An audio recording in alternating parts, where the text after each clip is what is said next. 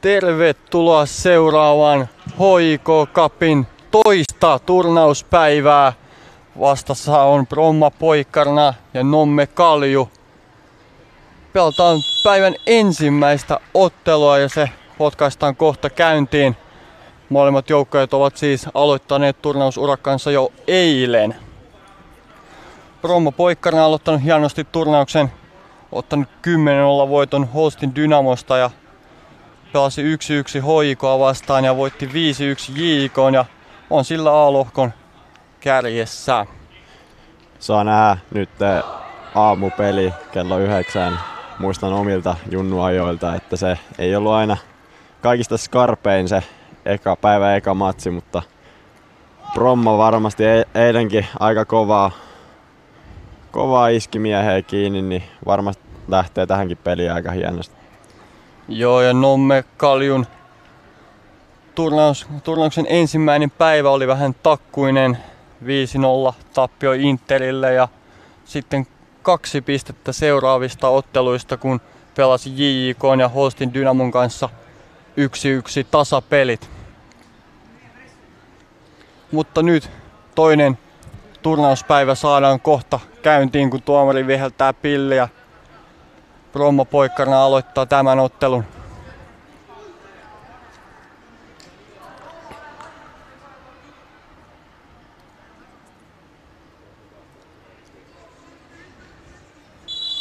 Ja siitä lähtee käyntiin perjantain ensimmäinen ottelu. Se pelataan heti Kavojalle alas.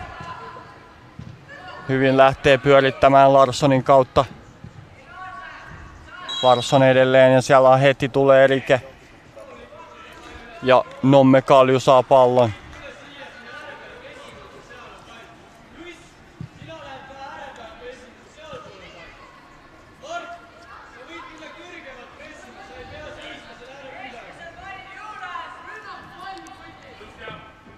Sieltä tulee pitkää palloa heti boksiin. Sinne tulee Nomme Kaljun pelaajia, mutta pallo jää pyörimään sinne reunaan. Se on Marmei kamppailee mutta hyvin riistää. Riistää Romma Poikkarinen pallon. Lähtee painamaan oikeeta, laittaa kovaa vauhtia siihen keskelle. Ja nyt ollaan jo kohta boksissa, mutta tämän hoitaa Artsemi Radomski hienosti. Laitaan jälleen Larsson. Pallon kanssa pyörähtelee keskikentällä. Pelaa takaisin laitaan. Tullaan jälleen siitä keskeltä hienon näköisesti. Tiputus jälleen Larssonille, joka pelaa laitaan. Kavoja pistää Smirnoffille alas. Sieltä laitaan Edvinsonille, joka leikkaa keskeltä ja antaa harhasyötön siihen, pääsee väliin.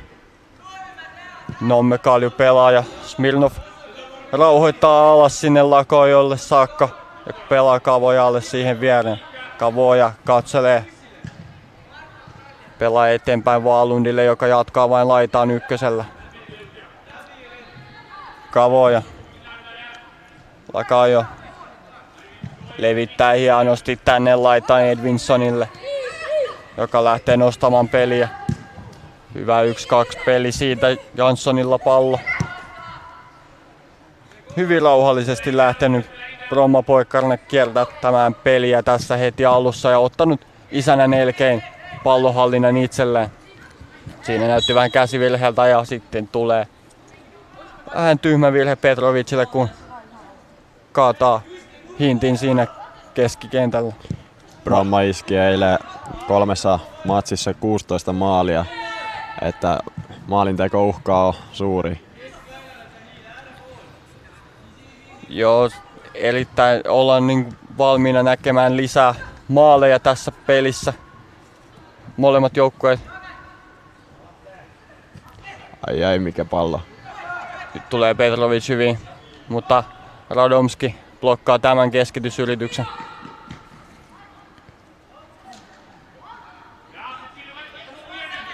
Ja ottelun ensimmäinen kulma nähdään, kun Lavaro menee antamaan Broma Boikkarinen kulmaa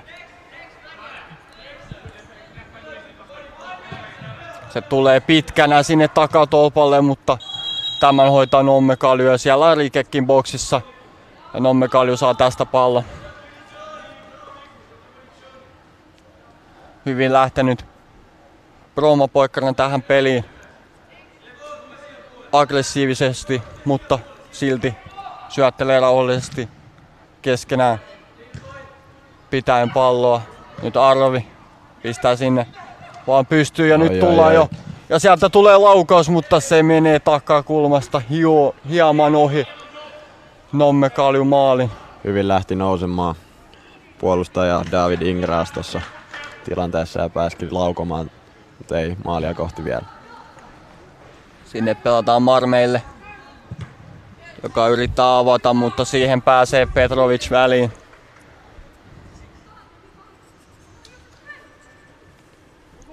Marmei heittää palloa kohti sinne Kukkosta, mutta Kukkonen ei saa tätä ja nyt siellä taistellaan pallosta ja se menee yli. Tämä on Bromma Poikkanen heitolla jatketaan tästä.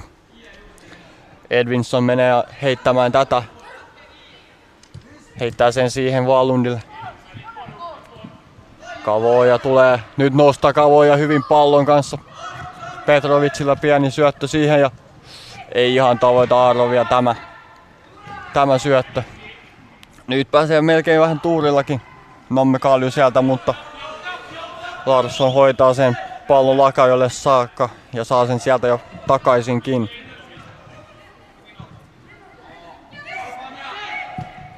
Pitkä pallo tulee nyt, siellä on ai, ai, boksissa ai. ja pallo ei, mutta vain viimeistely puuttuu tästä. Ja sieltä tulee Rikekin. Hyvä torjunta Nomme Kalju Veskarilta vaarallinen ollut. Vaarallinen ollut tuolla vasemmassa laidassa David Ingras. Tämän ottelun alun.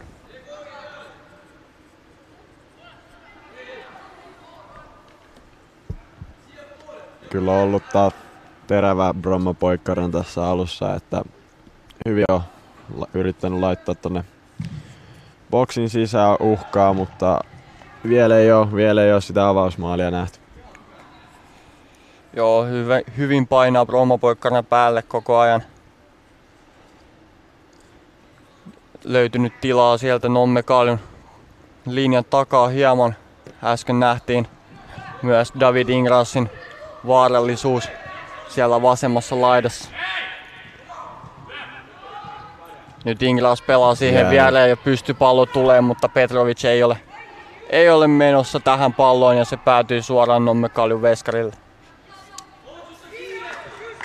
Varmein. Huono syöttö. Janssoni tulee siihen, pelaa Petrovicille. Petrovic koittaa sieltä, tulee eli ja hyvästä paikasta vapaa potku tulee Bromma poikkarnalle. Nämä on aina vaarallisia.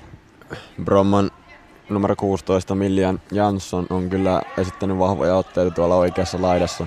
Ja Bromma poikkarna on käyttänyt hyvin paljon Janssonia tässä pelissä ja on toiminut aika hyvin päässyt haastamaan Nomme Kalju, laitopakkia, Marmeita. Marmei toistaiseksi kyllä pelannut ihan hyvin. Ei ole myynyt itseään liikaa. Sieltä tulee Arvi keskitys. Se tulee sieltä takatolpalle ai, hyvin, ai. mutta siitä puskee Edvinson juuri ja juuri ohi pallosta ja näin ei siitä synny sen vaarallisempaa tilannetta. Hyvän näköinen pallo oli, mutta ei ollut vaan menijöitä.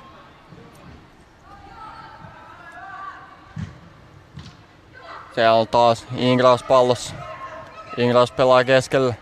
Sieltä pujotellaan, pujotellaan. Hyvä syöttö siihen Janssonille. Saako Jansson lauottaa? Ei tiputa Arloville. Arlov laukoo, mutta se menee, se menee muutaman metrin Nomme Kalju maalista ohi, mutta hienosti rakennettu tilanne ja hieno tiputus Janssonilla siitä jalkapohjalle boksin, boksin rajalle. Siitä, siinä oli ottelun ensimmäinen kunnon tilanne. Nyt tarvii Nömmen saada pallohallintaa itsellensä. Joo, ei ole päässyt Nomme pyörittämään palloa oikeastaan kertaakaan.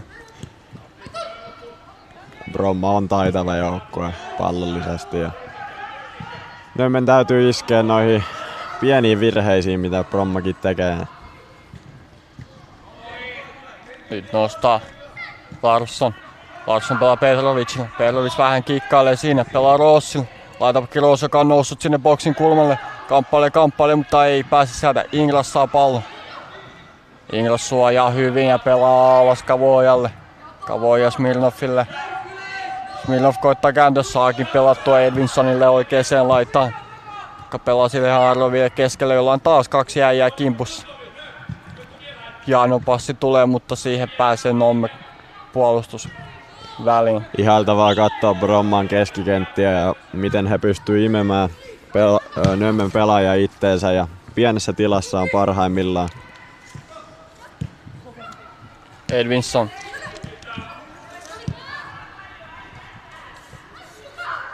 Tulee Petrovic hyvin. Kikkaa siitä yhden ja lähtee vasuri laukaus. Ai. Ja se on kyllä vaarallinen, mutta hieno torjunta Nomme Kalju Veskarilta.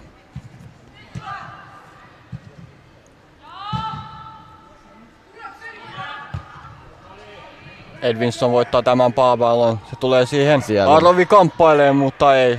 Näyttää rikettä, mutta tuomari näyttää sitten taas, että ei. Ei ole. Näin jatkuu Nomme Kalju. Yrittää siitä. Sieltä tulee taas pallo. Riisto ja Roos saa pallon. Roos lähtee kuljettamaan pallon kanssa. Pelaa alas Kavojalle. Kavoja kierrättää jopa maalevahtilla Kaajon kautta sinne oikeaan laitaan Edvinsonille. Mitä tekee Edvinson leikkaa keskelle, pelaa Petrovic. Petrovic. Tulee jopa Janssonille saakka tämä. Hieno katko Nomme. Nomme pelaajalta. Oi oi, mikä liukutaklaus Janssonilta. Ai ja nyt Jää. Petrovic repii siinä kukkosta ja näyttää ikävältä, mutta Jälkipeliä vähän siinä. Kukkonen kuitenkin nousee, nousee sieltä kentän pinnasta nopeasti pystyyn ja jatkaa peliä.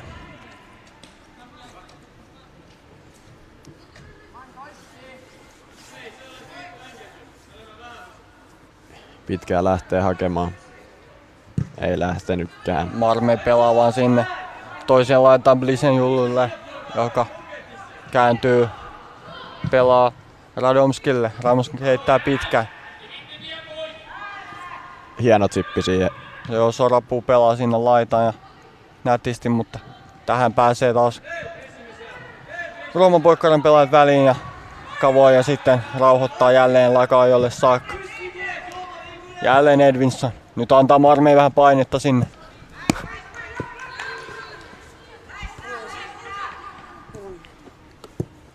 Marmei heittämään pallo taas peli. Kukkonen lähti jo vähän pystyyn, mutta Marmei ei sinne sitä heitä. Tää vaan pitkälle kohti kärkeä. Nyt avautuu. Tuo välimäellä hyvä paikka. Ai ai ai. Laukaus lähtee, mutta se menee ohi maalista. Hyvä, hyvä tilanne kuitenkin Nomme Kaljulle. Hyvä saada ensimmäisiä vetoja kohti Promo Poikkarna maalivahtia. Siinä olisi Sarapu voinut ehkä ottaa pallo haltuun ja koittaa siitä laukausta. Aina kannattaa kokeilla. Ja nyt nostaa oikea laita vaikka Edvinsson. Tulee, tulee päätyy saakka, on jo boksissa, mutta hyvä taklaus tulee sieltä Hintiltä. Trevor Hint, joka siis pelaa tuossa keskikentällä. On pieni näppärä kaveri, mutta näköjään hoituu myös puolustusvelvollisuudet. Sinne nousee jälleen kerran kavoja boksiin. Kavoja on vaarallinen siellä on myös Inglas. Oi, Mutta se oi. tulee Berlovic. Berlovic yrittää jatkaa, mutta se tulee sinne laitaa Arloville. Arlov pelaa siihen ja laukaus tulee ja se pallo Siellä. menee maaliin. Ja no maali tulee At- Atle Vaalundilla, joka ampuu siitä viivalta kohti takakulmaa ja sinne tolpan kautta menee sivuverkkoihin ja pistää Bromma Poikkaran 1-0 johtoon tässä ensimmäisellä puolella. Hienosti rakennettu tilanne, vaikka kulman jälkitilanteesta näytti vähän siltä, että Perlovicin jatko ei ole mikään kaikkeista paras, mutta se päätyy Arloville, joka jatkaa loistavasti siihen Vaalundille, joka pistää pallon kylmän viilesti alakulmaan. Vaalund, hieno maali ja ansaittu maali Bromma Poikkarnalle on kyllä ollut terävämpi joukkue tässä alussa. Ehdottomasti on tullut kyllä hyvällä jalalla Bromma poikkana tähän Kavoja saa tämän pallon. Kavoja voittaa nämä kyllä satanolla. Ingras pistetään vauhtiin. Petrovic. Arlov. Oi, Tulinen kuti lähtee Arlovilla, mutta sen blokkaa Marmei. Edvinson. Jälleen Arlovi. Arlovi tulee boksiin. Keskittää. Perlovic ei saa jatkettua tätä ja nyt vaan purkaa Hint. Pallon pois omasta boksista. Larsson pelaa tänne laitaan Edvinson. Edvinson jälleen. Edvinson pelaa nyt Siellä hyvin on Arlovilla. Arlovi on nyt ihan vapaassa paikassa. Ampuu, Oi. mutta päin maalia ja tilanne jatkuu. Arlovi heittää kantapäällä sinne boksiin. Sieltä löytyy Petrovic. Pallo menee Petrovista. Ei menekään Petrovista yli, vaan saa Bromma Poikkarina ottelun toisen kulmapotkun. Siinä oli hieno tilanne. Jälleen Bromma Poikkarina se pelataan nopeasti lyhyellä Arville. Arro, Perlovic. Perlovic pelaa sinne keskelle. Nyt on Smirnovilla paikka. Smirnov tällä ja pallo maaliin. ai. Smirnov pistää sen komea sinne veto. kulmaan. Komea veto oli kyllä Smirnovilta. Ehdottomasti ja Bromman numero 20, Love Arov, taas tuota, rakentamassa tätä tilannetta, on ollut kyllä hyvin aktiivinen tässä tämän pelialu. hienosti haki toppari Anton Smirnov kyllä tuon oikean jalan vapaaksi ja pistää pallon maaliin. Oli loistava kuti eikä sillä Nomme Kalju Veskerillä ollut mitään saumaa tämän kanssa. Nyt Marme on vähän pulassa tämän Broman Prässin kanssa ja siihen pääseekin väliin Oi, oi, oi. Vaalundi. Maalintekijä Vaalundi ei saa kuitenkaan keskitettyä, kun Artsemi Radomski pääsee tähän väliin ja nyt mennään ottelun toi, kolmas kulmapotku jo tähän lyhyen ajan sisään. Nyt on selkeästi ottanut kyllä Bromma askeleita jälleen kerran eteenpäin. Et sai boostia tuosta ekasta maalista. Selkeästi Arvi on siellä taas paljon hyvin se tulee siihen Vaalundille, mutta Vaalundin pusku ei osu maalipuitten väliin. Mä jatketaan Nomme Kaljun maalipotkulla.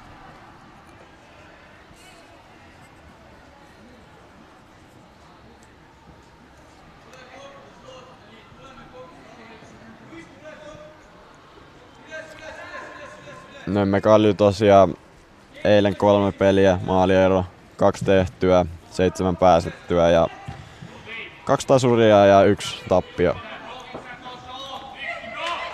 Vääntäys rapuu siinä Ingrasin kanssa, mutta Ingras tulee tästä voittajana ulos. Perlovis koittaa siihen, mutta hyvä. pallo tulee Edvinson. Edvinson pääsee jälleen tätä oikeaa laitaa tulemaan ja siihen Arvi löytyy jälleen keskeltä. Smirnov katkoo. Smirnov katkoo huono. on- Kukkonen pääsee siihen. Nyt on 2-1. Mitä tekee, mutta Smirnov tulee siellä isolla jalalla ottaa Kukkosen kiinni. Pelaa siihen Edvinsonille. Edvinson heittää vaan pitkään sinne kohti Petrovicia, mutta Petrovic ei tähän ehdi. Lillemets. Lillemets pelaa Sorapulle. Sorapulle huono tatsi ja siihen pääsee Arlovi väliin. Jälleen Arlovi. Arlovi pelaa Petrovicille sinne laita ja täällä on kyllä tilaa vaikka kuinka paljon. Sieltä tulee keskitys, mutta Ingrasin. Se on paitsi jo. Ja se on paitsiokin vielä. Täytyy sanoa, että nyt täytyy Marmeen ja Lillemetsin tehdä Nommekalju puolustuksessa jotain, koska täällä oikeassa laidassa on tilaa vaikka kuinka paljon ja sieltä tulee promopoikkarina läpi jatkuvalla syötöllä. Aika sama kaava on toistunut Bromma hyökkäyksessä, että paljon pelataan laitoihin palloa, siellä on tilaa. Ne pitäisi saada kyllä kiinni nyt Nömme. Siellä on jatkuvasti Marmeen ja Lillemets myöhässä näistä Petrovicin ja Janssonin juoksuista. Myös Edvinson on päässyt hyvin täältä oikealta läpi ja päässyt keskittämään, mutta nyt tullaan vasemmalta Ingras. Ingras kattoo, kattoo ja mihin pistää. Pelaa siihen vielä Perlovicin. Takaisin Ingras. Ingras on nyt boksissa vääntää siellä lyö. Lyö Nomme Kalju pelaajaa kasvoihin ja tästä tietenkin tulee vapaa potku. Selviää, selviää säikähdyksellä tästä Nomme Kalju kyllä. Näytti taas vaaralliselta.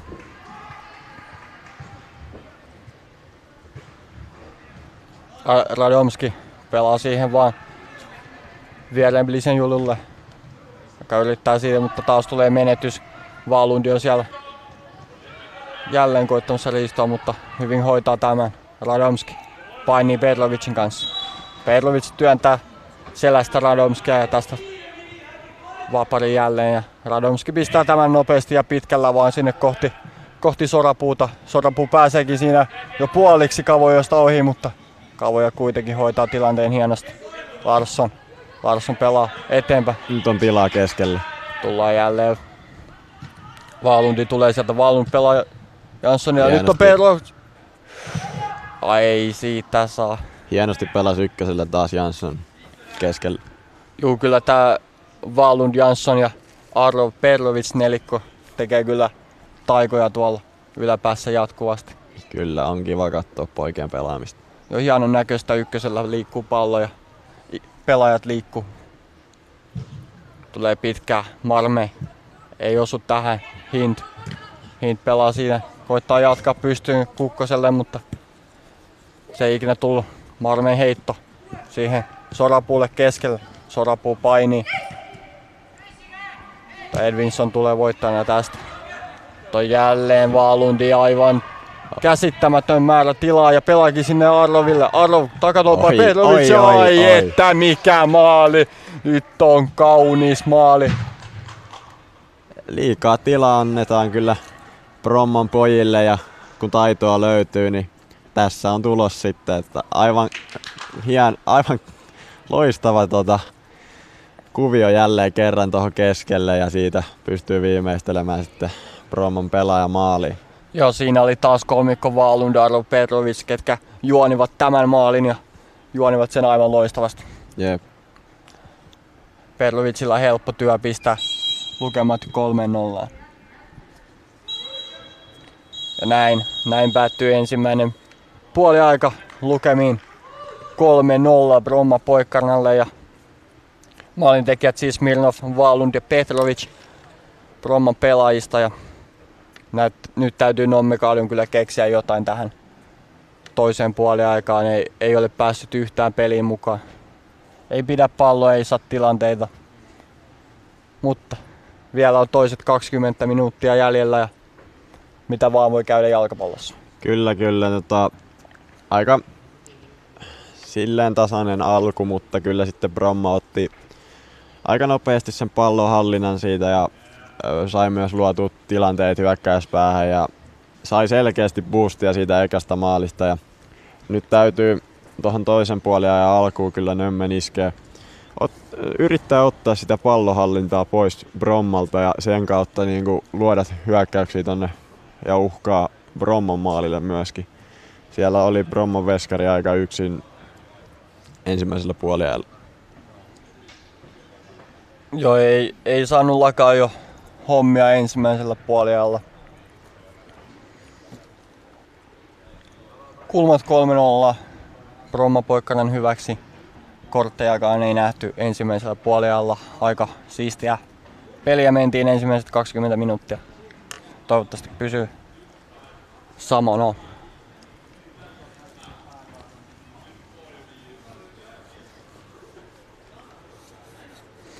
Hienosti saanut myös Bromma Poikkanen käytettyä tätä oikeata laitaa Janssonia. Sinne, sieltä ne tilat löytyy Marmeen ja Lillemetsin selän takana, josta sitten jonne myös Arlovi pääsi leikkaamaan boksin sisään ja sieltä nämä oikeastaan kaikki maalit tuli sitä kautta. Kyllä, kyllä. Selkeä sama kuvio toistuu, että pelataan aika laittaa. Siellä käytettiin paljon laitalinkkejä hyväksi ja siitä sitten pyrkii avaamaan tilaa keskelle ja aina sieltä löytyy joku kaveri, joka laittaa sen pallon pussiin. Joo, joo, täytyy se sanoa, että Bromma Poikkarinen palloton liike on aivan, aivan uskomattoman näköistä. Pelaat liikkuu juuri sinne, minne pallollinen pelaaja haluaa ja löytää ne tyhjät tilat sieltä linjan välistä. Joo, siitä pitää hattua nostaa kyllä Erik Rydén, Viktor Ekström valmentaja kaksikolla, että jo tuossa katseltiin noita alkulämpimiä, niin siellä käytiin aika selkeästi läpi, että valmentajat jutteli niinku yksilöiden kanssa tuossa ja näytti esimerkkejä, että mihin liikutaan missäkin tilanteessa, niin hienoa valmentamista. On todellakin. Mielenkiintoista nähdä, miten, mitä Nomme Kalju coachit sanoo puoliajalla ja miten, miten mitä muutoksia nähdään toisella puolella? Kyllä, kyllä. Tuleeko sieltä terävää jalkaa sisään tai myös fyysisyyttä ehkä vähän kaivattaisiin Nömmeltä. Ja siellä on ensimmäisessä pelissä pelannut Armin Leen ilmeisesti vaihtopenkillä tässä, että tuleeko puoliajalla kentälle Nomme Kaljulta numero viisi siis Armin Leen. ei ole nähty vielä tässä ottelussa. Ottelun toinen puoliaika on kohta taas valmis jatkumaan. Siellä venataan vielä Nomme viimeiset, viimeiset palaverit loppuun ja saadaan toinen 20 jatkumo.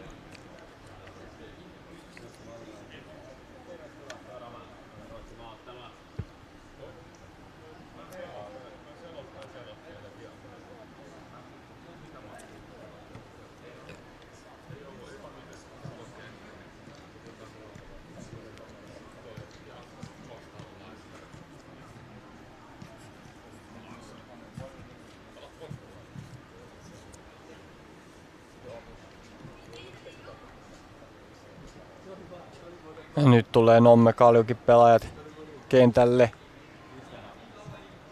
Mennään, aloitetaan Bromma Poikkanen aloituksella. 3-0 tilanteessa siis tämä perjantai päivän ensimmäinen ottelu.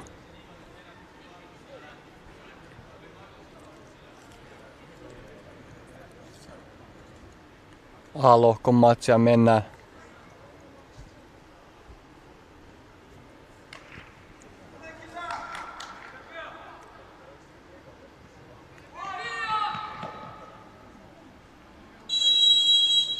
Ja näin lähtee käyntiin. Sinne pelataan heti puolustukselle Radomskille. Radomski pelaa Blisen Jululle. Blisen Julu heittää pitkää sinne. Välimäelle. Kavoja hoitaa tämän maalivahti Lakajolle. Lakajo jälleen. Saman tien Bromma ottaa taas pallohallintaa ja rupeaa kierrättämään. Hieno nähdä tuommoista pientä kierrätystä Veskarin kautta. Roos pelaa Smirnoffille. Smirnov nyt nostettu tähän keskikentälle Suomen Roos. Sinne on tullut uutta topparia vaihdosta. Smirnov pelaa keskikentällä.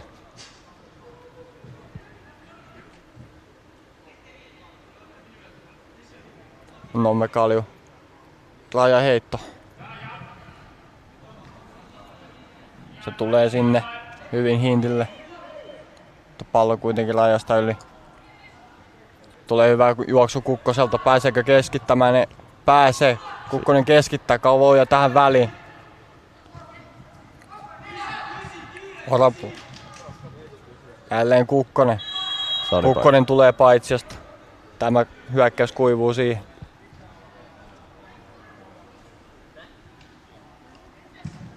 Nyt vaan sama syke Nemme Kaljulle, niin sieltä sitä kautta päästään maalipaikoille. Ai ja sieltä tulee taas Love Arrow laidasta. Arrow boksissa keskittää. Löytääkö sieltä Smilonfi? Ei löydä. Tulee vaan Nomme Kaljulta purku ja Edvinson. Edvinson saa pallon, mutta Edvinson pistää keskitystä vaan sinne boksiin. se ei tavoita ketään. Janosti pelaa nyt Hint siinä Smilnoffin pois pallosta ja levittää sinne kohti kärkeä, mutta tähän pääsee Roos väliin. Roos. Larsson. Larsson pelaa Arloville. Arlo rauhoittaa. Kääntyy. Pelaa siihen Smilnoffille. Smilnoff jatkaa hieno. hienosti siihen Larssonille. Mitä tekee Larsson? Pelataan jälleen Smilnoff. Nyt ollaan boksissa jo hieno liuku tulee Radomskilta. Siinä Radomski aivan oppikirjamainen puolustaminen, mutta siinä oli kyllä aika tyylikästä pelaamista Smirnoffilta Brommopoikarnan puolelta. Muutenkin tässä, niin kun katsoo tätä Brommon pelaamista, niin kyllä näkyy tuosta pallollista pelaamista, että jätkät tietää mihin toinen äijä liikkuu. Ei tarvi paljon kääntyillä ja vääntyillä. Joo ei, hyvin sanottu. Siellä, siellä on selkeästi tullut nyt Adle Vaalund, joka pelasi loistavan ensimmäisen puoliajan, on tullut vaihtoon.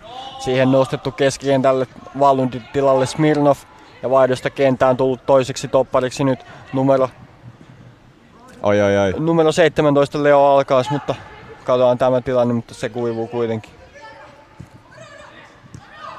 Kavoja katselee vaan siihen keskelle. Roos. Arlov. Arlov pelaa Perlovicille. Perlovic jälleen boksissa. Tuleeko tästä 4-0 ja, Ja tulee siitä 4-0. Petrovic pistää nätisti pallon takakulmaan oppikirjamaisesti ja pistää lukemat jo 4-0 ja iskee oman ottelunsa toisen osuman. Hienosti sahas jälleen Bromma ton Nömmen puolustukseen auki ja sieltä löytyi Petrovic. Jälleen, jälleen loistava suoritus Arlovilta siitä. Siinä keskikentällä löytää Perlovicin sieltä laidalta ja Perlovicilta hieno viimeistely. Kyllä kova joukkue saa olla, jos meinaa Bromman voittaa tässä turnauksessa.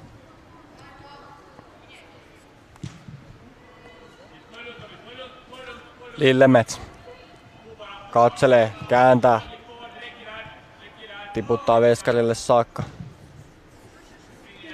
Blisenjulu. Radomski takaisin Blisenjululle. Vähän on paniikissa siinä, mutta Välimäki hoitaa tämän. Radomski. Blisenjulu. Bromma antaa selkeästi pientä siimaa hetken ja sitten iskee terävästi päälle kyllä tuohon Nömmen puolustukseen. Siinä jätetään kyllä tilat vähiin. Radomski antaa tämän vaparin pitkänä. Kavoja pääsee tähän väliin ja pallo on Smirnoville. Smirnov pyörii, katsoo, antaa vielä Larssonille. Larsson nostaa, antaa Roosille. Roos löytää jälleen Arlovin siitä välistä, joka jakaa sitä palloa taas eteenpäin. Nyt painii Lisen Jullu siinä, mutta Radomski pääsee tähän väliin. Roos pelaa taakse Perlovicille. Perlovic jälleen boksissa, mutta Radomski pääsee tähänkin väliin. Arlov. Ai, hieno kykkä siitä. mikä- Ottaa välimäen siitä pois. pois.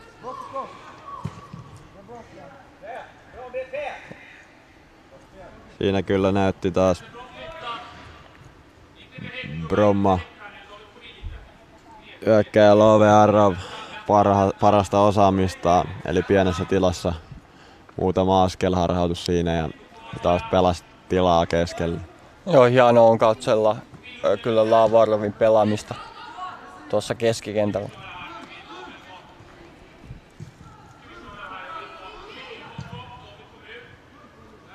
Nyt kuitenkin tulee Nommekaali.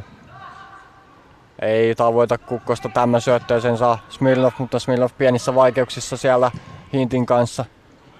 Mutta kuitenkin pääsee ja nyt nostaa Ingras. Ingras on siellä jo, mutta Radomski purkaa tämän heikko purku, mikä tulee Smirnoville. Smirnov katselee, katselee, pistää palloa boksiin. Sieltä löytyy Roosi, Joo, Roos ampuu, joo. mutta ei. Janno torjunta siitä Nommekaalyn veskarilta. Joo, siinä oli kyllä terävä koppi Nemmekalju. Hienosti Maaliva- rakennettu tilanne. Arro menee antamaan tätä kulmaa ja se on ottelun neljäs kulma jo ja Roma Poikkarinen neljäs kulmas. Arlovin kulma lähtee. Se tulee siihen etualueelle. Nyt ei ollut etualueella menijöitä. Ei. Otan takaisin Arloville. Ja nyt tulee, nyt tulee helppo virhe Roma Poikkarinen pelaajilta ja tilanne päättyy paitsi mutta peli jatkuu Radomski. Pelaa takaisin maalivahdille. Lillemets. Lillemets takaisin. Radomski. Radomski pistää pitkää sinne kohti lumia. Kavoja hoitaa tämän laka-ajolle saakka. On kyllä erittäin vaikea ohitettavaa kavoja. Menisitkö Arttu itse kavojasta ohi, mitä luulisit? En menisi kyllä Kavojosta ohi, että on sen verran nopea ja iso kaveri, että en ehkä lähtisi edes haastamaan. Nyt toi Perlovic pelaa Ingrasille. Ingras hakee, alkaa vapaaksi, saa sen vapaaksi, mutta laukaus epäonnistui tämän nappaa helposti. Nommekallio Veskra. Larssonilta hyvä katko keskikentältä. Larsson nostaa pallo, tulee jo boksi. Siitä saa vasemmalla vapaaksi, mutta laukaus on vähän, vähän heikon puoleinen ja ei tuota Nomme Kalju Veskarille mitään, mitään vaikeuksia. Laitetaan jälleen pitkää sinne kohti Kukkosta. Kukkonen ei tähän edes mene. Sorapuu kääntyy nätisti. Pelaa siihen viereen hintille. Pitkää tulee. Pitkää tulee jälleen, mutta tämä on Lakajon, Lakajon pallo joka päivä. Kavoja. Kavoja nostaa nyt pallon kanssa. Pelaa siihen viereen alkaa sille. Alkaas nostaa taas vuorostaan. Pelaa viereen. Mutta Janssen siinä keskellä. Janssen menee yhdestä ohi ja ottaa Ingrassin mukaan siihen hyökkäykseen. Roos. Roos kääntyy, leikkaa keskellä ai. mutta siinä on Radomski välissä. Smirnov pistää palloa boksiin, siellä löytyy, mutta Hieno keskitys jälleen kerran Smirnoffilta. On ollut kyllä hi- hieno katsoa Smirnoffin pelaamista. On ollut kyllä yksi näkyvimmistä pelaajista Bromma Poikkarnalla tässä ottelussa. Joo, ja siellä numero 10 vaihdosta tullut Simon Torella pääsi koittamaan puskoa boksin sisältä, mutta se ei aivan onnistu. Bromma antaa Nömmen pyörittää peliä omassa päässä, mutta saman tien kun päästään tuosta keskialueelta ylös, niin kyllä Bromma on ottanut aika vuoden varmasti noita katkoja.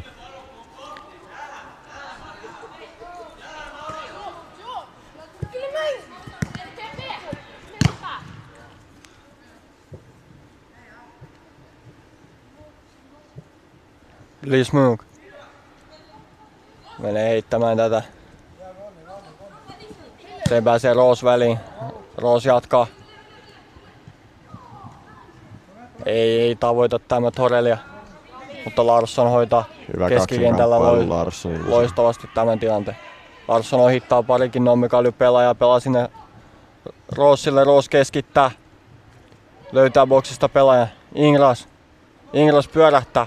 Vasuri vapaaksi Oi, ja oi, mikä maali! Huhhuh. hetkonen, minkä, minkä pommi laittaa Ingras. Siitä nopeasti kääntyy ja saa vasurin vapaaksi ja kuti lähtee ja yläriman kautta ei ole kyllä Nomme Kalju Veskarilla tässä mitään saumoja, kun Ingras painaa noin painavan kudin. Siinä tuli ehkä vähän yllättäen Ingrasille pallo, jopa mies taisi itsekin yllättyä, mutta hieno kääntö pienessä tilassa ja aivan uskomaton laukaus yläriman kautta maaliin. Joo, ei, ei ole helppo kuti tuommoinen. Lähti aika painavasti Ingrasin jalasta. Lukemat 5-0. Ingraskin avaa tässä ottelussa maalihanonsa.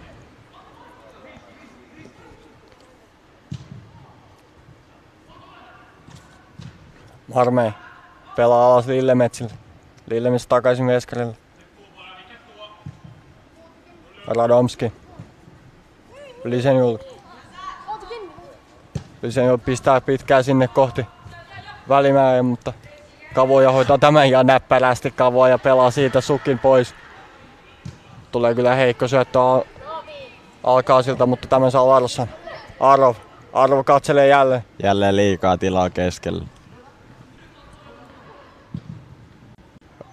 Upea pallo, jälleen kerran Smirnoffilta kyllä tuohon keskustaan. Hienoi palloi suoraan Bromma hyökkäjän päähän. Joo, ja nyt löytyy taas jälleen väleistä. Löytyy Jansson ja Larsson molemmat siitä. Se on myrkkyä kyllä ollut Nomme Kaljun puolustukselle. Radomski pääsee tähän. Radomski jälleen. On vähän arvi siinä prässäämässä, mutta hyvin hoitaa Radomski. Hakee marmeita. Lillemets pääsee kääntyy Nommekalju pelaa sinne, tai Inglas pääsee tähän väliin. Larsson, Larsson pelaa sinne hyvin, hakee Torelia, mutta Lisen Juu saa tämän. Nyt on Nyt on, ei saa suk tätä, mutta hommaa kuitenkin Nommekaljulle tästä va- rajaheiton. Aika vaikea on kyllä ohittaa numero 13 Kavoja tuolla Bromman puolustuksessa, että on kyllä pelannut erittäin varmasti. Nyt tulee Arov. Arov siitä on, menee ohi Radomskilta. Arvi tulee edelleen Radomski, siellä hieno liuku tulee Radomskilta, mutta Hyvin puolusti siinä numero 22. Artsemir Radomski. Ei tule siitä kulmapotkua, jatketaan Nommekaljun maalipotkulla.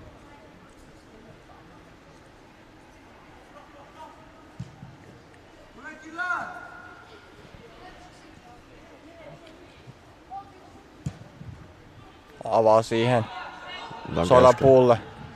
Sorapuu pelaa Hintille. Hint.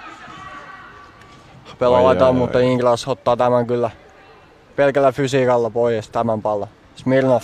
Nyt on tilaa Smirnov, mutta Hint lähtee jahtamaan Smirnov ja Smirnov pääsee boksiin. Pelaa takaisin se Arloville. Arlov tulee.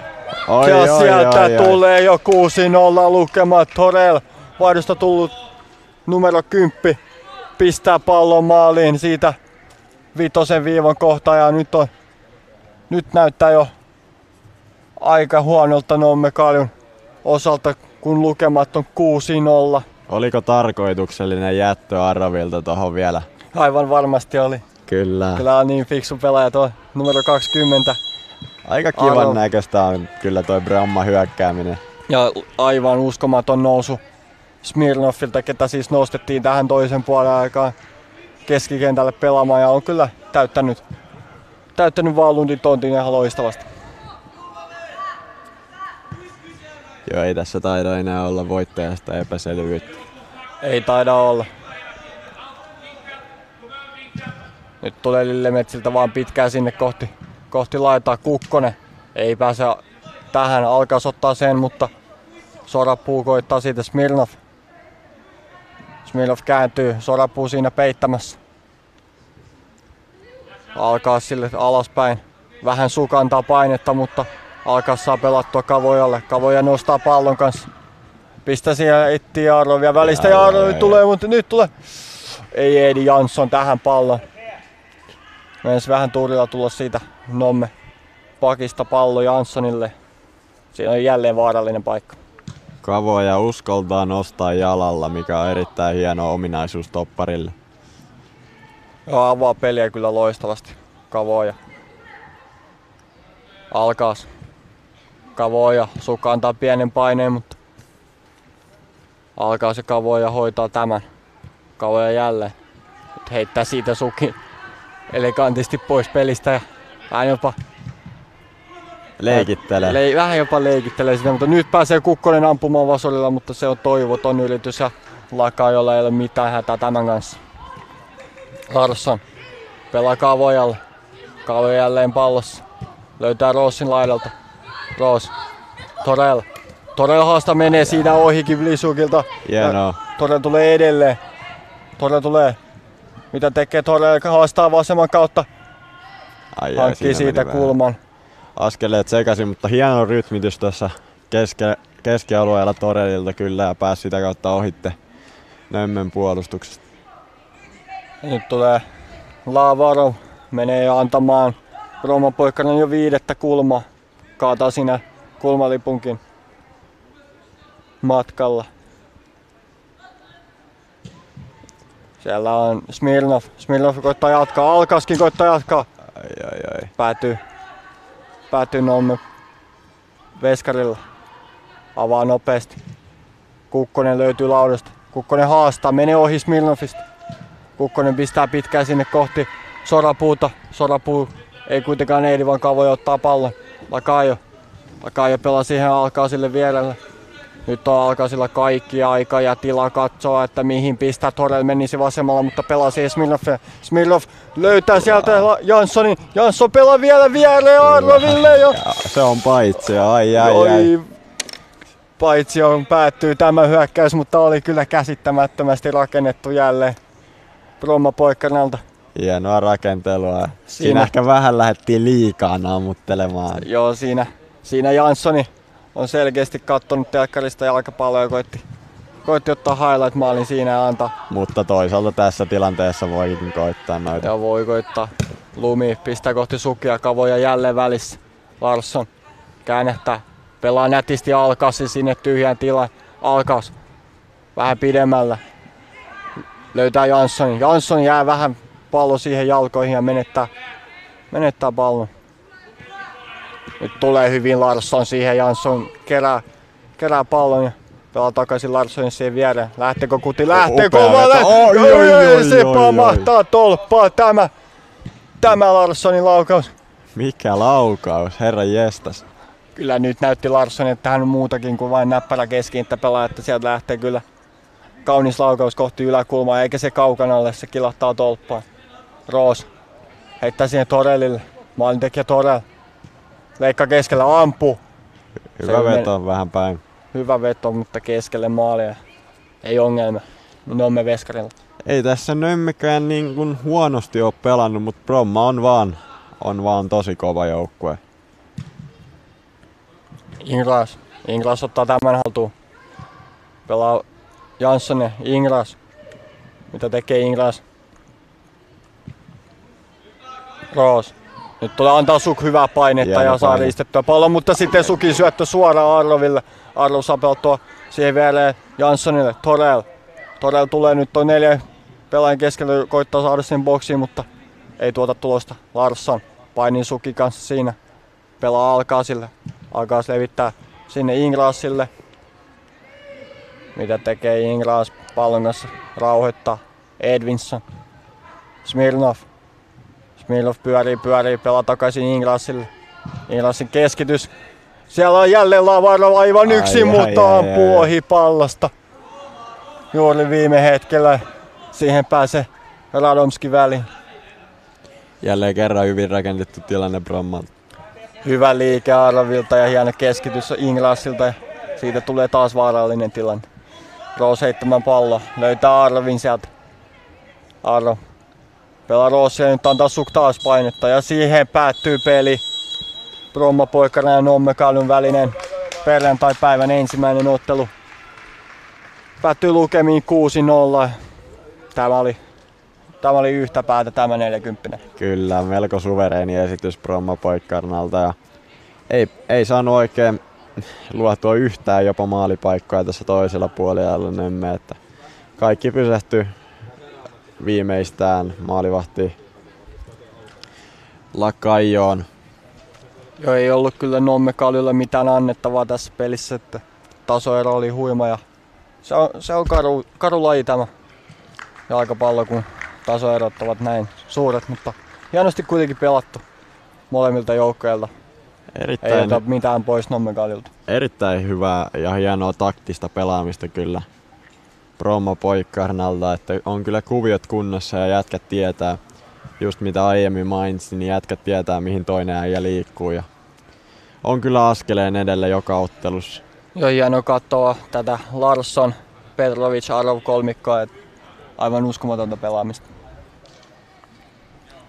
Mutta me, me lopetetaan tämä, se, tämä ottelu täältä studiosta ja odotetaan sitten seuraavaa matsia, joka on HIK ja Hostin Dynamon välinen ottelu. Sitä tulee selostamaan Jyri Kottila ja Valtteri Moisio.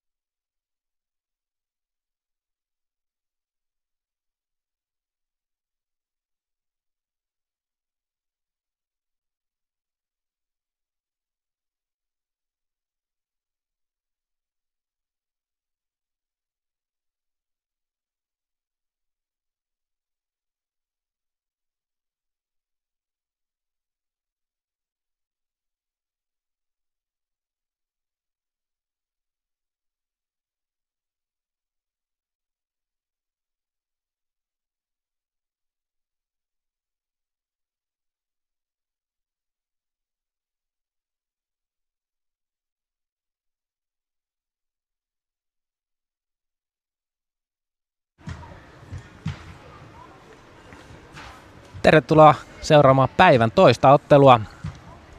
HJK vastaan Hody eli Holstin Dynamo. Toinen tämän turnauksen Jyväskyläläisjoukkueista nyt sitten tulessa. Selostuskopissa Jyri Kotilahti ja kommentaattorina Valtteri Moisio. Täällä, täällä. Öö, ennakkoon tästä kyllä tulossa Hodylle hankala peli. HJK pelasi muun muassa Broma Poikkarnan kanssa, joka tuossa äskeisessä ottelussa nähtiin, niin HJK pelasi 1-1 tasan heidän kanssaan, eli HJKlla myös he rivit kunnossa. Hodylla on ollut turnauksessa vähän hankalampaa. Kyllä. Klubi 4-2 JJKsta voitto ihan pelissä. Broma vastaa 1-1 tasuri ja Interistä vielä 2-0 ja Interkin lähtökohtaisesti menossa tästä aika korkea siellä jatkoa tästä lohkosta. Joo, Hodyllä maaliero tällä hetkellä kaksi tehtyä maalia, 18 mennyt omiin. Katsotaan, miten pystyvät pistämään klubille nyt ö, kampoihin. Hoiko ottaa heti pallohallinnan ja kiertää sinne toppareille ja pallo pikkuhiljaa tänne kohti vasenta laitaa. Sitten takaisin oikealle ja Helsinkiläiset lähtevät rakentamaan ensimmäistä hyökkäystä. Hyvin tulee sieltä oikealta laidalta, mutta sivuraa heitto, kun sen saa hoidilaiset katkaistua.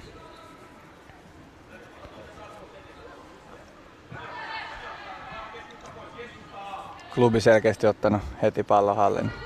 Ja heti ensimmäistä vaarallista tilannetta rakennellaan ja kulmapotku tästä tulee HJKlle.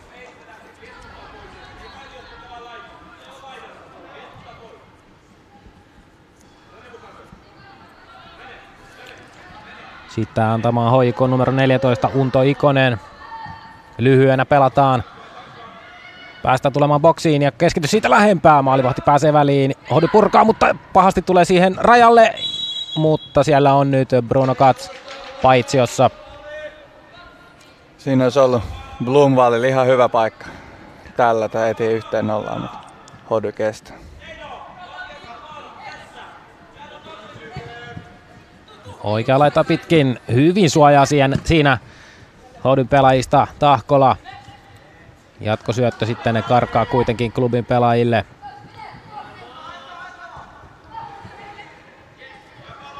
Ja Hoiko rauhoittaa.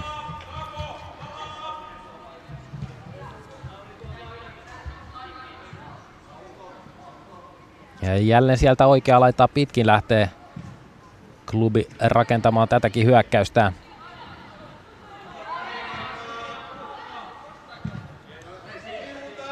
Maltetaan pelata myös alaspäin. Siinä joukkueen kapteeni numero 5 Leevi Palmula pelaa sitten Bruno Katsille. Kats Palmulalle. Selkeästi klubille ei ole kiire lähteä mihinkään. Ne tietää, että, että tässä ei pitäisi tulla ihan käsittämätön kiire tässä matsissa verrattuna näihin aikaisempiin matseihin. Eli pelataan rauhassa täältä alakautta ja sitä kautta pyritään lähteä tuommoisiin helppoihin, helpoin lyhyillä syöteillä hyökkäyksiin. Todennäköisesti ne Hodin mahdollisuudet tulee nopeista vastahyökkäyksistä. Nyt sitten Kats pallon kanssa ja hyvässä nousussa lähtee laukomaan kaukaa, mutta tuo veto painuu maalin ohi.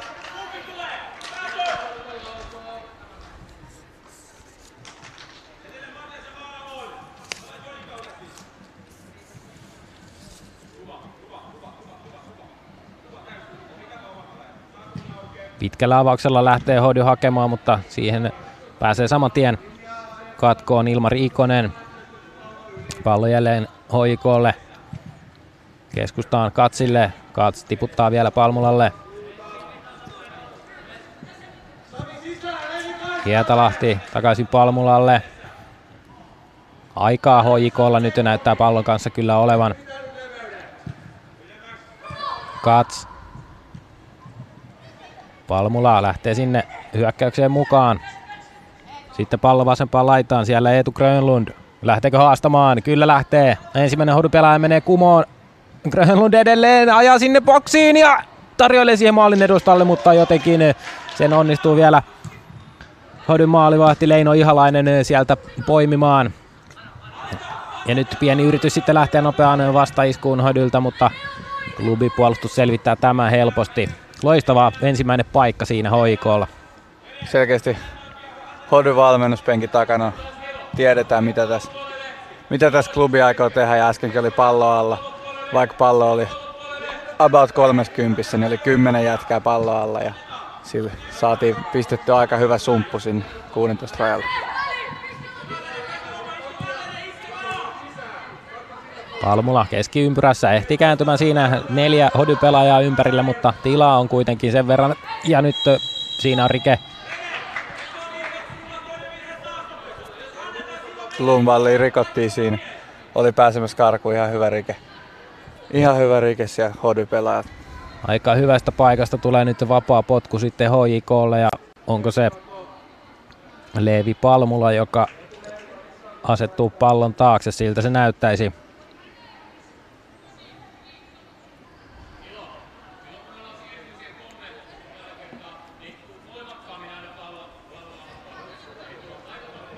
Myös Eetu Grönlund siinä toisena vaihtoehtona laukomaan.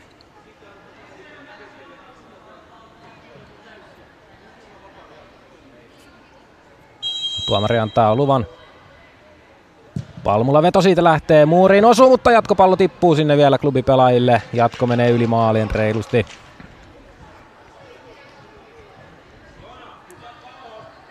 Siinä oli vapari aikana, niin kuva ulkopuolella nähtiin, kun hodykärki Voitto Moisio meni tonne coachin lähelle ja coach antoi siellä sit ohjeet todennäköisesti näihin vastahyökkäyksiin, mistä pystyttäisiin haastaa klubi. Sieltä oikealta laidalta haetaan Tahkolaa, mutta se yritys pysähtyy saman tien nyt uudella, uudelleen kohti Tahkolaa. Tämä karkaa sivurajasta yli.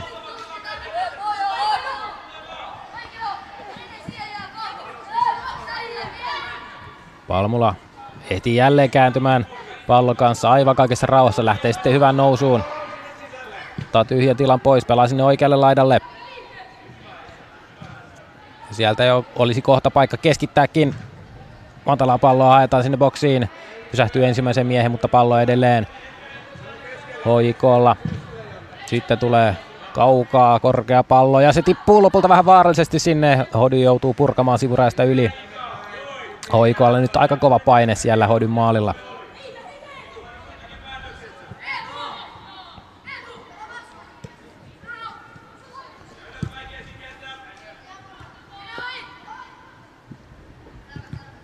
Palmula hakee katsia, mutta pallo kimpoaa siitä vähän vahingossakin Patrick Blumvallille.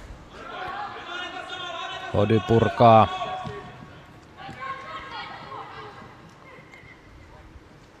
Jälleen Palmula pystyy kyllä koko ajan saadessaan pallon kääntymään aivan kaikessa rauhassa ja katsomaan minne päin lähtee palloa pelaamaan. Nyt sitten Sami Nevala vasemmalla laidalla. Grönlund on siinä alla. Sieltä löytyy kuitenkin Kats keskeltä ja pallo jälleen sivuraista yli.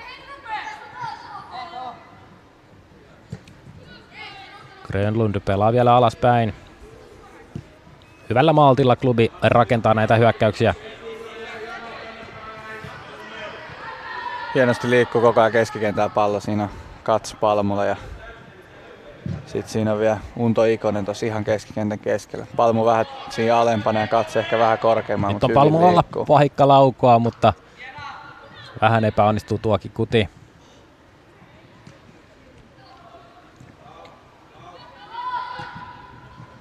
Todella kova paineen alla joutuu Hody nyt olemaan ja siinä on Rike, revitään hieman. Ja jälleen hyvästä paikasta. Vapaa potku hoikolle.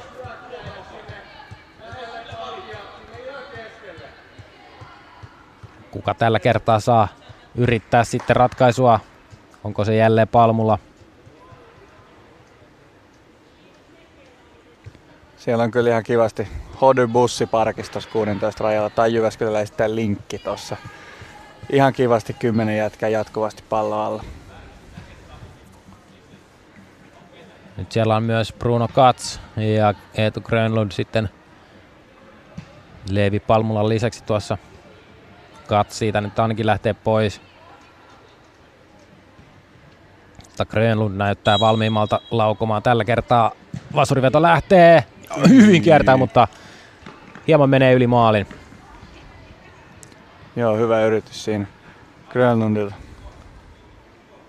Grönlund täältä vasemman laitapakin tontilta tuli ampu vapari, vaikka yllättävä. Vasenjalkainen pelaaja pystyy tarjoamaan sitten toisen vaihtoehdon tuohon Palmulan oikealle jalalle. Vaparipelotetta löytyy. Nyt Hodylla sitten pallo hallinnassa hieman pidempäänkin. Tahkola pelaa sinne ylöspäin. Tästä kuitenkin pallon menetys. Arre Moisio ei saa palloa itselleen. Kats. Siihen pääsee Hody vähän väliin. Jälleen sivurajasta yli. Hienosti pelasi Hody keskikentän pohjalta tuolle Kaapo Ikonen, niin otti tyhjän tilan pois ja pelasi tänne oikeaan laitaan. Sitä kautta päästiin vähän jo kutittelemaan tuota klubipuolustuslinjaa. Ja nyt otetaan toinen pallo, kun pallo karkaa jonnekin tuonne katsomoiden alle. Eetu Grönlundille heitto tulee.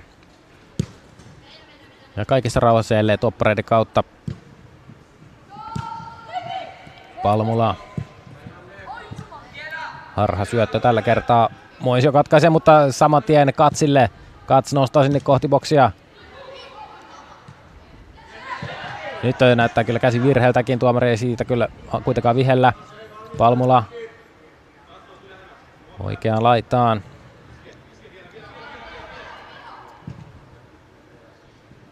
Pystyyn haetaan. Tuossa taas ei rikettä ole, mutta klubi painostaa. Alkaako siitä vetopaikka? Kyllä aukeaa, mutta suoraan päin maalivahtia menee. Siinä ei ihalaisella vaikeuksia. Ihalainen on ollut kyllä tosi varma tuo, tuo Hody maalille, eikä ole ihan, vaikka klubilla onkin tosi kova paine koko ajan, niin hyvin päässyt noihin palloihin väliin. Ja niin kauan kuin HIK ei sitä yhtä nollaa onnistu tekemään, niin kaikki on mahdollista. Hody saattaa sen yhden maalin iskeä jostain nopeasta iskusta. Hietalahti oikealle laidalle.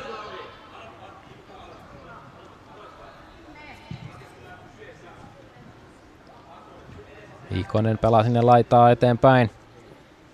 Kottiselle.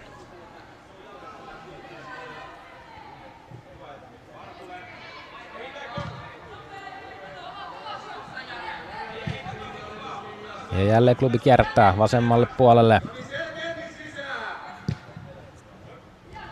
Hyvä puhkova syöttö.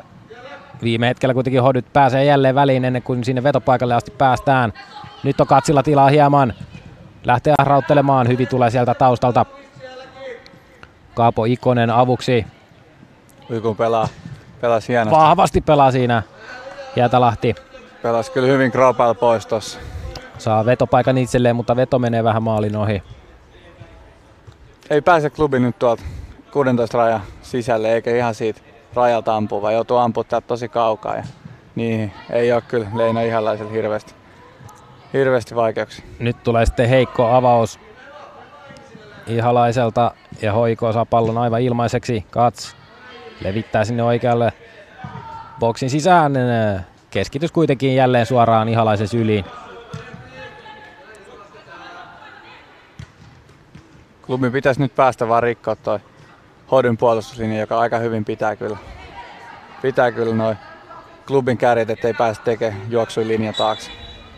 Armoisio suojaa hyvin palloa, ottaa siitä vapaa potkun.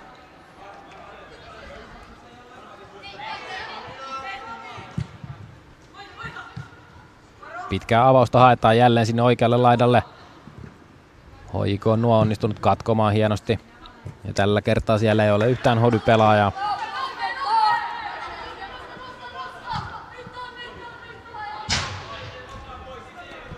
Pallollisen ei ole kyllä Hody tehnyt ihan hirveästi virheitä.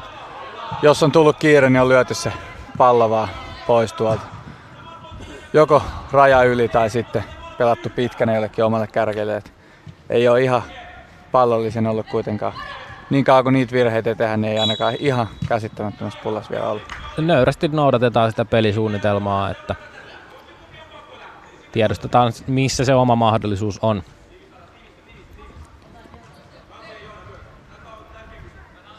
Hoiko vapaapotku siitä keskiympyrästä. Grönlund vasemmalla on hyvää tilaa. Sinne Saminen valalle pelataan sitten kats keskellä.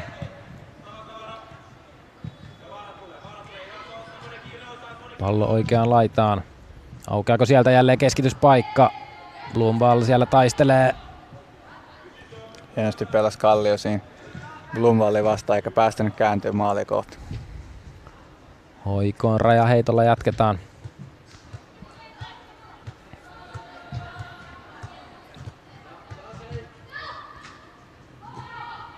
Ensimmäistä jaksoa jo melkein vartti pelattu ja hoikoo edelleen nollilla.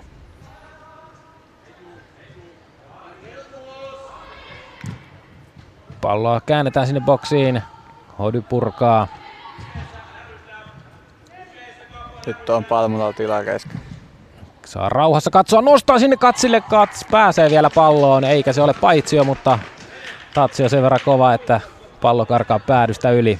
Tosi kaunis nosto oli, oli siinä Leevi Palmulalta ja katsit hieno juoksu just sinne puolustuslinjan taakse. Näitä klubi tarvisi vaan enemmän koko ajan.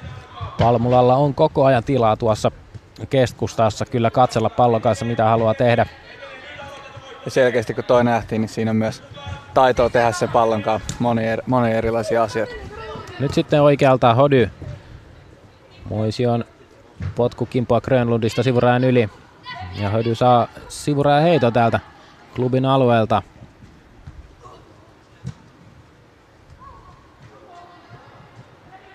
Pääseekö Hody jopa laukausu, laukausu, laukaisu paikalle tästä?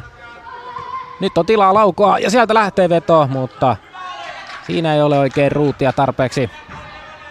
Milo Knaapinen torjuu vaivatta klubin maalilla. Knaapinen, joka todella aktiivisesti kyllä pelaa nyt jalalla noissa aiemmissa otteluissa, joita on nähty. Nyt ei ole niin tarvinnut hänen kautta edes pelata. Mutta Hody vähän pääsee nyt hyökkäyksiä rakentelemaan jopa tänne klubin kenttäpuoliskolle. Oisio syöttö sinne keskustaan, sen pääsee klubi katkomaan. Nyt huomasin, että klubi ei ollut ihan varautunut ehkä tällaiseen hyökkäyspeliin. On niin vapaasti saanut pelata täällä hyökkäyspäässä. Nyt meinasi tulla kiire muutama otteeseen. Nyt pelataan Hodyn prässin ohi sitten tyylikkäästi. On kyllä kaunista katseltavaa toi Knaapisen jalkapeli ja aikaisemminkin kattonut jo Bromma poikkarina vastaan. Ja nyt pitkä avaus Sami Nevalalle, joka pääsee siitä melkein läpi ajonkin, mutta loistavasti tulee sieltä Hodyn puolustaja. Työntää Nevalan irti pallosta. Se on Lukas Tahkola, joka pelastaa tuon tilanteen.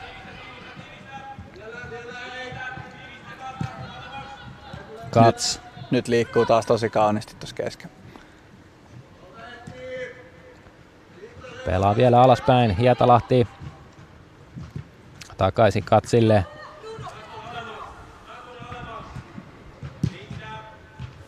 Loistava Palmulla levitys sinne vasempaan laitaan Eetu Grönlund. Nevala saa vielä pallo pidettyä kentällä.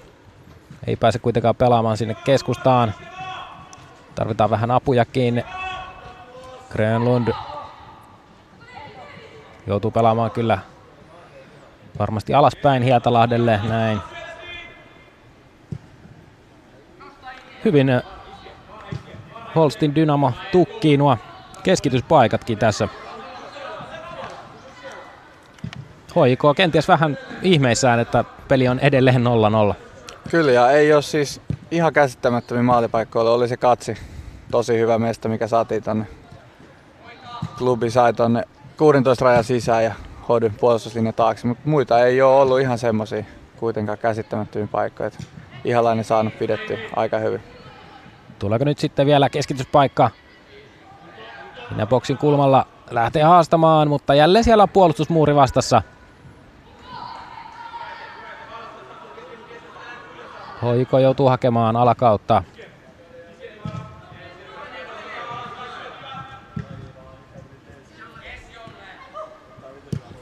Puolenvaihto Grönlundille.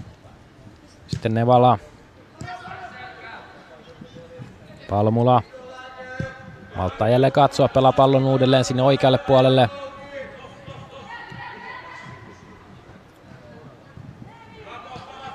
Palmula. Kats. Nyt pelataan hieno seinäsyöttö. Palmula nostaa vielä sinne boksiin ja siitä Blumval, mutta on paitsiossa ja siellä tulee kyllä loistava torjuntakin ihalaiselta. Tosi kaunis nosto oli siinä. Oliko Bruno Katsin nosto vai Levi Palmalla nosto ja Blumval teki hienon juoksun, mutta taisi olla ihan senttimetreistä kiinni, että oli paitsi Nyt on, tulee taas sit vastahyökkäyksen hodu. Hodu lähtee ihan hanakasti nyt hyökkäykseen. Päästäänkö sinne kääntämään kohti maalia? Kulma potku siitä tulee ja Hodylle aukeaa vielä paikka tähän ensimmäisen jakson lopulle. Erikoistilanteesta on kyllä Hodylle mahdollisuus iskeä nämä maalit varsinkin kun tuossa oli ihan käsittämättömän hyvä paikka klubille, niin olisi varmasti hieno tappaa se fiilis, että on ollut koko ajan maalipaikka ja nyt olisi paikka iskeä. Hodu jättää pari pelaajaa tänne keskiympyrän tuntumaan. Bloomval hoikon pelaajista siellä kärkkyy vähän ylempänä.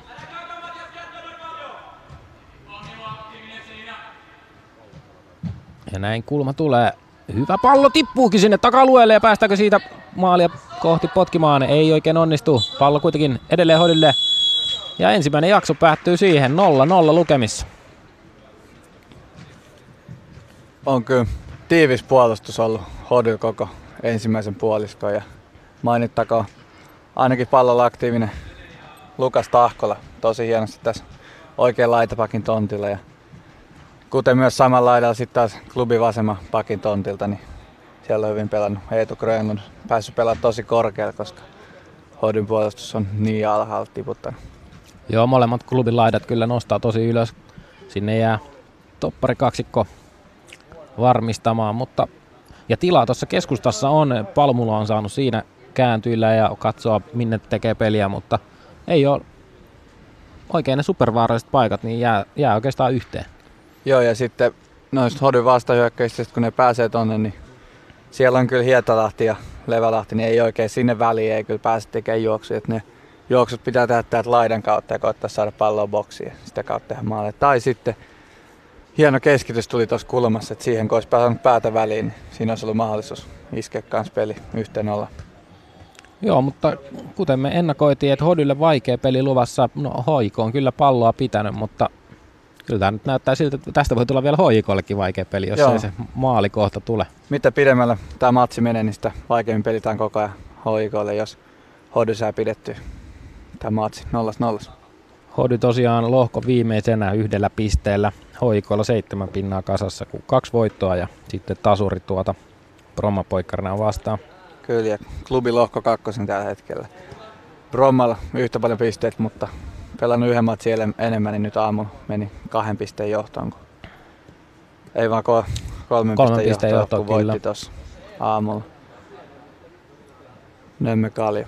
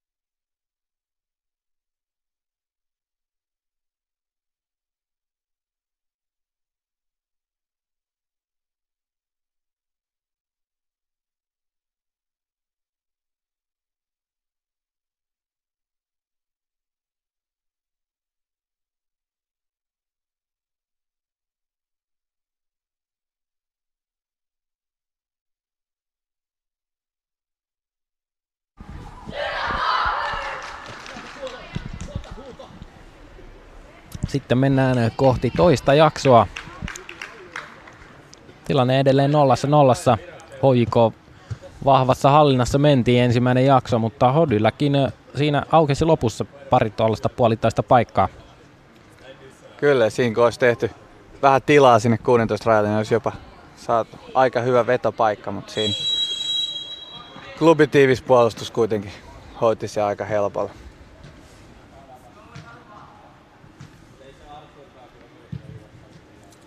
Klubi taitaa tehdä vaiho ainakin tänne oikein laitapakin tontille. Ilmari Ikonen. Siitä vaihtoja Neko Peltola siihen tontille. Alvar Nikula myös topparin tontilla, oliko ensimmäisellä jaksolla tuo toinen. Ja nyt on. Nyt aukeaa sitten saman tien paikka ja Bruno Kats. Helppo työ laittaa siitä pilkun tuntumasta peli yhteen nollaan. Sitä ei tarvinnut sitten enää kovin kauan odottaa. Siinä oli, nähtiin kun tuota, oli just pääsemässä sanoa, että Patrick Blue on otettu vaihto ja Alberto Velasquez sinne kärkeen paikalle teki hienon juoksu heti. Hodun puolustuslinja antoi siihen keskelle ja Bruno Katsilla oli helppo työ siirtää peli yhteen nolla. Hieno maali. Ja siinä nyt pieni helpotuksen huokaus kuuluu HIK vaihtopenkin suunnasta. Saa nähdä, miten Hody nyt sit muuttaa peliä. Nyt on Ojoi saman tien harhasyöttö ja Velasquez lähtee haastamaan. Lopulta Hody saa sen selvitettyä, mutta joutuu roiskaisemaan pallon vain sivurajasta yli.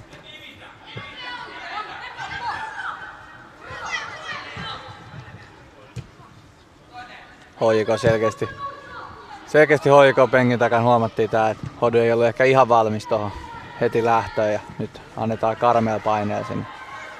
Yritetään rikkoa sitä puolustuslinjaa. Pitkä puolen vaihtoa haetaan, se tulee vielä ja siinä on nyt kova tilanne, mutta eikö siitä vetoa saada aikaiseksi millään. Tuomari näyttää, että ei ole pilkku. Ja Hoidy saa lopulta pallon sieltä haettua Maalivahti Ihalainen joutuu taas roiskaisemaan sivuraista yli. Nyt on klubin paine kyllä kova. Aivan karmea sesonkin tässä selostuskopin edessä, eikä pysty millään selostuskaksikko näkemään, mitä tuolla boksissa tapahtuu, mutta onneksi ei tullut maali.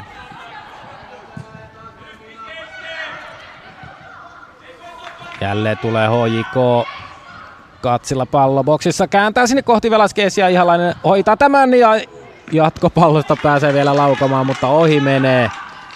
Siinä oli Adam Zaitral. Ihan hyvä vetopaikka, mutta ihan vähän lipuu tolpalta ohi. Ei tarvi ihalais siihen hirveästi reagoida. HJK haluaa nyt saman tien tappaa tämän pelin 52 nollaan.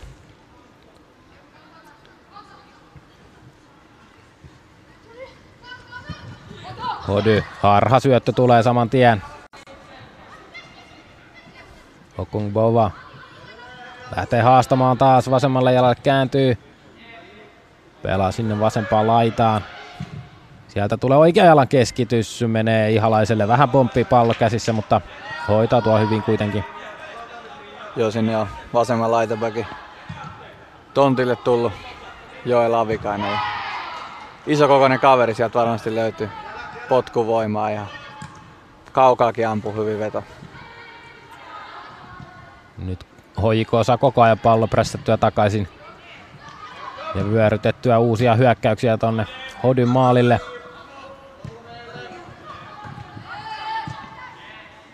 Ja vilkaisepa tuonne HJK maalille päin, miten ylhäällä Knaapinenkin pelaa koko ajan. Nyt haetaan katsia sinne puolustajien väliin.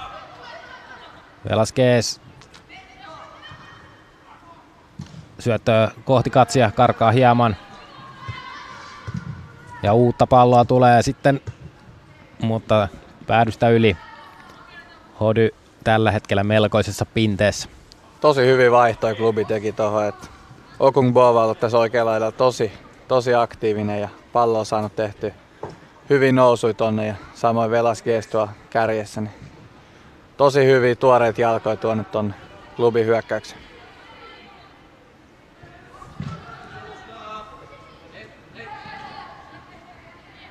Näin HJK saa taas pallon hetkeksi prässättyä, mutta se karkaa nyt sivurajasta yli. Hodylle pieni hengähdystauko tuosta puolustamisesta. Sinne lähdetään kolme miehen voimin nyt hyökkäystä rakentelemaan. Saadaanko siitä jopa kulma potku aikaiseksi? Kyllä. Hodylle kulmasta jälleen yksi mahdollisuus sitten. Tosi hyvä haasto siinä Hodyn kympiltä. Voitto Moisiot oli kyllä tota, tosi hyvät jalat löytyy kaverilta, että jalka riittää juosta tonne puolustuslinjaan ja koko ajan kun pallo tulee klubin puolustuslinjaan, niin pystyy antaa tosi kovan paineen nopeasti. Sieltä lähtee jälleen hyvän näköinen kulmapotku, mutta siinä on nyt Knaapinen sitten ensimmäisenä pelaa saman tien pystyy kohti Velaskeesiä, mutta taitaa mennä sivurajasta yli. Näin käy. Näitä on nähty aikaisemminkin, niin kuin sanoin tuossa ensimmäisellä puolella, niin varsinkin Bromma Poikkarina vastaan, niin Knaapinen oli tosi aktiivinen pallo ja pystyi pelaamaan tuonne pitkällekin omille hyökkääjille ja sitä nähtiin nyt. Saatiin nopea ripaus nyttenkin selkeästi.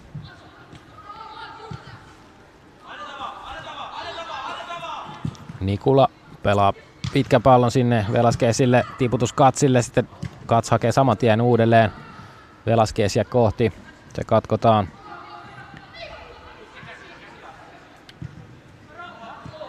Nyt on Vähän. hyvä prässi Hodille. Kyllä Hody nostaa hieman prässiä tähän ja klubille meinaa tulla siinä kiire hetkeksi aikaa. Anton Nylund nyt saa sitten taas täysin rauhassa katsella tuossa keskiympärän tuntumassa, hakee sinne linjan taakse. Hyvä yritys, mutta Hodyn pelaajat ovat hereillä. Jälleen haetaan pientä vastaiskun poikasta. Joel Avikainen tulee tuon hyökkäyksen pysäyttämään, mutta rikkoo siinä samalla. Sinne on nyt nostettu Rene Honko tonne voittomoision viereen selkeästi kärki pariksi vähän, vähän avittaa tuota hyökkäyspeliä onkin tehnyt ihan hyvin juoksuja tuo kaksikko nyt tuo. Ja pistänyt klubipuolustuksen vähän ahtaamaan. Joona Kallio menee tätä vaparia antamaan. Sinne 16 rajan tuntumaan Hody-pelaajat asettuvat. Vähän liian matalana tulee tuo vapaa potku. Hoiko saa heti pelattua Velaskeessille. Vasenta laitaa pitkin. Jimi Järvinen siellä nousussa. Hyvän näköinen tilanne tästä syntyy ja saa pelattua sinne oikealle laidalle, mutta jotenkin siinä jaloissa sotkeutuu nyt Okungbova. Ei saa siitä viimeisteltyä. Jimi Järviseltä hyvä esityö tuolta vasemmalta laidalta. Tosi hienosti pelas, vähän huonosta tasapainosta vielä tuonne takatolpalle, mutta... Kats nostaa nyt Okungbovalle kääntö sinne maalin edustalle ja tolpassa taitaa käydä tuo nyt on pikku hazardi, flipperi siellä ihan viitosen sisällä, mutta ihalainen saa pelastettua se hienosti. Avikainen pelaa nyt alaspäin. Nelevä Lahti.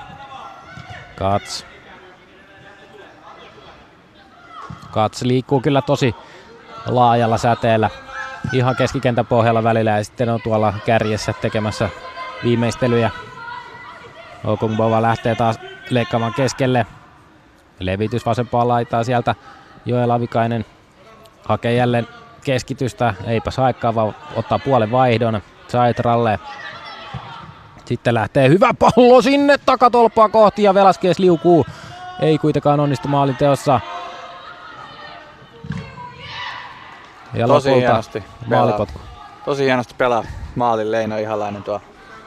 Taas otti sieltä takatolpalta aika hieno kopi ihan loppuhetki, kun Velaskees pääsi sinne liukuun. voisi sanoa, että Ihalainen pitää vähän jopa Hody torjunnan vielä elossa. Jälleen nostoa haetaan sinne Velaskeesille. Nosto ja nyt se menee. Ihalainen ei tätä pysty enää torjumaan. Ja peli kahteen nollaan. Kaunis. Kaunis pystysyöttäjä. Alberto Velasquez viimeistelee hienosti. Kiva pikku chippi ja nyt oli ihalainen ihan voimat. Alkaa olla lopun alkua. No nyt pitäisi Hodyn sitten jo kaksi onnistua tekemään, jos tästä pisteen meinaa nipistää.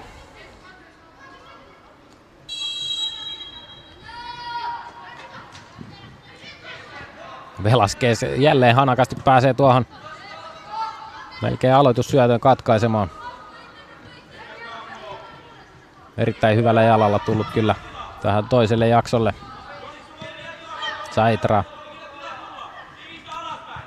Klubi otti tuossa maalin jälkeen katsivaihto ja Blumvalli tonne Velaskeisin kärkipariksi.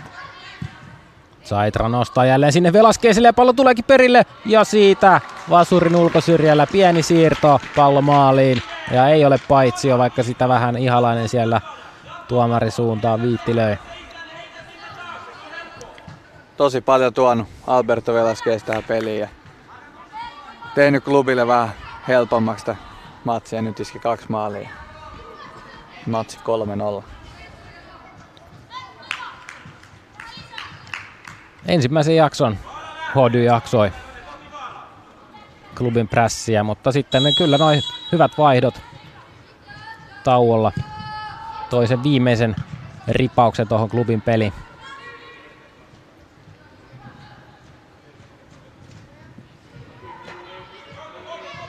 Hodun ö, hyökkäys tyrehtyy aika nopeasti. Saitra kaikessa rauhassa pallon kanssa. Sitten kyllä hieman heikko syöttö. Ja aukeaa siitä nyt pieni mahdollisuus. Pääsekö siitä laukaisupaikkaan jopa? Lopulta harha syöttö. Hieman huolimatonta tekemistä nyt Hodilta. Siinä olisi kenties voinut jo Hanakammin lähteä ja vetoakin hakemaan. Ja voittomoisio oli siinä 16 rajalla. Joo, siinä olisi ollut kyllä ihan hyvä vetopaikka 20. Et hirveästi lähemmäs ei ole kuitenkaan hody päässyt. Noista kun saisi edes vedon maaliin kohti, niin se on aina mahdollisuus maaliin.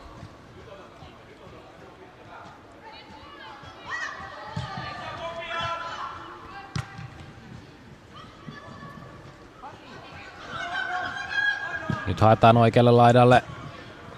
Hyvä katko Hodilta, mutta pallo tulee sitten Neko Peltolalle. Saitra. Saa aivan vapaasti katsoa minne pelaa. Siirtää Okong Bovalle, joka lähtee taas keskustaa kohti. Kaukaa lähtee vasuriveto, mutta selvästi ohi maali tällä kertaa.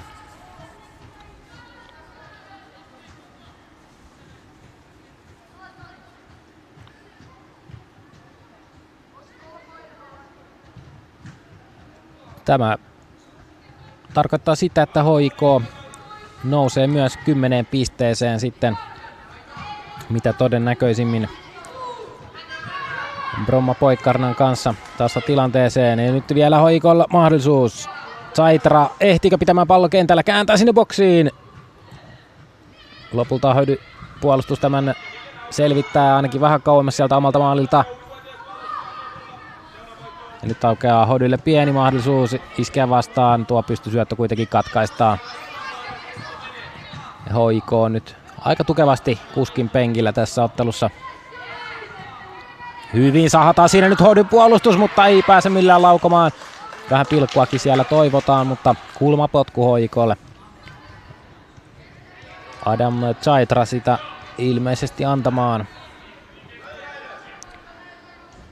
Hodilla on vielä tänään JJK vastas tuolla lohko Jumbo-matsissa ja klubilla sitten Nömme Kalju vielä seuraavassa matsissa. Nömme Kaljuhan tasapisteessä Hody ja JJK kanssa. Varmaan tulee aika samanlainen matsi kuin mikä tää on ollut. Hodyn ja JJK on ottelu sitten kahden Jyväskyläläisjoukkueen kohtaaminen, kun nyt siellä jo loukkaannutaan. Voi voi, Ikävän näköinen. Irvistää siellä aika pahasti Hodypakki. Ja sinne hoito henkilökuntaa viittilöidään paikalle.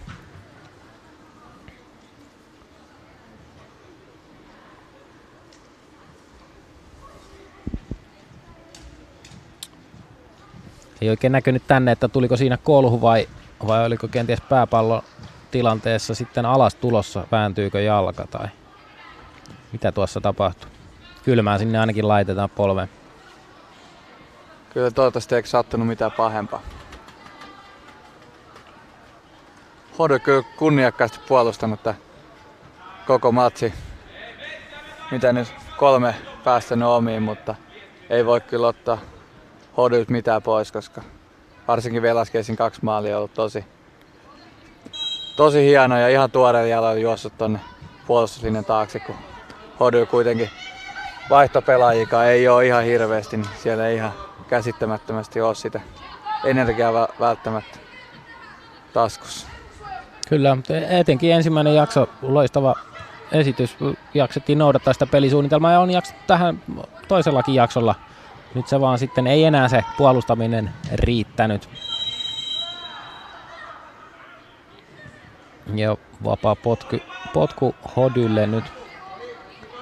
Joo, siinä rikottiin Hody keskikenttä Rene Honko. Tultiin vähän niin sanotusti sukille. Hoiko prässää niin hanakasti, että jälleen se pallo saadaan Hoikon haltuun. Saitra.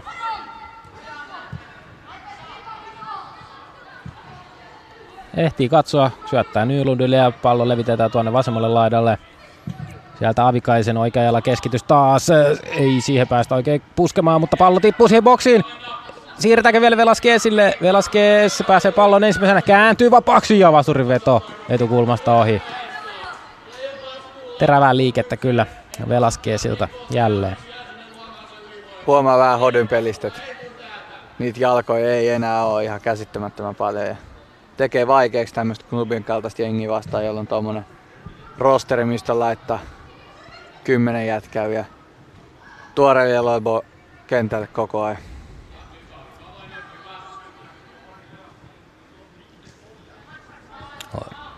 Siinä pelataan pystyyn. Nyt oli kyllä Paitsilta häskähtävä tilanne, mutta sieltä tulee Milo Knaapinen hienosti maalilta vastaan ja selvittää tuon tilanteen. Pelaa tosi ylhäälle kyllä tuollaista liberon paikkaa oikeastaan.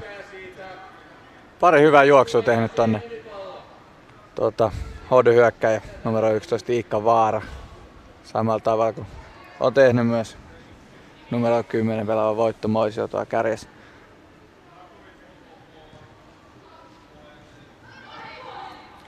klubin pelistä hieno nähdä, että kun sieltä otettiin keskikentän maestrat katsia Leevi Valvona pois, niin silti sinne löytyy tämmöistä kaveri kuin Adam Zaitra keskelle ja Okung Bova pelannut hienosti täällä oikealla laidalla. Ja Samoin Anton, Anton Nylund tuossa pohjalla. Kyllä. Siis laaja materiaali on kyllä tällä joukkueella. Kyllä ja samalla avausjaksolla oli Patrick Blumval kärjessä, niin ei pelannut myöskään Hassumia sitten kun Velasquez tuli, niin oli kyllä teke, tehnyt hienoja juoksuja. Ja laaja rintama on kyllä klubilla. Aikalaisista, e, aika lailla erilaisista lähtökohdista nämä joukkueet operoivat. Holstin Dynamo, paljon pienempi seura. Kävin tutustumassa heidän verkkosivuihinkin. Niin vähän tosiaan erilaiset lähtökohdat rakkaudesta lajiin on lähdetty tekemään juttua ja ilon kautta pakko arvostaa. Kyllä varmasti voisin kuvitella, että jätkät on itsestään ylpeitä. Klubi vastaa 3 ei kuitenkaan Suomen johtavaa seuraa vastaan, niin ei pitäisi olla, ei pitäisi olla ihan läpihuutojuttu, että päästät vaan kolme maalia. Kyllä, ehdottomasti näin. Ja varmasti Hodylle iso matsi toi seuraava, kun käytännössä oma derby pääsee pelaamaan täällä talissa, kun JJK asettuu vastaan. Mikä sen parempaa? No nyt kuitenkin tätä ottelua vielä pari minuuttia jäljellä. Hoiko onnistunut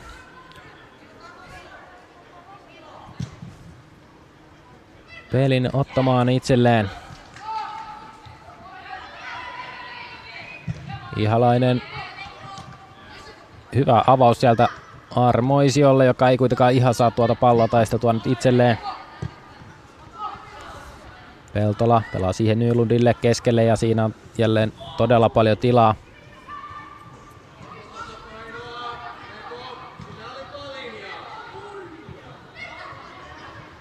Velaskeesi jatkaa sinne lahdalle. Ei taida osua oikein kunnolla palloon, jos meinaa karata sivurajasta yli. Tulee sitten Avikaisen oikealla keskitys jälleen. Siihen pääsee Velasquez vähän potkaisemaan, mutta Ihalaisen näppeihin se päätyy.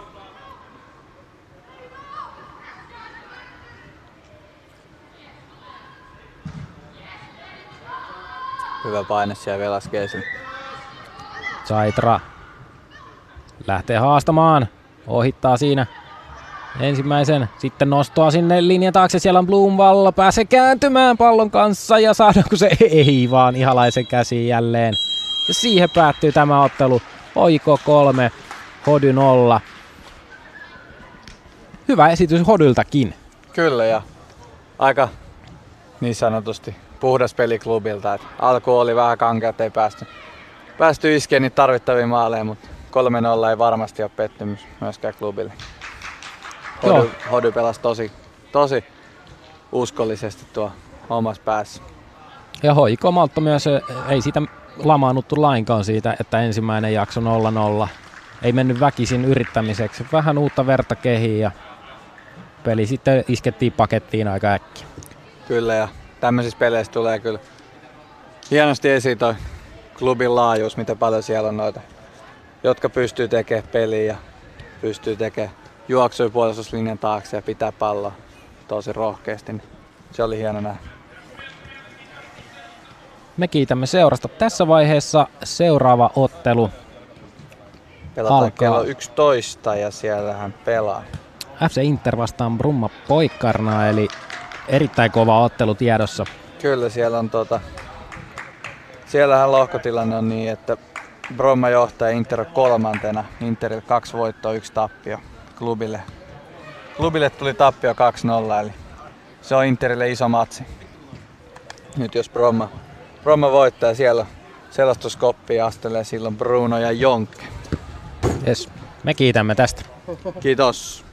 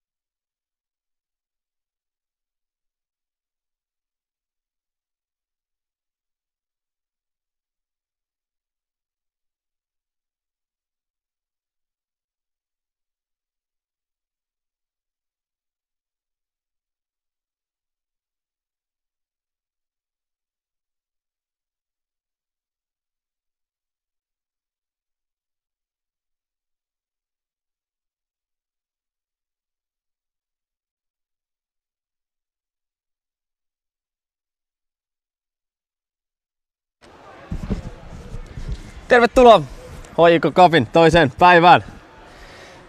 Luvassa huippuottelu. FC Inter vastaan Bromma Poikkarana. Tiukka ottelu tulossa.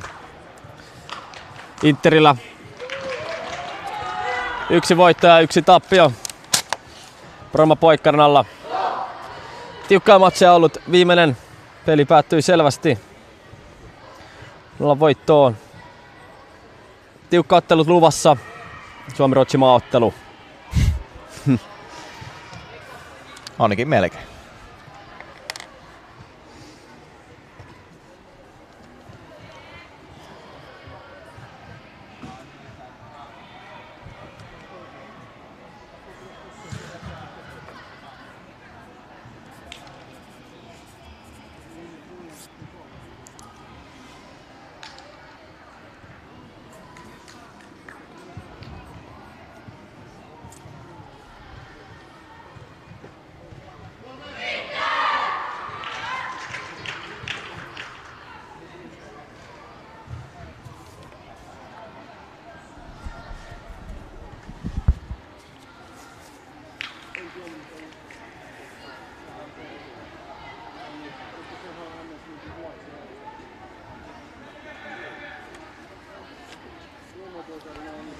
Siellä keskiympärössä kapteenit. Ja eilen jo taitojen välättänyt Interin kapteeni Rasmus Tuomi numero 17.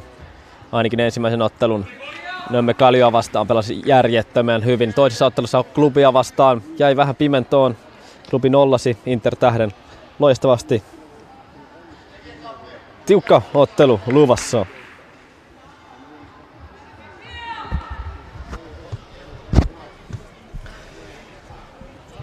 Rova Poikkarana aloittaa ottelun aloituspotkulla.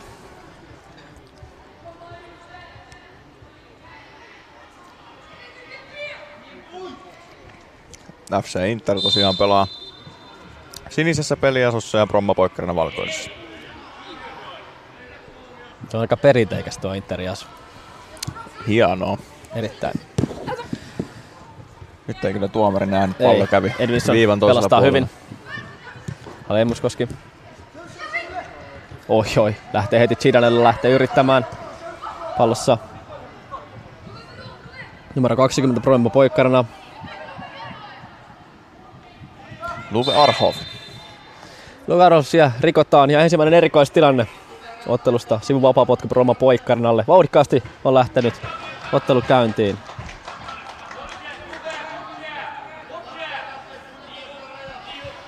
Varhov.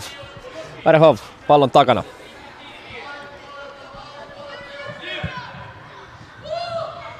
Höglundille helppo koppi. Helpon näköinen pallo sieltä, ei minkään näköisiä vaikeuksia. Tyylikäs on keltainen. Maalivahti asu Höglundilla. Keltaisin pukeutunut herrasmies. Kyllä.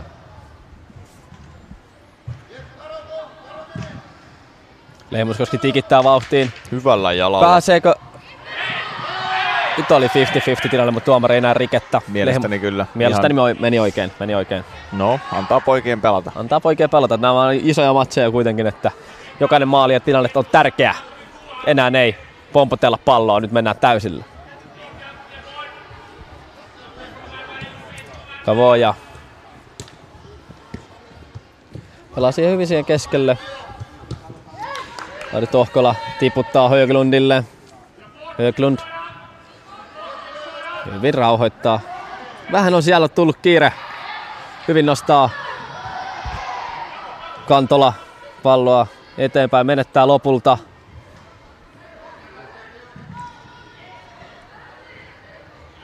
Tuomi pallossa ensimmäistä kertaa vasta nytte. Hakee Lehmuskoskea. Ei pääse ihan vauhtiin mukaan. Näin. Rajaheitto Interille.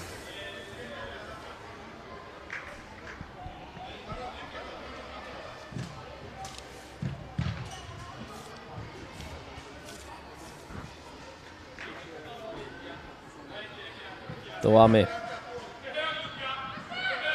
Okei. Hyvin Tuomi kuljettaa tuolla palloa. neljän pelaajan ohi. Nyt on tilaa ottaa viidennen jalka vapaana. Lähtee kokemaan Tuomi. Ai ai ai. Aika hyvän näköinen paukku sieltä. Kyllä, Kuitenkin menee ohi. leijailee selvästi kuitenkin ohi. Maalinteko intoa löytyy, kuten Kyllä, ja Tuomio on tuossa, sanoisin jopa turvaksi parhaita pelaajia. Tuo, tuo pallon yli oman puolustusalueen tempokuljetuksella ja omalla juoksuvoimalla pystyy luomaan vaarallisia tilanteita. Kavoja. Pelaa keskelle. Arhov. Tää roikkopallon. Kantola ei ihan päässä. Teo Liuska ihan pääse valiin. Yksi yksi tilanne siellä. Hyvin Inter kuitenkin tämä selvittää. Ei selvitäkään. Nyt on tila. Ai ai. Larsson. Hyvä puolenvaihto. Jansson. Jansson taistelee siinä. Ja nyt oli, nyt oli Selvä vähän ruma. Nyt oli vähän ruma Selvä rike. Janssonilta. En tiedä, oliko tässä kohtaa edes mitään järkeä Ei, ei. rikettä. Ei ollut.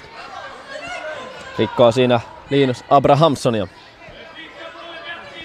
Ei ihan keltaisen, loppupelissä keltaisen paikka, mutta peli on vielä niin nuori, niin ei ollut vielä varoituksen paikka. Ja kyllä tulee hyvin maalita vastaan. Ja näin Interi Bromma Poikkaran puolikkainen tilalle kuivukasa. Kovin prässää, kovin kyllä nyt tulee todella hyvällä prässillä Bromma Poikkarana.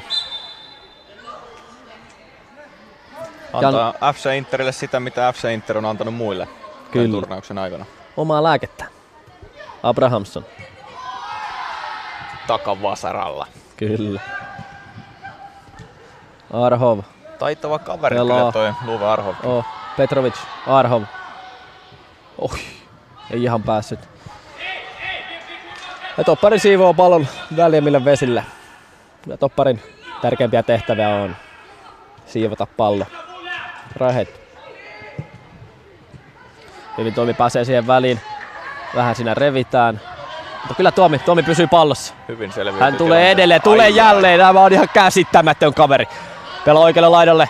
Puolittainen paikka on siinä, mutta hyvin tulee sieltä korvaamaan tilanneen alkas. Bromman puolustaja. Larsson tiputtaa Kavojalle. Kavoja pelaa Edvinsonille.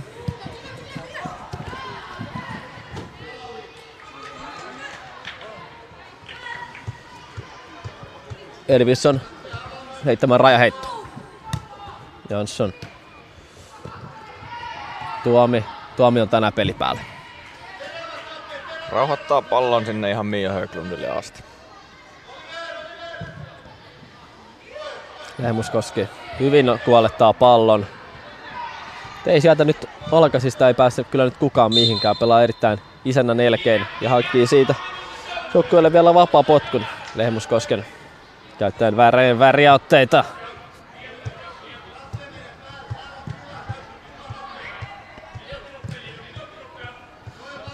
Lakajo.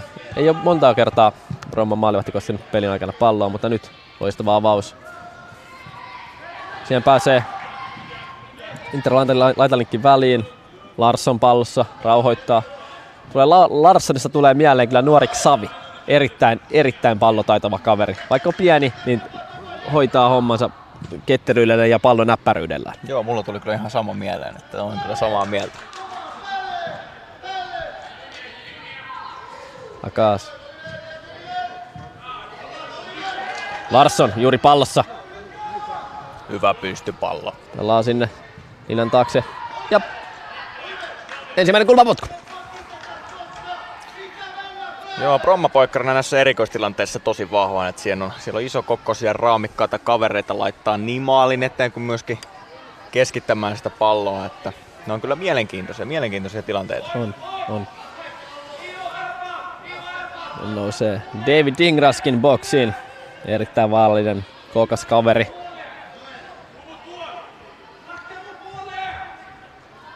Jännittävällä kulmataktiikalla pelataan. Tuomi pääsee siihen väliin. Ja nyt voi tulla taas ihan mitä vaan. Kovalla jalalla lähtee Tuomi.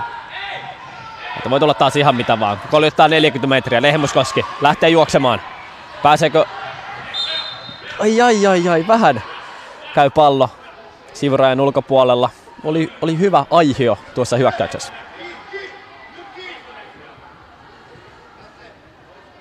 Raja heitto. Bromma poikkarnalla. Lakaio. Levittää Hyvin siihen pääsee Edvinsonille. Hyvin on Abrahamson on siellä häiritsemässä.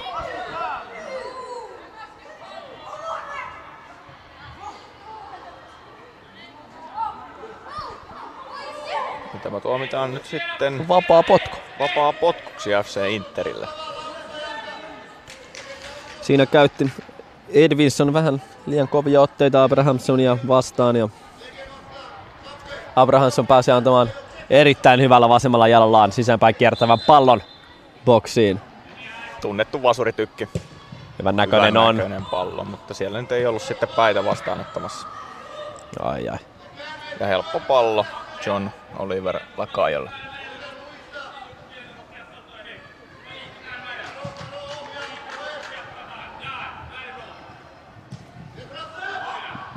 Hyvin pääsee Rasmus Tuomi katkaisemaan.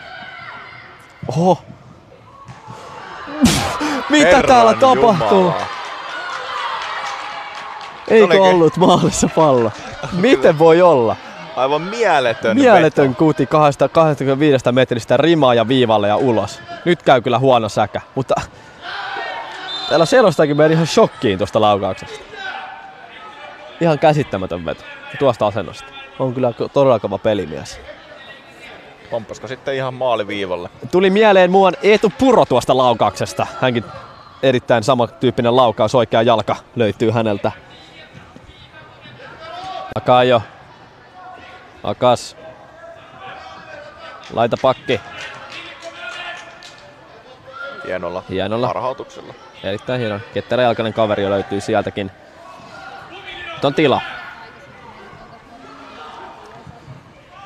Nyt on Oi, oi, oi. vapaana. Saako jalan vapaaksi? Saa. Huonommalla jalalla lähtee yrittämään. Jansson. Eikä päässyt pallo päälle. Larsson menettää.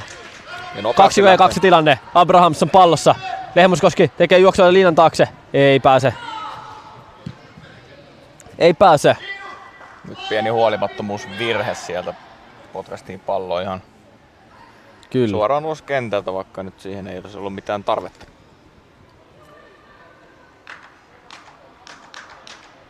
No Inter on kyllä haastanut erittäin hyvin nyt tällä ensimmäisellä puolella Roma poikkarina. On kyllä ollut pirteellä jalalla Kyllä. liikenteessä. Hieno katsoa.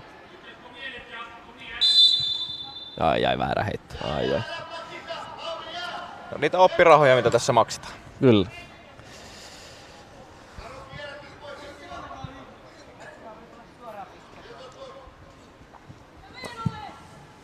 Tuomi. Rauhoittaako? Rauhoittaa Höglundille.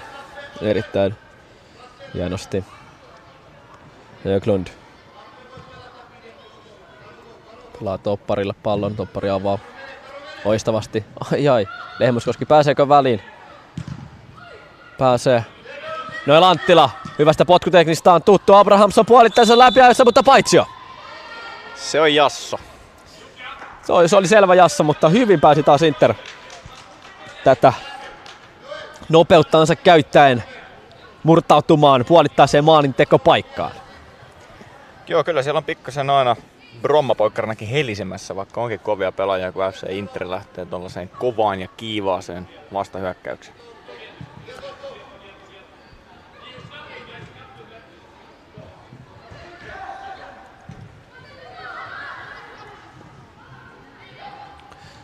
Hyvin siellä Inter puolustaa jopa vähän puolitiukan tilanteen.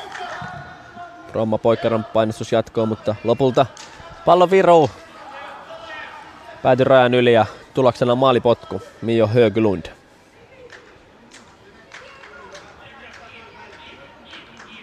Avaa siinä lyhyellä. Pari levittää laitaan. Hyvin. Ai ai. Siellä vähän tahkolla rapattiin, mutta näyttää olevan kunnossa. Ja jatketaan, jatketaan Interin rajaheitolla. Tahkola. Tuomi. Jälleen vuo. Hei!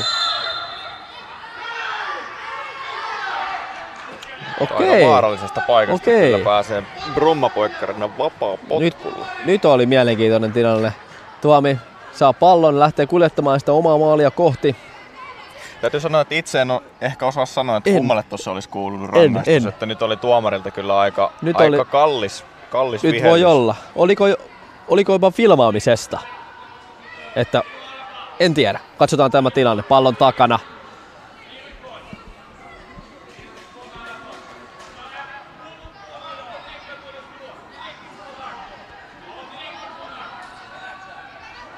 Petrovic. Hyvä paikka on. Petrovic kyllä yksi ikä, ikäistensä parhaimpia laukoja. Mutta tämä menee kyllä reilusti yli maali. Hyvä yritys. Yrittänyt tai lajota.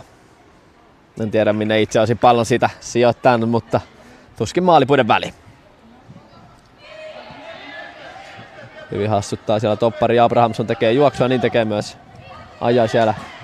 Ajatukset eivät ihan kohdanneet Tahkolan ja tuo Rumpusen välillä. Ei ole kyllä näissä peleissä varaa tollasiin viiden metrin harhasyöttöihin. Ei. Lakaio levittää Rossille. Nostaa hyvin.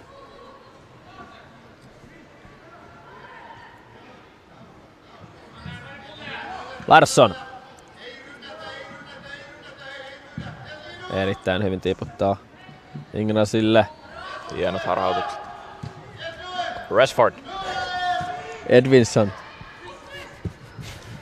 Saa erittäin hyvän pallon. Erittäin hyvin osuu pallon, mutta vähän menee ohi. Siellä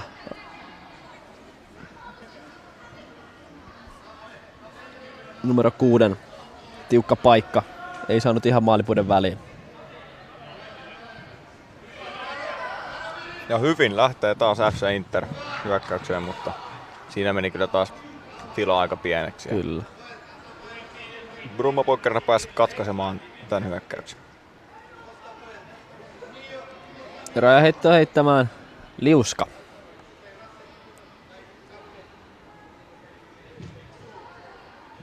Ai ai. Tuomi saa paikattua Lehmuskoski. Pahan näköinen pallo, mutta hyvin sieltä Inter selviää. Noe Lanttila kaskin kamp- kaksinkamppailutilanteessa häviää. Jansson nostaa. Siellä oli menossa Petrovic linjan taakse, mutta ei päässyt ei päässyt. Abrahamson tekee juoksun pystyyn. Sitä hyvin siellä Edvinson on paikkaamassa. Anttila taistelee pallon itselleen. Tuomi. Tohkala. Kantola.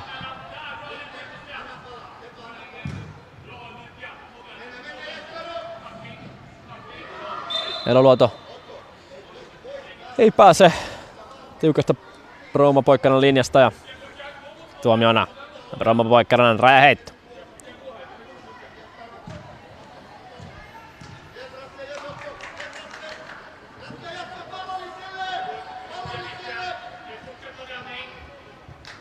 Larsson tiputtaa Ingris.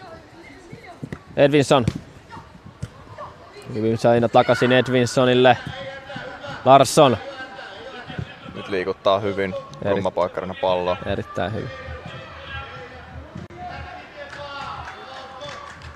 Kunnes sitten Tero Liuska pääsee väliin ja tämä tilanne tyrehtyy.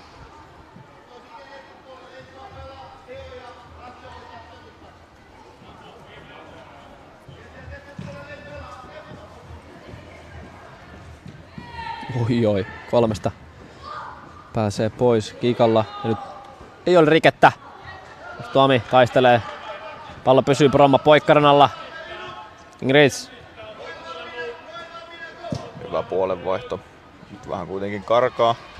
Jansson, ehtiikö palloon? Ehtii juuri ennen kulman lippua. Hoitaa siinä vielä viimeisen, viimeisiä minuutteja. Pelataan ensimmäistä puoliaikaa. Bromma poikkaran rajalla heitolla jatkutaan. Jansson.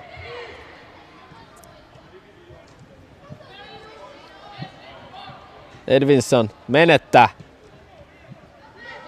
Rauhallisesti pelasi tilanteen, vaikka hyvin. Nyt on vähän riskisyöttö, mutta oi oi oi oi. Eilo Luoto heittää pienet Ronaldo Chopit siinä. Ja näin pääsee rauhoittamaan tima- tilannetta. Tuomi taas peippoilee neljän pelaajan ohi. Lehmuskoski lähtee tekemään juoksua. Saako Ingrassia? Ei saa, kyllä hänelläkin on kyllä niin, on kyllä niin hyvä toppari tämä. On iso raamikas kaveri, varsinkin verrattuna FC Interin Kyllä. tällä hetkellä kentällä oleviin pelaajiin, niin osaa kyllä omaa kroppaansa käyttää edukseen. Erittäin hyvä puolenvaihto. Jansson puolittaessa läpi, jossa lähteekö kokeilemaan. Lähtee ei ollenkaan huono yritys. Hieno veto. Pienestä kulmasta vaikea oikea jalkisena toista kuitenkaan paljon laittaa maaliin. Mutta hieno, hieno yritys. Yritystä laittaa peliä yhteen nollaan. Niin sanottu pukoppimaali. Joonas, ootko ikinä tehnyt pukoppimaali? Mä en ole koskaan tehnyt maalia.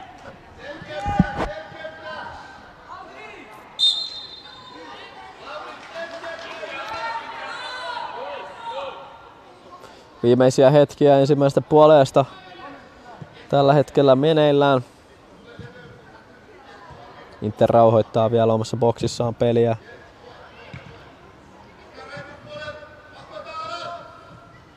Larsson taistelee taas näppärästi pallon itselleen.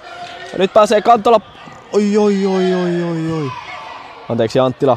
Pääsi väliin ja oli oli jo pieni puolittainen sauma laittaa siitä pystyjuoksuun.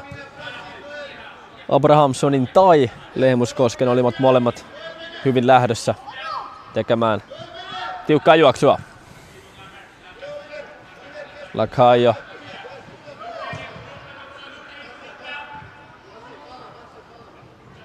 Hieno bodyfeintti.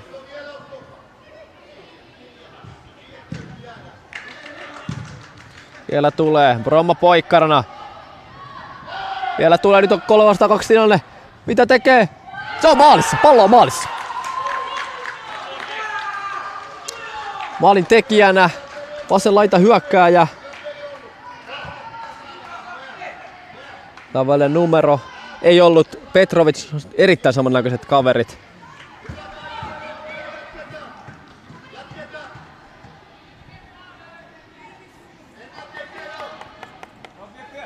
Numero kolme.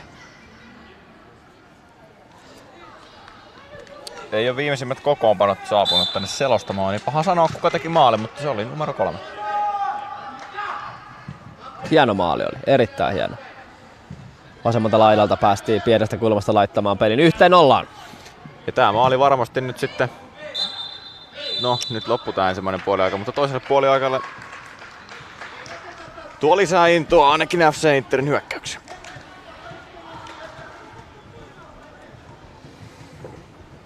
Viihdyttävä ensimmäinen puoliaika takana. Tauolle mennään Bromma Poikkarinan puukoppi maalilla 1-0. Loppua kohden aika pallo, paljon pallo kuitenkin tuolla Interin päädyssä pyöriä.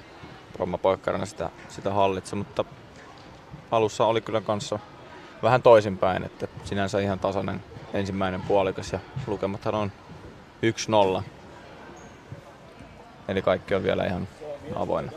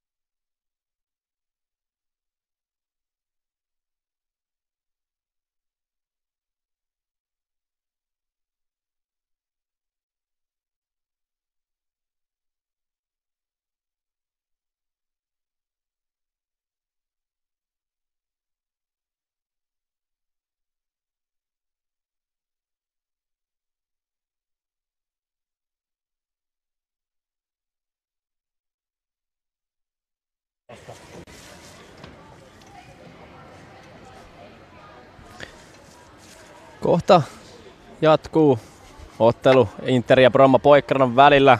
Maalin tekijänä siis Lukas Josef numero kolme, jos kokoonpanoi numeroihin luottaa. HJK Cupin nettisivuilla. Erittäin viihdyttävä ensimmäinen puoliaika takana.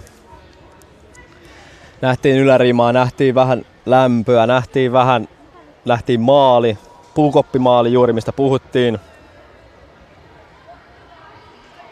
Ja viihdyttävä toinen puoliaika tosissaan tulossa.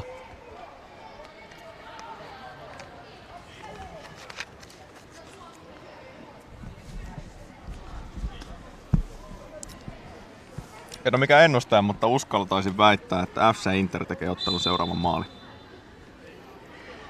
Ihan sama. Mä oon sitä täysin toista mieltä. Mä veikkaan, että tämä peli Roma Poikkanen sai maalistaan vaan lisää tuulta purhei, purjeisiinsa.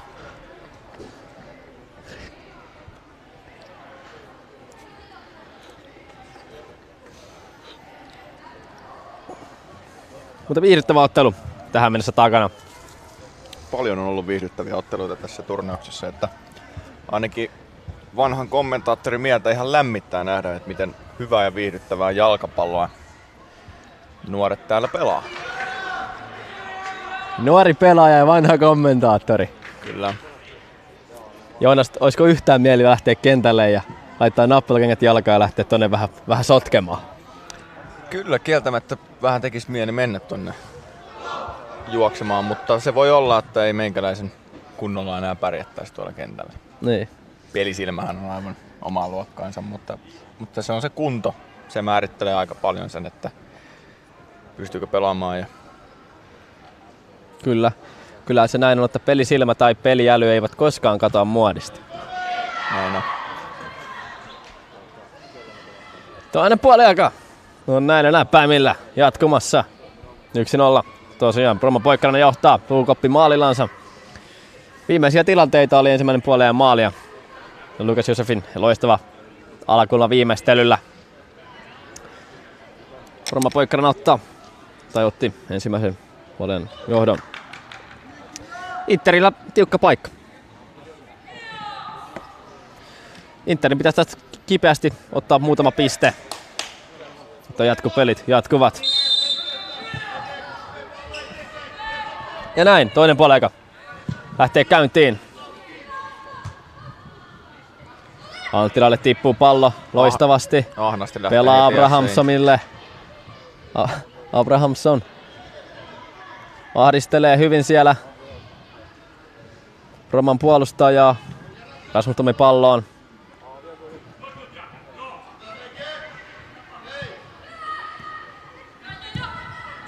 Liuska. Syöttää pääsee väliin. Loistavasti pelannut.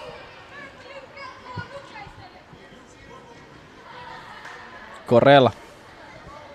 Viime pelissä tuli kanssa vaihtoon. Puoliajalla ja nyt sama homma. Tuoreella jalalla totta kai kiva tulla pelaa liuska. Kantola ei pääse. No Tuomi vähän. Toimi repii. Mielestäni siinä ei kyllä ollut rikettä, mutta tuomari tuolta selkäpuolelta katsoessa on sitä mieltä, että rike tapahtuu. Tuomi rikkoi siinä Matle Vahlundia. Täällähän on HJK Cupissa tosiaan kentällä ainoastaan yksi tuomari ja yhden tuomarin varassa kaikki tuomiot, paitsyöt ja muut. Että se täytyy myös tuomarille nostaa hattua, että vaatii heiltä paljon näitä pelejä yksin tuomita. Nyt erittäin hyvä Liljantauksen syöttö. Lukas Josef ehtii siihen juoksevammassa pelaajana. Pelaa sinne Korellille. Vaihdosta tullet. Oi oi, tuorelle jalalla kikkaa. Löytyy. Tuomi purkaa. Ai ai. Siinä ei ajatukset kohtaa. Arhov. Korellille. Korel pääsee loistavasti, pelaa siihen paikan. Ja hieno maali. 2-0. Erittäin hienosti, hienosti rakennettu hyökkäys. Määrämittainen, just oikein korkunen pallo. Menee Mio Höglundin ohi, yli. Ei vaikka kuinka hyppää, niin Maalin tekijänä numero 16 Jansson, joka jo viime peleissä väläytteli osaamistaan. Ja olit oikeassa. Olin oikeassa. Bromma poikkarina teki ottelun toisen maalin ja aika nopeasti tähän toisen puoliskon alkuun. Peli on 2-0. Nyt Interin pitäisi jotain keksiä. Hyvä levitys. On luotua kohden. Elvuta taistelee, mutta Hieno hyvin sieltä arvaus. tulee. Ja laittaa Hieno vielä puikot. Ja sieltä Tuomi laittaa jo trademark. Trademark harhautuksessa Chidanet ruletin. Ei saa pidettyä palloa kentällä. Erhov. Jansson maalin, ei ollut maalin tekijä, mutta hyvin pelannut Arhov. Interpuolustaja laittaa pallon sivuraista yli. Rome Paikkanen räjähti. On peli on kääntynyt. Mihin suuntaan? Enemmän vielä Poikkaranan hallintaan Jansson, Niin Kyllä se Nuorik valitettavasti Savi, Arhov, Korel, Korel, nälkäisenä. Nyt on vastahyökkäys saamat. Pelataan, ei pääse Lehmuskoskelle asti. Nämä vastahyökkäykset on FC Interin paikka, mutta ei vaan tostakaan pystynyt Petrovic. rakentamaan vastahyökkäystä. Petrovic. Hankkii joukkueellensa kulmapotkun. Kulma antamaan numero 16. Jansson.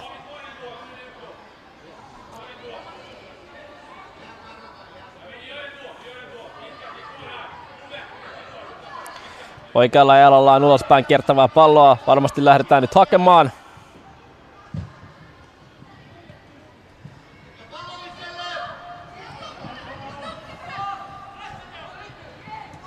Hyvin puolustaa Inter-tilanteen. Teo Liuska. Kulma potku. Teo Liuska puolustaa tarpeellisen ja hommaa. Ja laittaa pallon yli ja toinen kulmapotku melkein heti perään. Poroma Poikkaranalle.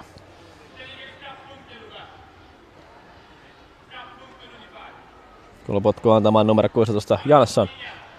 Ja nyt tulee oikea ajatus samalla, samalta Janssonilta, samalta Jantterilta sisäänpäin kiertävä pallo. Siellä tuomari viheltää pilliin. Ja Ihan oikein tulkitsit. jotain, jotain repemistä oli, pientä repemistä boksissa ja kulopot kousitaan. Jansson uudestaan. Hyvä korkea pallo tulee. Tippuu siihen hyvin. Hyvin blokkaa Abrahamson pallon. Mutta purku jää taas puolitiehen. Hyvä keskitys, mutta siellä ilmeisesti samalla rikotaan sitten Rumma Poikkarana. Kummalle tuomitaan? Rangaistuspotku! Kyllä. Rangaistuspotku Promo Poikkarnalle. Siellä tönittiin selästä. Taisi olla kapteeni Rasmus Tuomio, joka käyttää vääriä otteita box, rangaistusboksissa. Tässä huomaa kyllä nyt pienen turhautumisen FC Interillä, että toikin aivan turha, turha rike sinällään ja nyt siitä maksetaan taas iso hinta. Ei Vai maksetaanko? Vielä... Niin, mutta mielestäni iso hinta on jo se, että pallo laitetaan tuohon pilkulle. Pallon takana. Viime pelissä kaksi maalia viimeistellyt Luka Petrovic. Nyt on iso paikka. Laitetaanko peli nippuun? Lait... En, laittaa ehkä peli nippuun. 3-0 Luka Petrovic. Jatkaa maalitehtailuansa. 3-0. Mia Höylund aavisti just väärälle puolelle, mutta se on aika lailla 50-50, että minne se rankun laukoo. Kyllä. 3-0. Roma Poikkarana. Näyttää nyt tylyllä tavalla. Miten tuo jalkapalloa pitää pelata. on kyllä pelannut hienosti tänään. Vakuuttavia otteita. Ahnasta hyökkäämistä. On. Erittäin rehellistä. 3-0. Reemuskoski laittaa pallon. Alustavat kyllä puolustajalle. Puolustaja vaan pitkällä. Tavoittelee Lehmuskoskea, joka ei sitä palloa tavoita. Tomi pääsee väliin. Abrahamson juoksukilpailussa taitaa ehtiä palloa, niin näyttääkö hyvää uhrautumista. Tehdään joukkueelle kaikki. Ei kerennyt kuitenkaan pallaan. Mutta nyt on, nyt on vähän turhaa, turhautumista juuri Interillä. Turhia rikkeitä, mistä tuomitaan koko ajan vapaa potkuja Roma Poikkarnalle. Joo, se ei ainakaan niin kuin nosta heitä tästä suosta, missä he tällä hetkellä rämpii. Että Smirnov jakaa pallon. Pääsee laidalla hyvällä laidalla tulee haastamaan yksi yksi tilanteen. Laitetaan tuomelta puikot. Petrovic, Jansson ei pääse kokeilemaan. Ja näin Inter selvittää tämän tilanteen. Lehmuskoski 2v2 tilanne tällä hetkellä, jos kääntyy, saa käännettyä. Ei taida kerätä siihen. Elo Luoto ei kerennyt. Smirnov.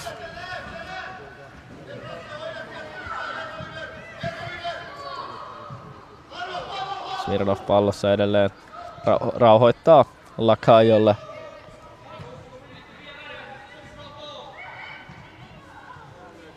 Lehmuskoski. Saako jalan vapaaksi? Saa, ei saa. Laukat blokataan. Ja nyt on taas vastahyökkäyksen ainekset. Petrovic tiputtaa loistavasti. Saa pallon takaisin. Tulee tempokyljetyksellä hirveällä höökillä. Petrovic saa pelattua laidalle. Tilanteessa tuomitaan paitsio. Ja näin Inter selviää. Inter selviää tästä vielä. Lukemat ei mene vielä rumemmaksi.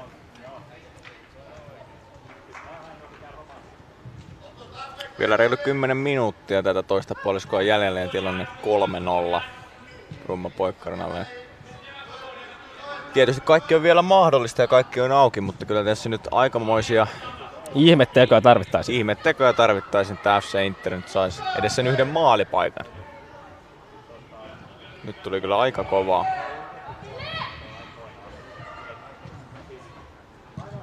Rahov levittää takatolpalla yksin. Lukas Josef ennättää palloa vielä. 2v1 tilanne, mutta oi että. Tulee kyllä niin hienosti ensimmäistä ohi, mutta toisesta ei taida päästä. Ja näin, käyttää käsiä tilanteesta Interille. Vapaa potku. Ja Inter pääse hyökkäysalueella tällä hetkellä.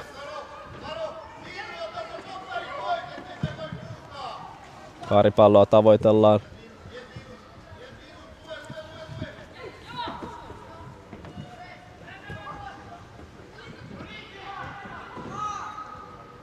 Anttila menee tilanteeseen. Taistelee pallon ja hommaa joukkueellensa vapaa potku. Nyt tässä nopeasti vaan lähteä rakentamaan hyökkäystä.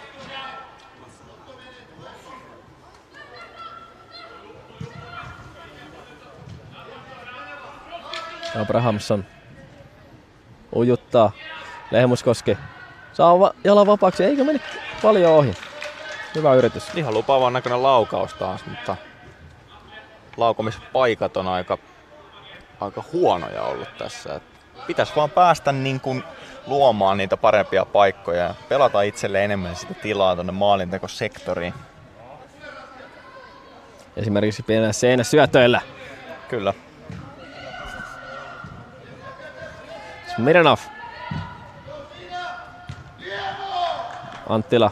Saako väännettyä pallo? Nyt on se Anttilalle vetopaikka. Ja näin tuomitaan tilanteesta vapaa potku. Anttila revittiin sen verran. Onko jo laukaussektorilla? Kyllä mä veikkasin, että Rasmus Tuomela ainakin jalka riittäisi tuosta laittamaan aika pallon pömpeliin.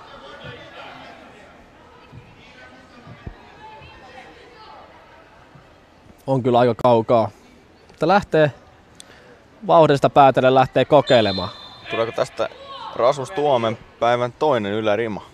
Mitä veikkaat? Pistit nyt erittäin paha, mutta katsotaan. On kyllä niin kaukaa, että Mutta väitän, että Rasmus Tuomella kyllä, kyllä jalkaa riittää. kyllä jalka riittää tähän, tähän etäisyyteen. Katsotaan. Helposti. Maalin verran yli maalista.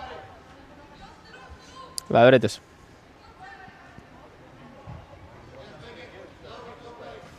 Just niin kuin pitääkin.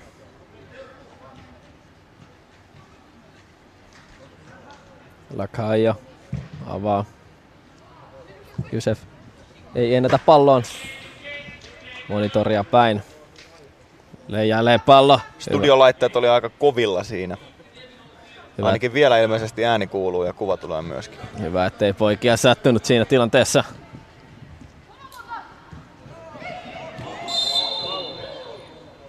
Kovaa tulee tilanteeseen.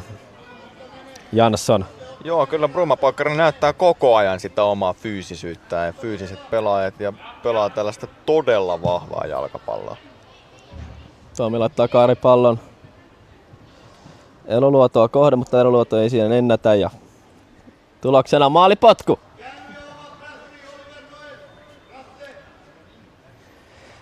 Läkäjä. Avaa Smirnoville. Smirnov. Korellille. Takaisin Lakajo. Ingris. Hyvällä vartaloharjahoituksella tekee itselleen tila. Ja nostaa tyhjät pois. Hyvin se sieltä tulee edelleen. Tuomi pääsee palloon. Ingris jatkaa edelleen vahvaa menoon. Kumpi sen pallon ottaa Lukas Josef vai Ingris? Pelataan alkaa takaisin Korellille. Korel levittää. Ja laittaa.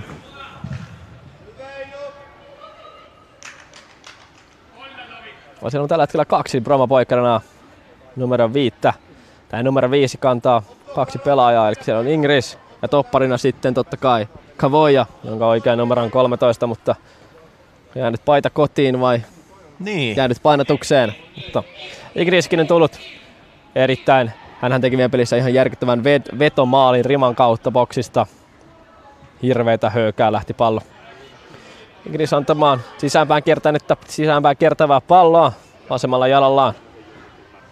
Tässäkin on vaaran paikka.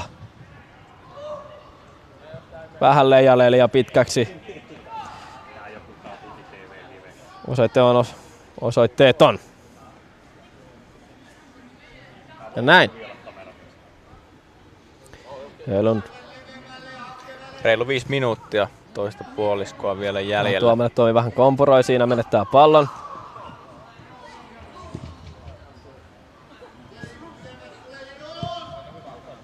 Kaijo. Varha syöttö, Abrahamson pääsee väliin. Lehmuskoski menisi ja syöttö jää vähän piippuun. Nyt pääsee laukomaan hyvältä tontilta, mutta Ja hyvin sieltä taas. puolustaa. Kavoja puolustaa tilanteen. Laittaa lihaa tummumaan. Ehkä vähän liian kauan tuossa Lehmuskoski antoi odottaa ja antoi puolustajalle aikaa asettaa itsensä tuohon maalin. Että et olisi ehkä kannattanut joko laukoa aikaisemmin tai sitten levittää palloa sinne toiselle hyökkäjälle. Tai jopa lähteä haastamaan Gigagirjasta jotain. Niin, se on aina yksi vaihtoehto. Jos Gigagirjassa jotain kikkoja löytyy. Minulla ei ainakaan niitä ikinä ollut. Sut on kyllä tunnettu aika Jäisenä, alkaisena pelaajana. jäisenä kaverina muutenkin. Erhoff.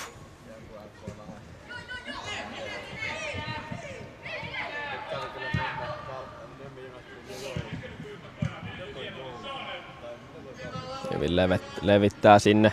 Rashford. Ingras tulee. Hyvällä jalalla saako vasemman jalan, kova vasemman jalan vapaaksi. Ja kova tälli, mutta suoraan päin maalivahti. Höglundille. Höglundille helppo koppi ja plakkariin uusi torjunta. Mutta se ei pelasta FC Interia siltä tosiasialta, että peli on tällä hetkellä kolme muna.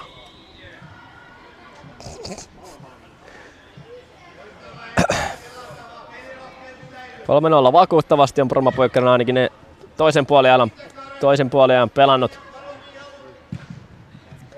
Tämä on ollut vähän enemmän tai vähemmän roiskimista Interin puolelta. Lehmuskoski kuolettaa pallon loistavasti ja pääsee juoksevammaisena pelaajana ensimmäistä pelaa pallosta ohi.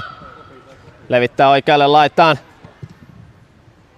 Hyvä Abrahamson, hyvä paikka siinä laittaa. Noin Lanttila ehtii vielä palloon. Ingris suojaa hyvin.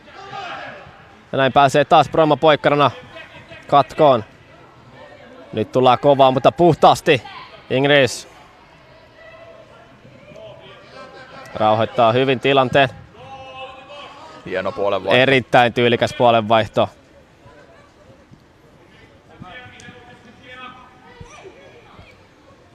Niin on tiukkaa kamppailua. Lehmuskoski, Lehmuskoski hankkii itselleen joukkueelle vapaa potkun.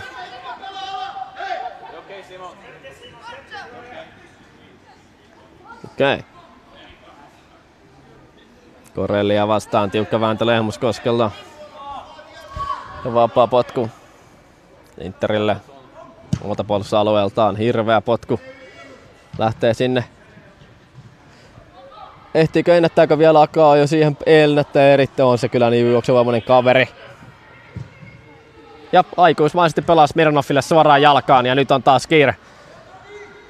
Ingras pääsee haastamaan Teo Liuskaa. Pääseekö ohi? Ei pääse. Loistavasti siinä pelaa. Anteeksi Lauri Tahkola.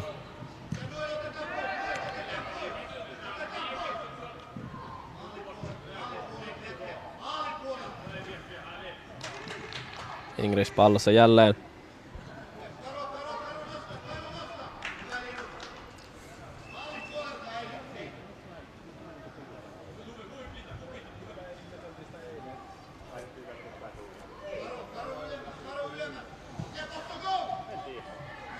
Joko nyt Inter pääsee sieltä vielä, mutta ei, ei riitä enää jalat.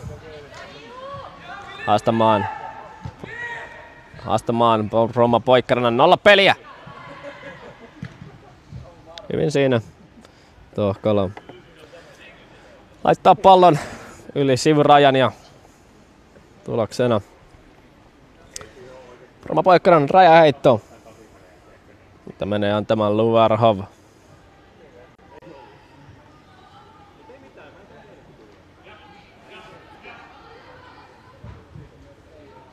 Varhov. Hyvä pallo boksiin. Jusef pääsee, ei pääse ihan pallon päälle. Pientä sekaannusta siellä on, mutta Höglund hoitaa. Hoitaa kuin hoitaakin tilanteen loppuun asti. ottelu on jäljellä enää minuutti tässä kohtaa. Minuuttiellä koko ottelua. Jääkö nämä ottelun loppu tulemaksi? Luvut 3-0. Vai lähteekö vielä Inter yrittämään kavennusmaalia?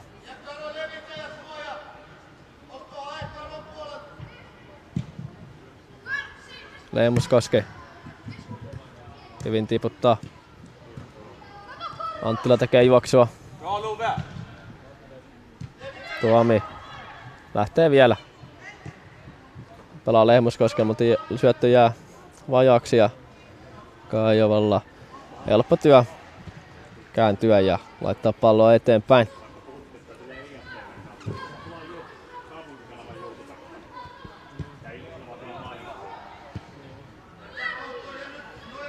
Vaikka ei olla vielä pallo. Ehjä esitys kyllä. Roma Poikkarnalta.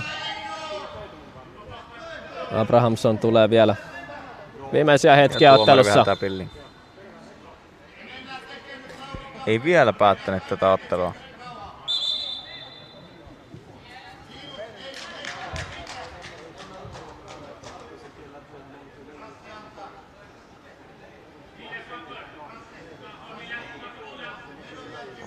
Tässä varmasti tämän ottelun viimeinen tilanne. Tuomi laittaa pallon boksiin. Mia Höglundkin Laakana. on tullut jo omasta päästään. Ja nyt on Kole vastaan yksi tilanne vielä. Smiranov tuo palloa.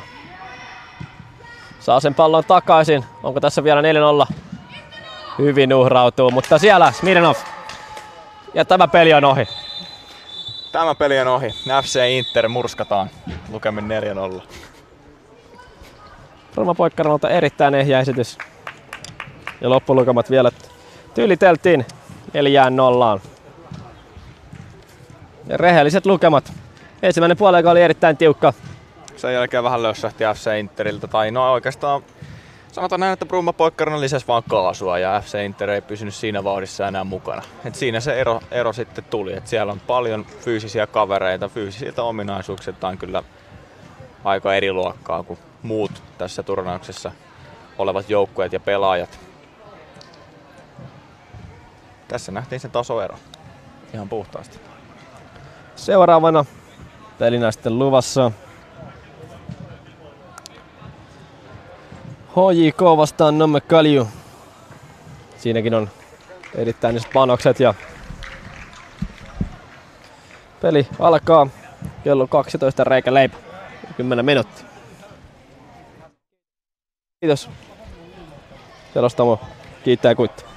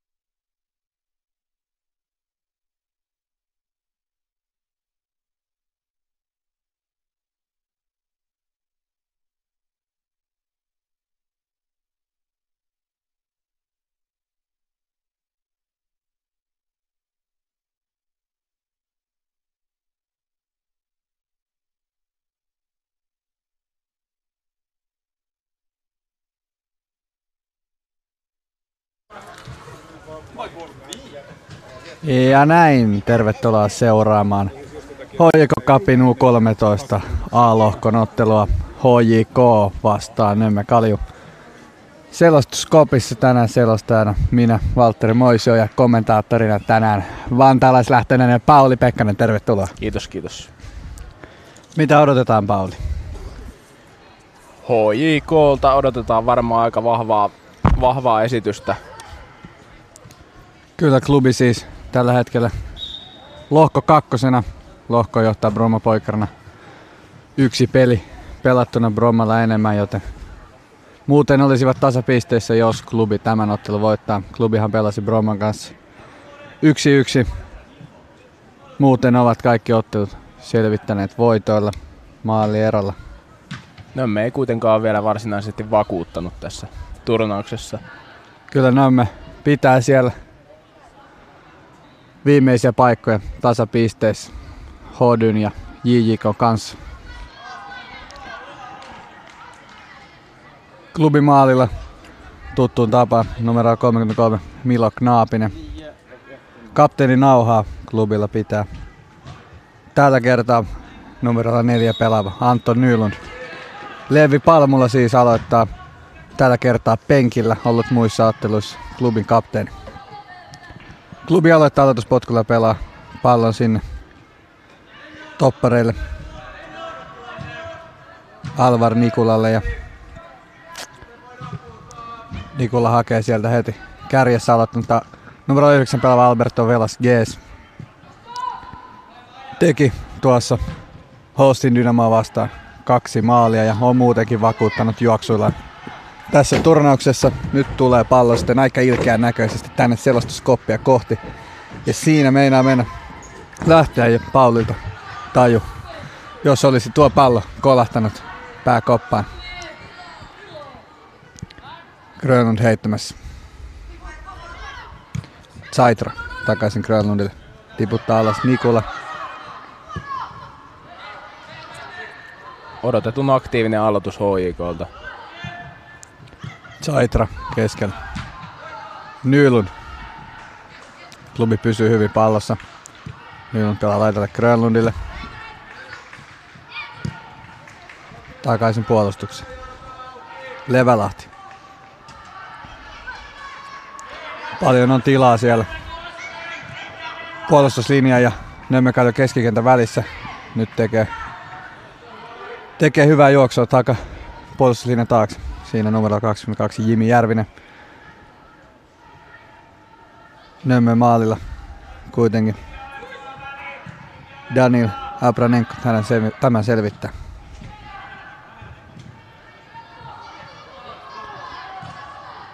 Nömme ensimmäistä kertaa pallossa. Sen kuitenkin klubi nopeasti katkoo. Oikea laittaa pitkin nousee. HJK. Lauri Kottinen. Ikonen. Tuomari kuitenkin viheltää. Ja tämä vihelys tulee rikkeen merkiksi näin. Pallon saa sitten Nömme Kalju. Mark Ville Marne laittaa siitä pallon pelin Trevor Hintille.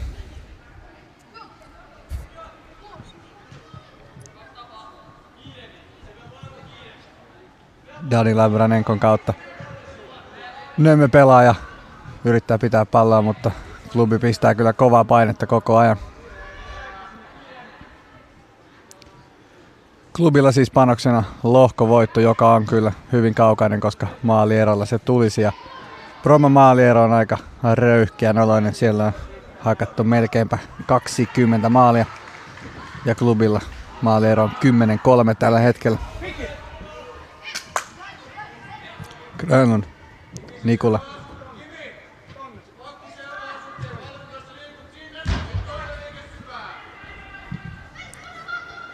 Velasquez. Lennart Lumi pelaa sinne todella isolle ja vantteralle kärkipelaajalle, joka ei kuitenkaan saa palloa haltuun. Knaapinen. Knaapinen, joka on todella hyvin pelannut pallolla tässä turnauksessa Saitra pelaa taas Knaapiselle.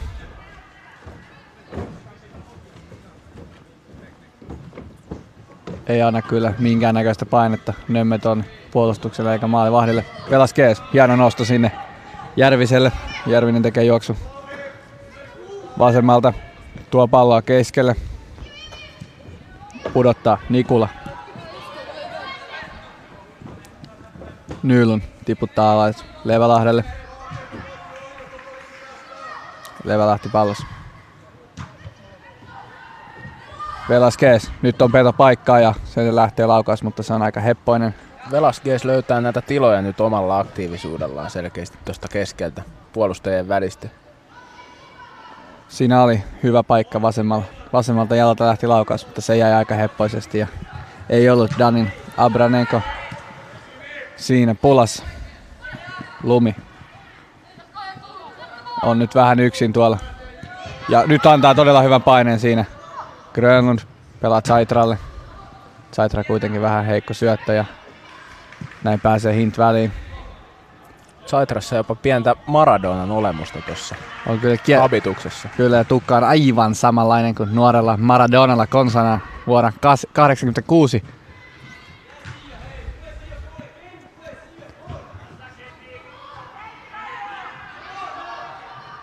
Levelahti taas pallossa. Nylund. Ja taas pelataan Knaapisen kautta. Nikula. Tuo pallo. Velasquez. Taas on Velasquezille tilaa heti kun saa pallon. Nyt tekee vahvaa juoksua. Ohittaa siinä. Pääsee ohi ja nyt on veto paikassa. Sitten on paikka ja ampuu kuitenkin oikealta aivan vähän ohi. Siinä oli Velasquezille todella vahva juoksu, mutta ei saa nyt tuolta vasemmalta jalalta millään maalia kohti, vaikka maali on kuitenkin aivan karmaisevan kokoinen. Vahvasti aloittanut Velasquez tämän ottelun. Aloitti penkillä sen edellisen, että varmasti riittää jalkaa. Kyllä ja edellisessä ottelussa Hodea vastaan oli myös se ratkaiseva pelaaja, iski kaksi maalia 3-0 voitossa ja katkaisi Hostin Dynamo Jyväskyläläisjoukkueen selkärangan. Nyt kuitenkin vielä maaleetta mennään 0-0 tilanteessa. Klubi pitänyt pallon hallintaa ja nyt sitten rikkoo aika romasti siellä numero 23 Marke Willem Marnei klubipelaajaa ja sitten siellä vähän kikkailee Marten Kukkonen, kun menee ihan kiinni klubipelaajan, ettei pääse ampumaan tätä vapaa potkua. Grönlund. Nevala. Anteeksi. Nikula. Menee selastella aivan sanat sekaisin. On niin taitavia nämä jokainen kaveri. Nyt on hieno juoksu tehty siellä Järviseltä. Nyt on vetopaikkaa, mutta on kyllä hieno torjunta myös. Mutta sitten pelataan vielä keskelle ja nyt olisi maalipaikka. Oi, oi oli kyllä hieno torjunta siellä Danil Abranenkolta. Siinä oli kyllä Nömmekaliun puolustus aivan seisovilla ja nyt siellä vielä tekee klubi oikealta laidalta nousua, keskittää. Siellä on Adam Zaitra, sen kuitenkin Abranenko selvittää ja nyt purkaa sitten. Taitavasti, taitavasti sai Järvinen kaivettua tuossa äskeisessä tilanteessa vielä sen menetetyn pallon sieltä pääty, päätyviivan tuntumasta takaisin peliin. Nyt on sitten klubilla kova paine toisessa päässä Ikonen kuitenkin Kukkonen pääsee katkoon, ei kuitenkaan löydy jalkoja lähteä heti hyökkäykseen. Hint pelaa takaisin Kukkoselle. Nyt sitten kuitenkin ei löydy jalkoja millään nömme pelaajilta ja klubi pääsee näihin väliin. Nyt sitten tulee aika rumasti takapäin Sukille siellä Neko Peltola ja Kukkonen on tunnettu näistä pienistä kuolevista joutsenistaan tässä turnauksessa, että kun kaveri tulee lähelle, niin siinä helposti lähtee jalat alta – ja nyt se, nyt se kyllä tuli rumasti oikeastikin sinne pohke, pohjeosastolle ja näin jatketaan. Nömme vapaa potkulla. Pikku, pikku näppärää siinä meinaa jäädä vähän pulaa jopa. Numero 10 pelaava Johannes Lillemets. Nyt siellä taas on kaveri aivan kontallaan. Pallossa Hint. Siihen pääsee väliin Grönlund. Pelaa laita Järvinen. Saitra. Nylund. Ikonen pelaa alaspäin. Hoikola, hyvin vahva keskikenttä, jossa tällä hetkellä pelaa Nylund, Ikonen ja Adam Zaitra. Siihen on kuitenkin vielä laittaa aika isoja pelimiehiä, jos pula tulee. löytyy vaihtopenkiltä Bruno Katsia ja sitten löytyy vielä Leevi Palmula. Nyt tulee Grönlund vahvasti sieltä Nemme pelaajan takaa ja nostaa hyvin jalalla. Nyt menisi oikealla tyhjään. Nyt pelataan hyvin Velaskeesille siihen 16 rajalle. Velaskees siinä vähän kikkailee. Nyt kuitenkin Nemme pääsee väliin. Nikula tuo hyvin palloa ja pistää ai, siinä ai, oikein puikot. puikot Lennart Lumilta, mutta kuitenkin pallo karkaa vähän liian pitkälle. Zaitra pelaa Velaskeesille. Velaskees. Velaskees kuljettaa itse. Nyt keskittää sinne, mutta se jää vähän vaisoksi se keskitys ja näin. Abranenkolla on helppo työ. Tämä eteenpäin nyt tekee taas vahvaa juoksua klubi. Nyt oli vähän vähän vaisu hyökkäysklubilta ja nyt näin Nömmö pääsee tai ei pääsekään, koska en kerinyt lopettaa lausettani ja näin tulee klubi jo ja Adam Zaitra pelaa sinne Alberto Velasquez ja nyt on Velasquez paikassa. Nyt on paikka ja nyt Velasquez. Tällä ottelu nyt ollaan. Hieno maali. Vähintäänkin on saattu maali Velasquezille. Kyllä, vasemmalla jalalla laittaa sinne oikeaan alanurkkaan, sijoittaa siitä ja oliko jo kolmas läpi jo tilanne ja nyt on maalilla Dani Labranenko aivan voimaton. Siinä lähti taas muuten ihan mieletön pystysyöttö. En nähnyt kyllä nyt keneltä se lähti. Mutta... Taisi olla numero 6 eli Adam Zaitra, jota tässä on kehottu ja syötytkin alkavat olla joku Maradonalla, kun hiukset on jo aivan selkeästi laitettu samaan tyyliin.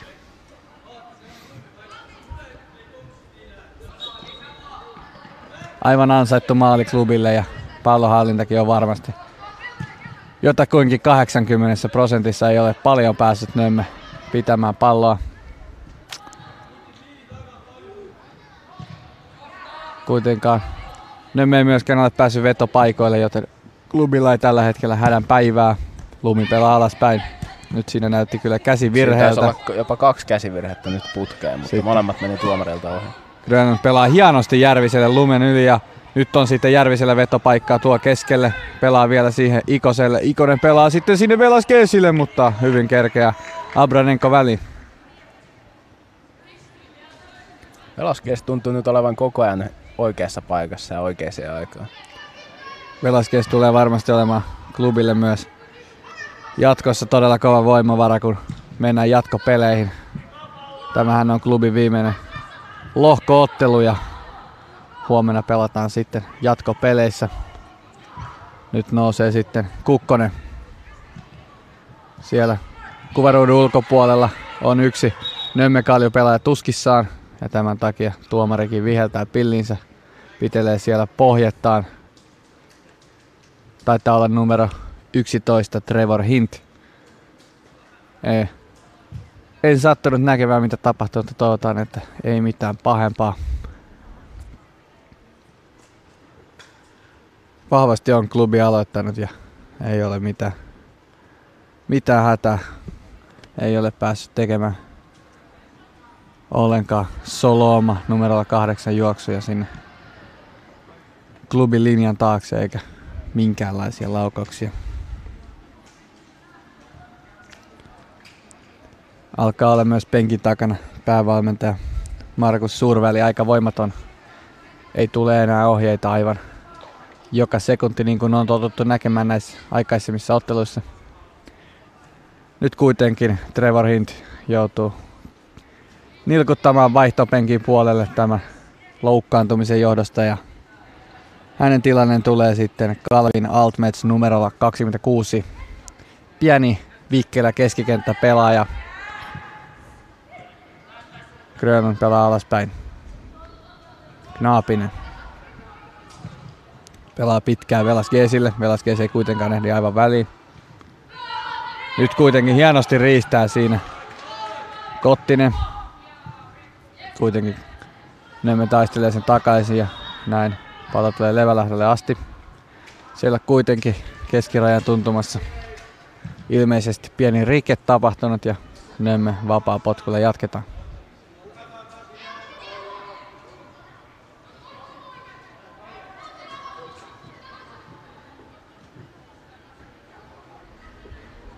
Paisu on ollut tämä Nömme hyökkäyksen lähteminen ja vaikea on löytää edes syöttöpaikkaa. Nytkin Nyylyn, kapteeni Nyylyn katkaisee heti tämä, tämän vapaa-potkusta auenneen syöttöpaikan ja Naapinen pelaa sitten Nikulalle. Saitra. Nyt vähän Saitra kompuroi. Nyt on sitten hyvin liikkuu pallo Nömmellä. Kukkonen hakee vetopaikkaa. Pelaa siihen 16 rajalle. Nyt kuitenkin joudutaan pelaa alaspäin ja Velasquez katkaisee. Tekee myös vahvaa juoksua. Kottinen laida nyt sitten Velasquez ottaa aikamoisen spurtin ja nyt siirtää vain pallon sivuun ja sieltä ohittaa maalivahti Abranenkon aika helpon näköisesti. Oli kyllä todella hieno juoksu Alberto Velasquezilta. Näyttää tällä hetkellä kentällä täysin ylivoimaiselta pelaajalta. Tulee kyllä varmasti, varmasti olemaan aivan maalipörssin kärjessä tässä turnauksessa. On nimittäin iskenyt nyt kahteen viimeiseen otteluun yhteensä jo neljä maalia. On käsittämätön kaveri tämä numero 9 pelaava Alberto Velasquez. Siinä teki myös hyvää juoksua oikealla numero 11 pelaava Lauri Kottinen, mutta Velasquez päätti, että tästä juostaan itse ja otti vähän semmoisia Usain Bolt-maisia harppauksia ohi puolustuslinjan ja näin siirsi ottelun kahteen nollaan. Nyt katkaisee Zaitra, siellä kuitenkin aikamoista flipperiä pelaa. Nyt Nömme ja HJK. Nyt pääsee sitten se on, se on Rooma melkein sinne, mutta ei ole kyllä mitään palaa tuolla. Ei ole menijöitä nyt Nömmellä. Grönlund tuo hienosti palloa sieltä omalta alueelta. Ko- kolme Nömme pelaa, nyt on neljäs vastassa. Nyt pitäisi sitten jo melkein irrottaa pallosta. Nyt tuli kiire ja näin. Hyvin nappaa pallon siinä. Numero 45 pelaava Kaspar Sarapuu. Nyylun, hienot harhautukset. Yrittää hakea Järvistä sieltä puolustuslinjan takaa. Lumi, Sarapuu. Pelaa sinne vasempaan laitaan sieltä kuitenkin. Hyvä juoksu tekee Neko Peltola. Velas Gees. Pelaa hyvin sinne, hakee Peltolaa. Altmets. Pelaa vasempaan laitaan Kukkoselle. Kukkonen haastaa. Nyt tulee aika rumasti siinä Sukille kyllä. Unto Ikonen, kun Kukkonen haastaa. Ja Kukkonen on varmasti ollut tässä turnauksessa yksi rikotuimmista pelaajista. Hänen on nähty haastavan noita vastustajan keskikenttää ja puolustajia, mutta,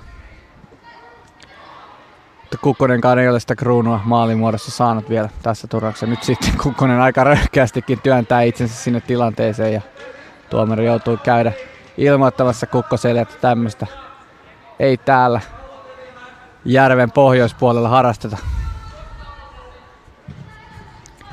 Klubipuolustuslinjaa pitkin. Nikula pelaa Velasquezille. Velasquezille aika kova tatsi. Nylund. Levälahti. Ikonen takaisin Levälahdelta. Nikula. Nyt on Nikulalla taas tilaa. Löytää sieltä Velasquezin. Velasquez laittaa nyt hienon pitkän pallon. Sinne on menossa Järvinen. Järvinen kamppailee siinä. Nyt on vetopaikka kääntää oikealle jalalle, mutta Abranenko nappaa tämän kuitenkin. Se päätyy, päätyy viivan yli ja siitä tulee kulmapotku. Näillä pitkilläkin palloilla pystytty aika paljon rikkomaan tuota Nömmen, Nömmen puolustuslinjaa. Kyllä siinä Roman Blitzenjuk oli ihan vähän pulassa Järvisen kanssa. Nyt pelataan kulman lyhyellä. Adam Zaitra keskittää. Sieltä kuitenkin nämä pelaa sen pois. Ikone. Nyt on Ikone. Lataa. Hyvä torjunta Abranenkolta. Nyt sitten näihin vastahyökkäyksiin pitäisi vaan päästä lähteä, lähtemään nopeammin. Klubi tekee sen kyllä todella vaikeaksi. Nuo syöttölinjat peitetään tosi hyvin. Nyt siellä sitten oikealla lailla antaa Kottinen todella hyvää painetta. Taistelee siellä pallosta ja sen saakin itselleen. Pallo yli sivurajasta ja raja heitto HJKlle.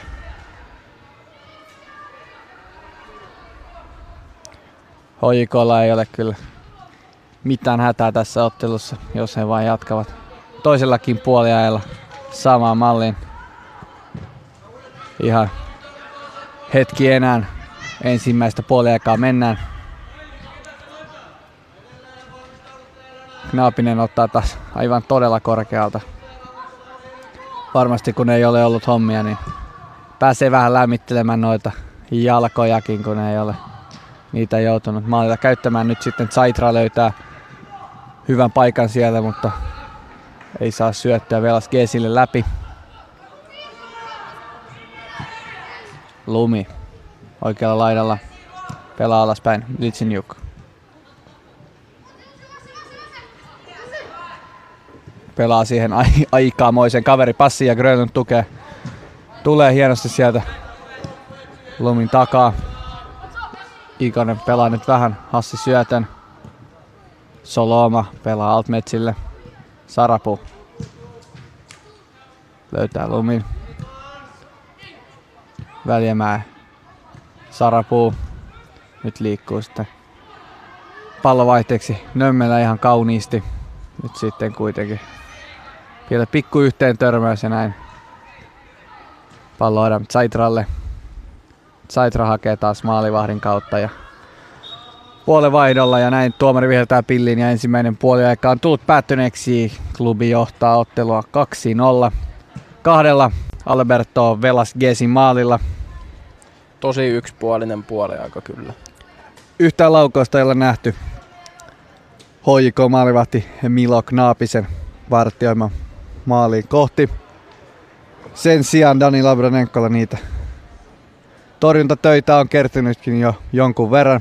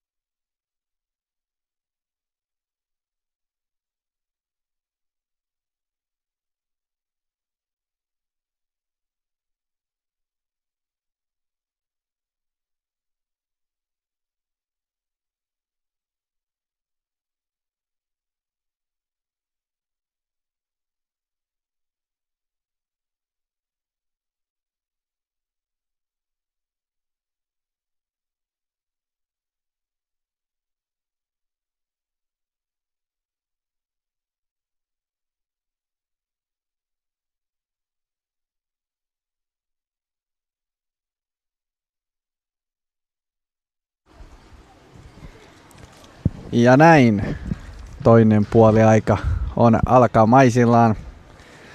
Siellä on valmentaja, klubivalmentaja Ilari Aho ja varmasti valmentaja Markus Suurväli antanut, antanut neuvoja joukkueille ja vaihtojakin on tehty.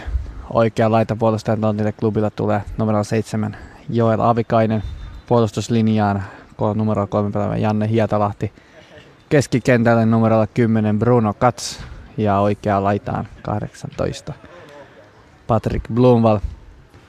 Ja niin ikään keskikentän keskelle tullut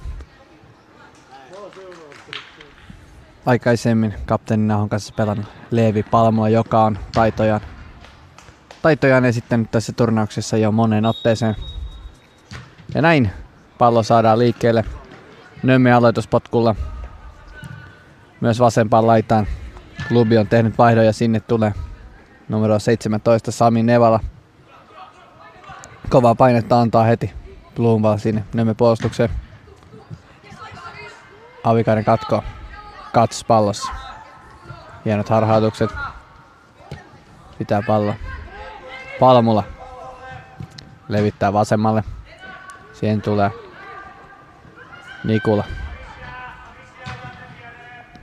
Kats. Nyt sitten. Aika pahasti tulee nilkoille siinä. Bruno Kats on kyllä kiinnittänyt katseita tässä parin päivän aikana. Teknisesti todella taitava pelaaja. On ja varmasti tulee näkemään vielä noissa jatkopeleissäkin tekemään. Jos jonkinmoisia yksilösuorituksia. Nyt vapaa potku tuosta. Jostain en osaa sanoa kolmesta, viiestä, neljästä, kympistä ei ole kyllä mitään, mitään maalintekopaikkoja, mutta kyllähän tästäkin joku maaginen kaveri iskee ja kun pallo taakse menee Bruno Kats ja Levi Palmulla nyt Kats kuitenkin jatkaa matkaansa ja Palmulla pelaa lyhyenä Avikaiselle. Avikainen keskittää, hyvä pallo sinne. Sinne juokseekin Adam Zaitra, mutta Dani Labranenko maalilla perusvarma. Ei siis Juha Perälä, vaan ihan perusvarma pelaaja. Näin Palmula. Nyt on Palmulalla vetopaikka, syöttää hyvin siihen Velaskeisille. Onko se hattu temppu? Ja ei ole, ampuu taas vähän oikealta ohi. Ja, ja Nömme Kalju selviää tästä hyökkäyksestä säikähdyksellä. Hienosti siirtää siinä Leevi Palmula omalle vasemmalle ja Velasquez heti teko paikkaan. Nyt hyvä katko klubilta.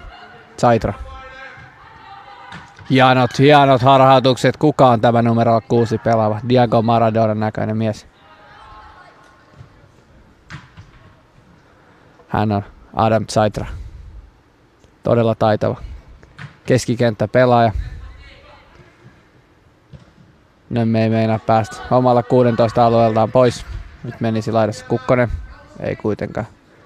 Nyt pelataan Kukkoselle. Avikainen iskee heti kiinni ja Kukkonen pistää siitä kivasti puikot. Yrittää vielä toiset puikot, mutta Blumval ei sentään tähän leikkiin lähde. Palmulla levittää. Nikula. Pelaa ylöspäin. Nevala tiputtaa takaisin. Nyt rauhoittaa klubi taas peliä, jotta, jotta saisi löydettyä sitä tilaa kentältä ja näin Avikainen levittää uudestaan Nikulalle. Ja Nikulalla on nyt siellä tilaa vasemman puolella. Pelaa hienon pystypallon. Siihen pääsee vielä. Nyt olisi sitten juoksemassa siellä pystyyn Alberto Velasquez, mutta nyt me katkoo. Pikku kikkaa vetää siellä. Tämä numero 16. Kukkonen, Marten Kukkonen, pieni vikkelä, vasen laita, Nymme Kaljulla. Pitkällä heitolla haetaan sieltä altmetsiä. Sen kuitenkin Palmulla selvittää helposti ja pelaa alaspäin Milo Knaapiselle. Knaapisessakin on tuommoisia pieniä Manuel Neuermaisia piirteitä on aika pitkä ja pelaa hyvin jalalla ja nostaa todella korkealle ja ei pelkää tehdä tuollaisia isoja pelejä myöskään jalalla. Nyt sitten Nevala haastaa siellä Blitzniukia Lisniuk selvittää. Altmet pelaa alaspäin. Abranenko. levittää. Marne Nyt olisi Marnella tila. Pelaa Kukkoselle. Mutta ei, Kukkonen ole, vastaan ei ole taas menijöitä nömmellä tonne ylöspäin. Ihan yksin jää kaikki ton pallon kanssa. Nyt sitten vähän siinä Bloomwall repii, mutta tuomari ei tätä näe riikkeen arvoisesti. Nyt pelataan sitten Sarapuulee hienosti sinne. Nyt pääsee Nömme jopa niin, että olisi voinut laukaista, mutta nyt kuitenkin tämä kuivuu aika äkkiä kasaan. Katoppa miten nopeasti taas HJK tiputtaa kaikki tonne alas. Sieltä tippu pallon alle taas käytännössä velaskeisia vaille kaikki. Ja nyt sitten Kats teki aika hienoa juoksua. Hyvin tulee kuitenkin vastaan. Nyt on sitten Adam Zaitra juoksemassa pystyy, mutta Velasquezin aivan tavoita syötellä Zaitraa. Hienosti katkoo sitten Velasquez ja tekee kyllä vahvaa työtä tuolla klubi kärjessä. Nyt sitten Velasquez keskittää. Ei pääse Blumwall siihen. Nyt on Blumwall vastaan Kukkonen juoksu kilpailussa. Kukkonen siinä pikku kikkaa. Nyt tulee, tulee taas se klassinen viralainen kuoleva joutsen sieltä. Mutta tuomari näkee tämän selkeästi, että siinä ei kukaan osu nilkoille. Nyt siellä taistelee Lumia Nevala pallosta. Nevala voittajana tästä kaksin kamppailusta. Ilma Riikonen pelaa alaspäin. Hietalahti. Nyt sitten katkoo Lennart Lumi ja pelaa alaspäin Nömmön puolustuslinja Abranenkolle asti.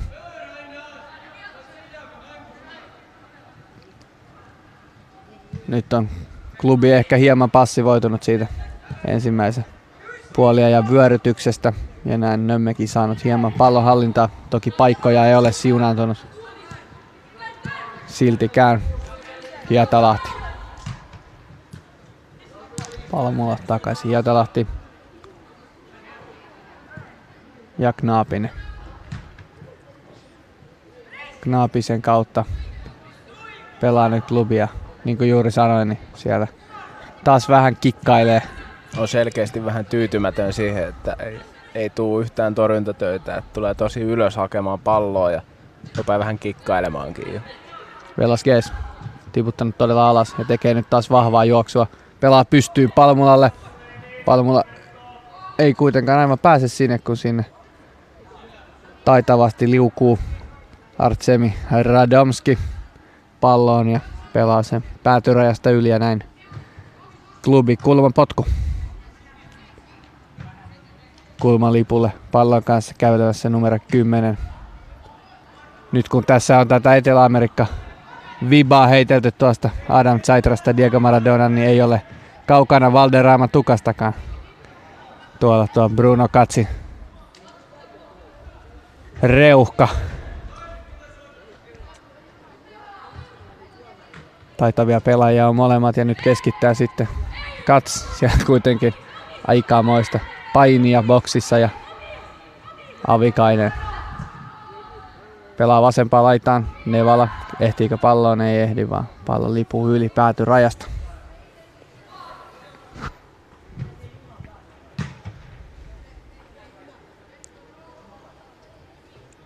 Abranenko pelaa pallon lyhyenä. Sitten pelataan sinne laitaan, mutta Ilma Riikonen tekee vahvan nousun ja katkaisee tämän. Zaitra, taitava harhautus Adam Zaitralta nousee hyvin pallon kanssa, pelaa Velasquezille. Nyt on sitten katsiveto paikka ja sieltä tulee hyvä veto, mutta se lipuu aivan vähän.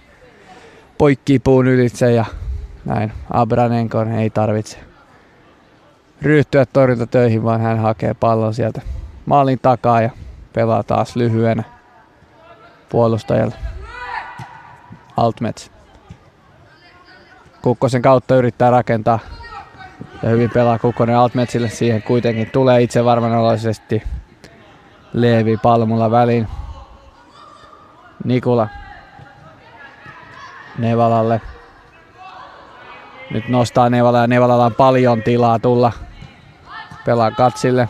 Nyt on Bruno Kats. Velasquez. Pelaa sinne hyvin vasempaan laitaan. Adam Zaitralle. Zaitra keskittää.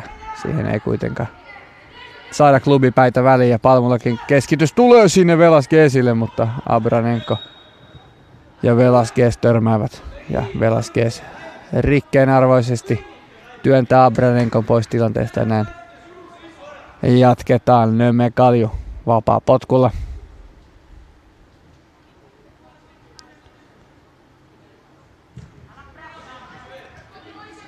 Kukkosella olisi taas tilaa täällä vasemmalla laidalla. Sinnehän se yritetäänkin nostaa. Ja sitten tulee kivasti sinne ohjaamo poikia kohti palloja. Siinä on myös lähellä, ettei kouvolalaislähtöisellä ohjaajallamme ole taju pois, kun pallo tulee niin kovalla vauhdilla suoraan kohti näyttöä, mutta onneksi tämä LG-näyttö pelastaa herran tällä kertaa. Keskitytään tällä kertaa kuitenkin jalkapallon. Zaitra. Hyvä nosto sinne boksiin ja nyt sitten vähän pompottaa Dani Labranenko. Sinne tekee Bruno Katsia. Bruno Katsia, Patrick Blumval, vahvaa juoksua taas 16 sisälle. Nyt pelataan taas Kukkosen kautta ja nyt tuntuu, että on jotain Abranenkolla meidän ohjaamaan vastaan, kun pallo tulee sitä kohti koko ajan. Kukkonen kuitenkin ottaa aika pikkunäppärästi kanto päällään tämän haltuun. Tai ei aivan haltuun, kun se karkaa tuonne klubin maalivahdille asti melkein, mutta kova tatsi kuin monella tamperelaisella yöelämässä konsana. Saitra. Palmulla pelaa takaisin Saitralle hieno seinä.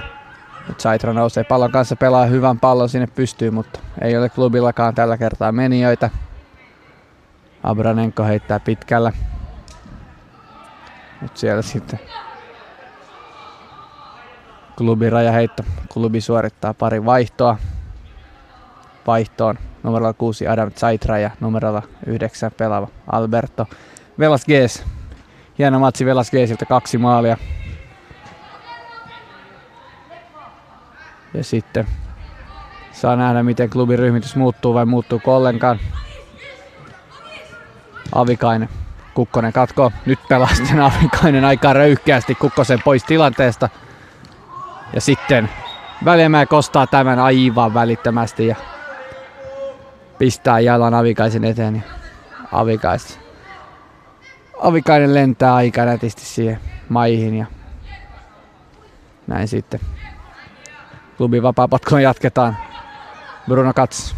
Nyt on veto paikassa. Kats jo ampuu, mutta sen blokkaa kuitenkin hyvin. Nemme puolustus. Nyt lähtee sitten Nevala laukaus. Taas blokkaa Nemme puolustus. Nyt olisi sitten taas Kukkosella juoksun paikka. Nyt sitten Avikainen tulee taas. Taas Kukkosen nilkoille ja Kukkonen siinä antaa pientä verbaalista painetta Avikaisen suuntaan ja vaikea voi olla kielimuurista sitten Avikaisen päätellä, että mitä tässä puhutaan, mutta varmasti Avikaisen mielestä myös ihan mukava, että ei tarvitse sellaisia puheita kuunnella. Siinä on melkoinen koko ero Avikaisella ja Kukkosella ja sitä Avikainen selkeästi haluaa myös hyödyntää tässä puolustamisessa. Ja varmasti on klubi myös huomannut Nömme turhautumisen, kun ei päästä edes vetopaikoille ja siinä se näkyy parhaiten tuossa Avikaisen antamassa paineessa, kun Kukkonen turhautuu. Vähän tuntuu, että idea puuttuu tuosta Nömme hyökkäyspelaamisesta täysin. Klubi pyrkii vain pitämään pallohallinna itsellään ja nyt antaa sitä aika kovaa painetta sinne jopa Nömme, mutta klubilla ei ole vaikeuksia tulla sen paineen alta. Nyt tekee vahvaa juoksua siellä. Radomski pelaa, pelaa sinne boksiin, mutta siellä juuri mainitsemamme kaksikko Avikainen Kukkonen. Ja Avikainen vie tästä pidempänä pelaajana pidemmän korren. Siinä vähän Nikulla näyttää, kun tulisi kiire, mutta eihän se ole kiirettä nähnytkään. Nyt sitten repii Kukkonen aika rumasti. Rumasti olisiko jopa repinyt kortin arvoisesti. Ja, ja niin taitaa mennä tuomarin käsi taskulle. Ja Sieltä nousee numero 16 Marten Kukkoselle keltainen kortti. Ottelun ensimmäinen keltainen kortti ja nyt siellä on sitten tunteet aika kuumana, kun Nömme pelaajat antavat jo pientä tönimistä siellä.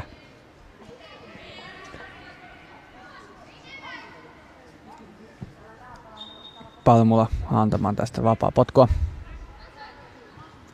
Palmulla itse asiassa Nylundia rikottiin siinä, kun mistä Kukkonen sai äsken keltaisen kortin repi paidasta aika rumasti. Ja tuomari näytti kolmea sormea ja kolme rikettä oli tullut lyhyen ajan sisään ja näin tuomari katsoi sen riikkeen kortin arvoiseksi. Sarapu. Sen katkoa kuitenkin klubi. Nylund. Nyt olisi Nylundilla tilaa, mutta hienosti, hienosti karvaa siinä. Ja antaa takapaineen niin sanotusti. Sarapuu. Nyt on Kukkosella tilaa. Kukkonen vastaa Kats. Kukkonen pelaa Lumi. Lumi pistää siitä Avikaisen puikot, mutta siinä on heti, heti apu, kun yksi pelaa itsensä ulos, niin sieltä tulee Janne Hietalahti. Nyt nousee kuitenkin klubi. Kottinen. Sen katkoo sitten kuitenkin Marnei ja siitä tulee hoijikoon. Onko kolmas kulmapotku toinen toisella puoliajalla. Ja niin vai vaikka ottelu on lukemissa 2-0, niin Nömmellä on kymmenen pelaajaa taas oman boksi sisällä ja ei halua päästä selkeästi klubia tekemään enempää maalia. Lumi heittää vain pallon sivurajasta yli. Avikainen sinne hakee lähelle Kats ja Blumval. Avikainen. Kats. Pelaa sinne Nikulalle. Loistavasti pelattu tässä katselta tuohon tyhjään tilaan. Näkee kentän todella hyvin. Avikainen, nyt antaa Kukkonen siellä painetta. Nyt nostaa sitten hienosti Hietalahti jalalla. Kuitenkin pieni harha syöttö.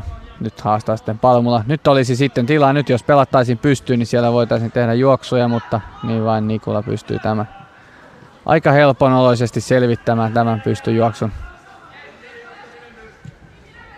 Ikonen pelaa sinne maalivahti Knaapiselle asti ja Knaapinen pelaa sitten. Pallottelee lyhyenä siinä toppareiden kanssa, ei ole mitään kiirettä lähteä hyökkäämään. Kats pelaa hienosti sivu Avikaiselle. Avikainen jopa pitää pilkkanaa siinä Marte Kukkosta ja pelaa hyvin sinne pystypallon Nylundia kohti, mutta Nylund ei aivan ehdi tähän. Avikainen uudestaan pallossa. Kats pitää hienosti Avikaisen paikkaa, kun Avikainen lähtee nousuun. Vähän on pystyjuoksut myös kadonnut HJK hyökkäyspelistä sen myötä, kun Velasquez tuli vaihtoon.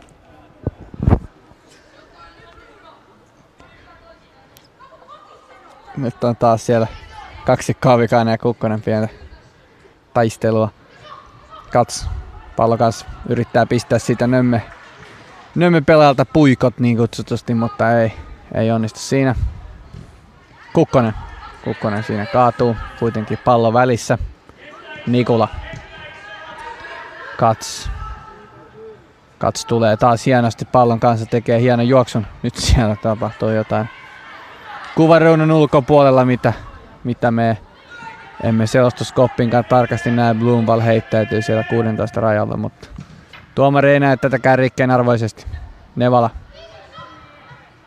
Nylund. Palmula. Pelaa sinne Bruno Katsille.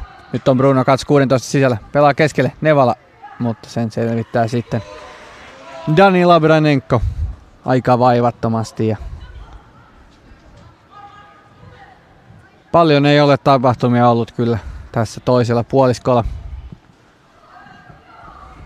Hiljaista on ollut sekä klubi että Nömme puoliskoilla. Klubi antaa tällaista näennäistä pallopainetta, mutta ei ole juurikaan vaarallisiin paikkoihin edes päässyt. Kukkonen kikkailee. Siinä antaa Kats vähän selkään painetta. Nyt sitten, sitten aika hassu pallon menetys siinä Marneilta. Nyt sitten Avikainen ja Kukkonen taas taistelee pallosta. Lumi. Kukkonen pistää kyllä hyvin, hyvin pienikokoista kroppansa likoon. Nyt Tuntuu sitten olevan aika hyvin peli päällä. Kivaa taistelua juuri tässä selostuskopin edessä ja pääsee kivasti näkemään tätä Nömme vasen, vasenta laitaa Marten Kukkosta tosi toimissa, kun taistelee klubi oikea puolesta ja Joel Avikaista vastaan. Sarapuu. Nevala pääsee katkoon. Siitä tulee kuitenkin Nömme raja heitto.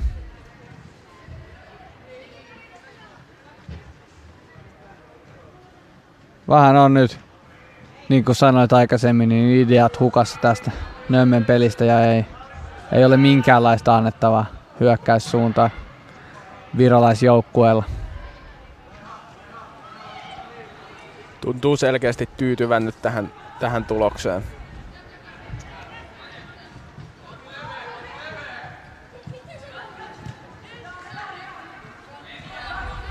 Nyt tuo hyvällä kuljetuksella Hietalahti palloa.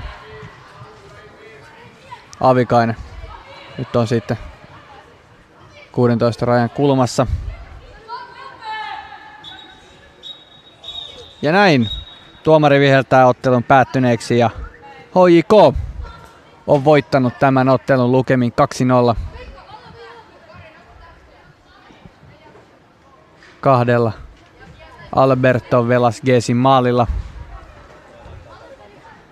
Ja päättää siis lohkovaiheensa 13 pisteeseen ruotsalaisen Broma kanssa ja on nyt maalierolla 13-3 sitten lohko toinen ja menee jatkopeleihin lohko B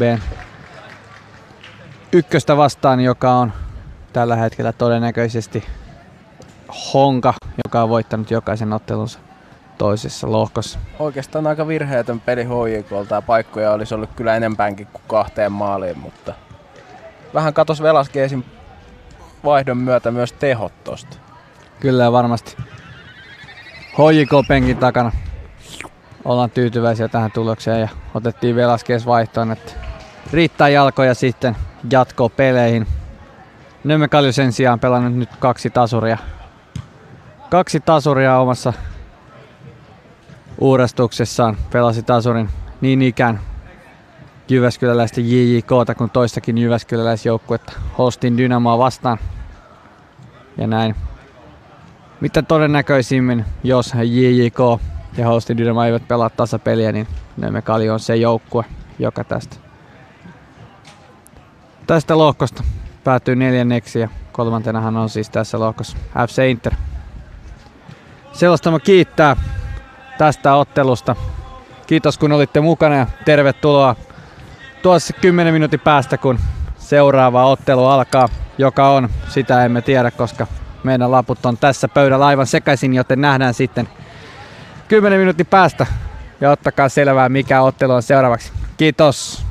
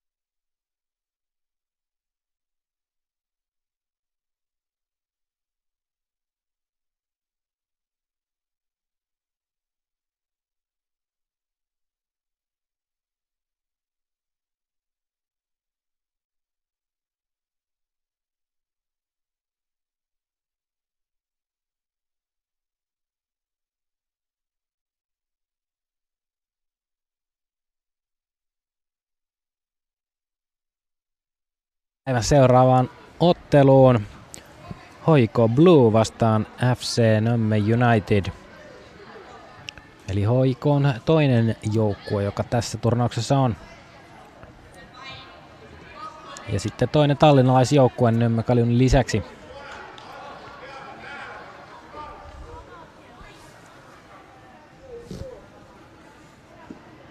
Hoiko Bluella kolmen pelin jälkeen kolme pistettä oli kasassaan, Nömme United myös kolmessa. Tuon B-lohkon kärjessä eilistä pelien jälkeen Honka yhdeksällä pisteellä, pallopojat seitsemällä sitten toisena. Mutta tärkeitä pisteitä jaossa. Hoiko lähtee juonimaan ensimmäistä hyökkäystä. Hautamäki vedetään kumoon, mutta siinä ei tuomari rikettä näe. Ja näin pallo tallinnalaisille.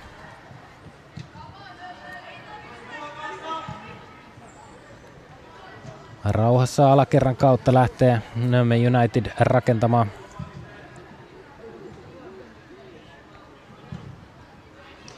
Siellä olisi Nömmellä nyt neljä vastaan neljä hyökkäyksessä. Erittäin heikko syöttö siitä tulee ja HJK on päästä siitä murtautumaan, mutta vähän kova tatsi ja pallo karkaa siinä. Rohkeasti Nömme pitää montaa pelaajaa ylhäällä. Kesikenttä varsin auki Nömmeltä.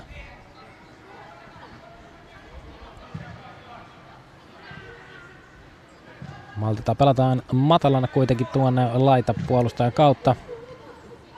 Sitten haetaan vähän ylöspäin, mutta siitä tulee pallon riisto. Hoiko nyt vasemmalta.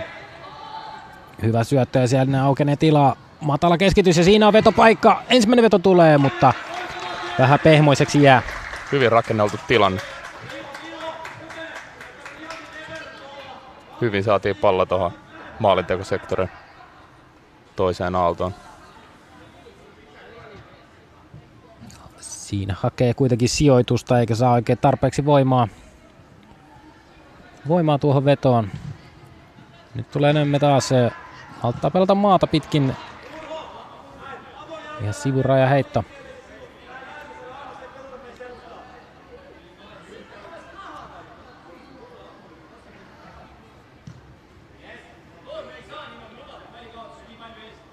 Ja pallon menetys lopulta Hoiko Bluelle, mutta pääseekö sieltä nyt murtautumaan läpi Nömme pelaaja? Todella kova kamppailu ja siitä aukenee nyt vaarallinen tilanne Nömme Unitedille. Hieno syöttö ja sieltä viimeistelee. Onko numero 20, kun tekee maalin. Ja HJK on nyt yllätetty ensimmäisen kerran.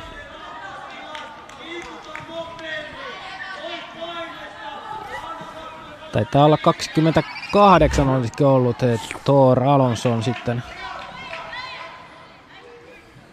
Joka tapauksessa Nemme United 1-0 johtoon. Ensimmäistä vasta hyökkäyksestä. Erittäin vahvasti pelasi Nömme hyökkääjä tuon tilanteen. Jälleen hyvää avausta sinne linjan taakse ja päästäänkö siitä jo nostamaan maalivahdin yli? Kyllä, 2-0. Todella vahva aloitus nyt Nömme Unitedilta ja HIK Blue on vähän ihmeissä. Olipa taidokas syöttö Nömmen kesikentältä numero seitsemän Jakob Gäis. Tarjoili kyllä aikamoisen herkun sinne linjan taakse. Kaksi nopeaa maalia.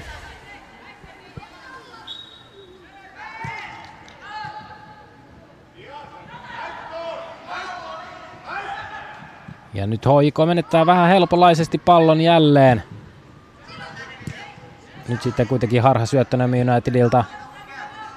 Ja nyt Hoiko maltaa rauhoittaa.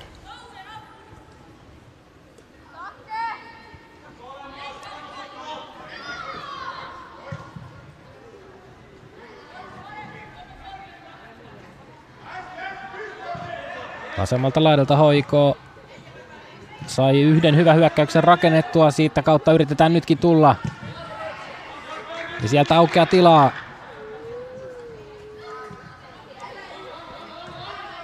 Hyvää yhteispeliä siellä laidalla ja pallo saada käännettyä boksiin, mutta Siinä ei ole kuin Nömmi Unitedin puolustaja.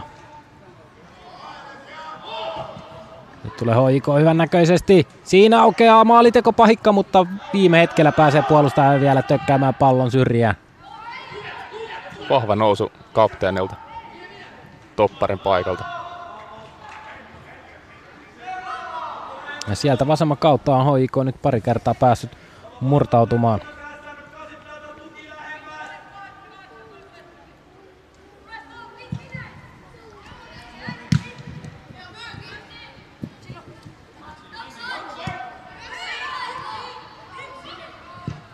Jälleen samantyyppistä nostoa hakee sinne linjan taakse. Nömi Unitedin keskikentä pohja pelaava Jakob Käis. Tällä kertaa ei kuitenkaan ihan onnistu tästä hoikolle. Kulma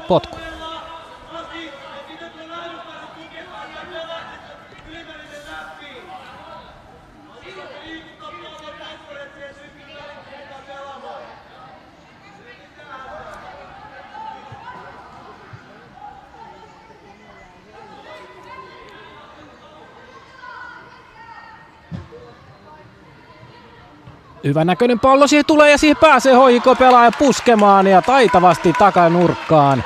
Pusku uppoaa ja 2-1 hoiko kaventaa.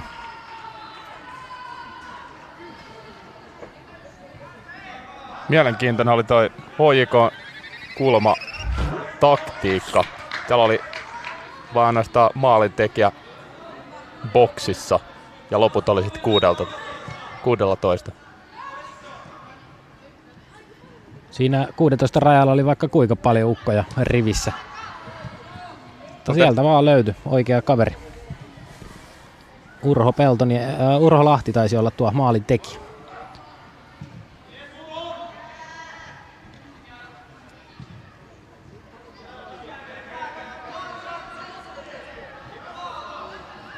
Nyt suojaa todella hyvin palloa siellä Hoiko vasemmalla laidalla. Viktor Sun.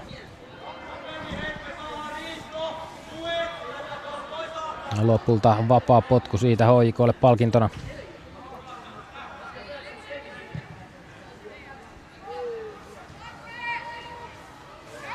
Pallo maalivahdille saakka ja rauhassa rakennetaan.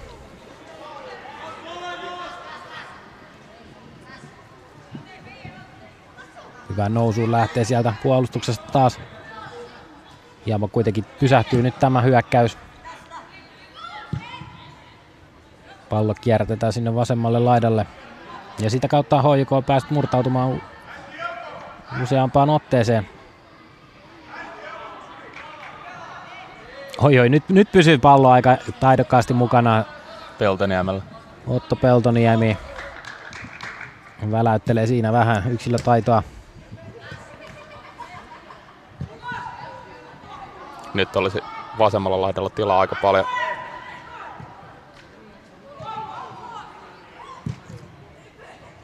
Haetaan kuitenkin tänne oikealle. Loistava pudotus päällä siinä. Lukas Lönnbergiltä. Kohta ollaan jos sillä etäisyydellä, että voi kokeilla laukoakin. Poikittaisia kuljetuksia siinä. Ja lopulta Rike ja HJK saa vapaa potkun. Aika kaukaa tulee, mutta kyllä tuosta voi kenties jo lähteä yrittämään.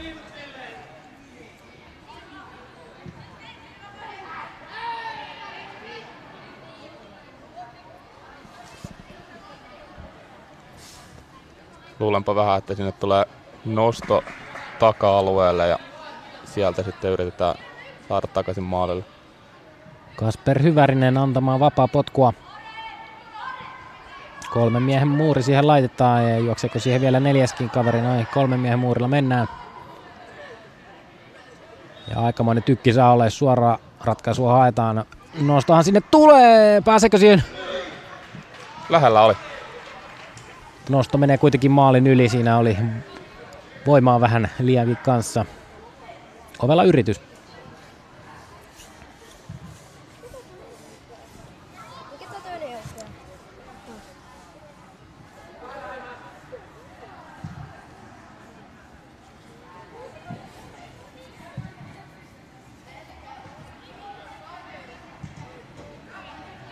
Nemme United siirtelee nyt palloa maltilla. Ja aika paljon sitä koitetaan pelata tuohon Käissille keskikentän pohjalle ja siitä sitten ylöspäin. Hoiko prässää nyt aika va- vahvasti kolmella miehellä siinä. Lopulta saadaan kierrätettyä tänne vasempaan laitaan. Veske. Sitä Piht. Veske ja Piht pelaavat siinä yhteen sitten Veskellä palloa. Lähtee ajamaan keskelle päin. Ja nyt pallo Käissillä. Tuleeko taas avaava syöttö? Tällä kertaa maata pitkin. Hyvin löytyy oma pelaaja kuitenkin.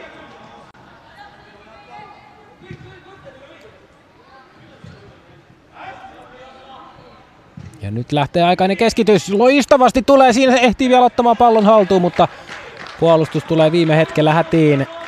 Ja meneekö sivuraja heitoksi? Ei taida kulma, kulmapotkua tuosta tulla. Hyvä keskitys oli Öönäpulta, vähän karkasi pallo ensimmäisen tatsin jälkeen. Siinä se olisi vähän saanut pehmeämmän kosketuksen, olisi peli ollut varmaan 3-0. Anteeksi, 3-1. Irtopallo tippuu nyt siihen vaarallisesti boksiin ja siitä Nemi United tekee nyt sen 3-1 maalin. Siinä hoiko pääsee kyllä pallon ensimmäisenä väliin, mutta sitä ei saada kunnolla purettua, vaan jää roikkumaan. Ja maalitekijä on juuri äsken Bru, tilanteessa ollut Bruno Öynäpuu.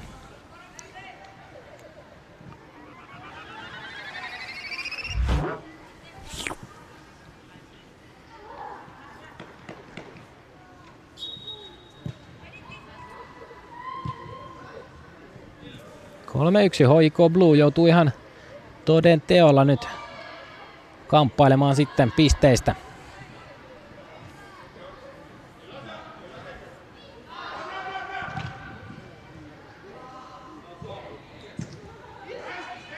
Jälleen tullaan käissin kautta. Levitys vasemmalle.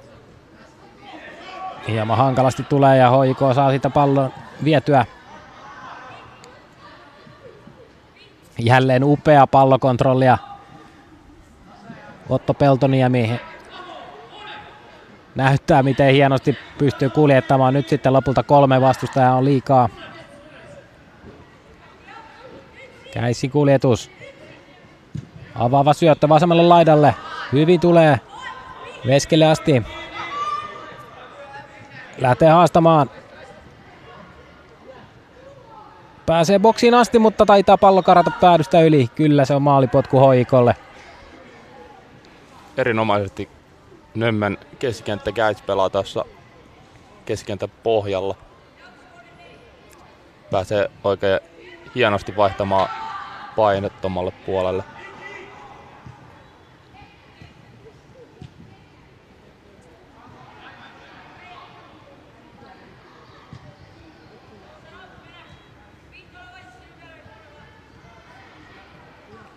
Hoiko maalivahdin kautta lähdetään.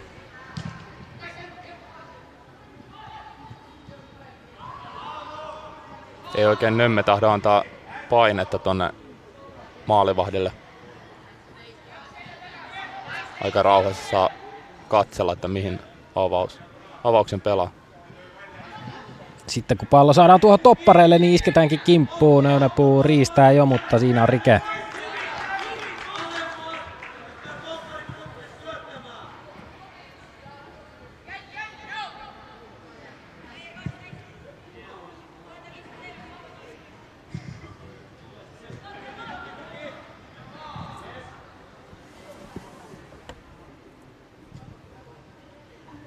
Jälleen takaisin maalivahdille. Sitten pitkällä avauksella Nymme puolustus kuitenkin ensimmäisenä välissä. Ja näin hyvää nousua Veske jälleen vasemmalta laidalta tekemässä. Siihen tulee kuitenkin neljä HJK-pelaajaa. Pallo karkaa sivurajasta yli. Ja nopeasti pallo peliin sinne. Ja pääseekö siitä nyt Maaliteko paikkaa jopa Nemi United. Edelleen Ounapuu saa jatkuvasti sen pallon tuolla boksissa. Hyvä kääntö keskustaa aina nyt on vaarallinen tilanne, mutta takatolpalta menee ohi. Siinä vähän pallo kimpoilee sinne sun tänne ja aina se tuntuu päätyvän Nemme Unitedin pelaajille. Nyt jälleen nopea pallon menetys HIKolta. Käis. Hyvin katsoo missä on tilaa. Pelaa siihen linjan eteen. Ja sitten lähtee kaukolaukaus. Se menee maalikatolle. HJK pitäisi saada vähän rauhoitettua tuossa keskikentällä pallon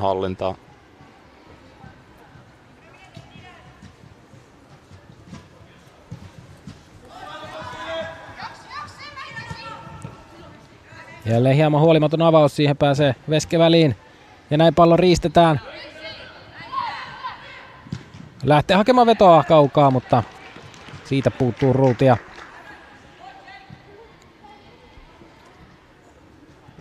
Aika paljonkin ava- äh, vaikeuksia nyt HJKlla avata tuota peliä. Niin kuin sanoit, niin maalivahdilla pallo saa kyllä olla, mutta paljon pidemmälle ei sitten päästä helposti. Näin, kun sieltä omasta boksista kun tullaan ulos, niin paine tulee heti ja jälleen harha syöttö.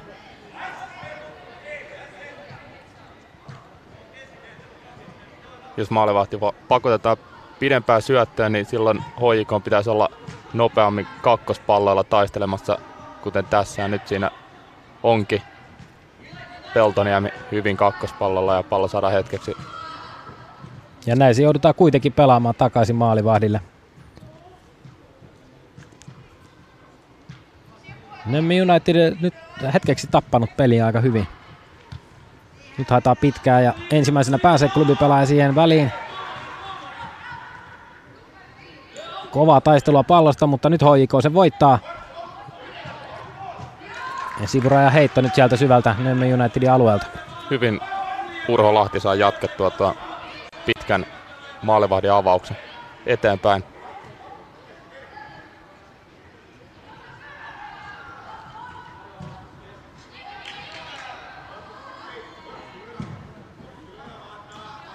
Hyvin löytyy siitä keskeltä vapaa pelaaja. Pääsee vielä pelaamaan sinne linjan taakse, mutta ei vaan millään ehdi pitämään palloa kentällä enää.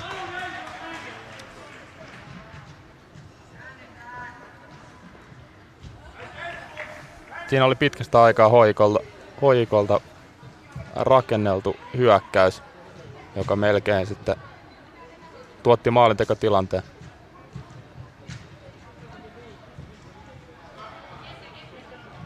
Nyt HJKkin prässää aika ylhäältä. Nyt United kuitenkin kohtuullisen helposti pääsee pelaamaan jälleen siihen käissille, mutta avaus epäonnistuu. Ja nyt tulee HJK jälleen, mutta karkaako tämäkin syöttö päädystä yli? Kovaa juoksua sinne tekee, mutta ei millään saa pidettyä Lukas Lömberi palloa kentällä.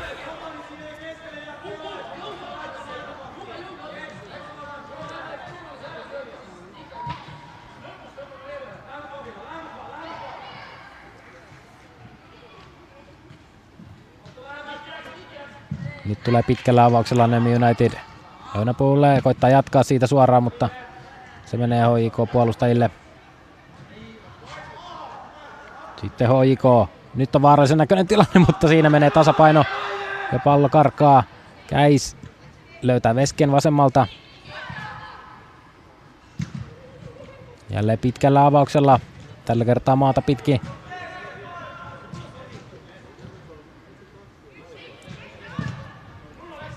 Ja pitkä, pitkä nosto haetaan. Öynäpuu löytyy sieltä ja menee nyt kumoon ja pilkkua tuomari näyttää. Vähän ehkä jäi puolustaja selän puolelle ja siinä jalat sotkeutui ilmeisesti yhteen ja Öönäpuu kentän pintaa.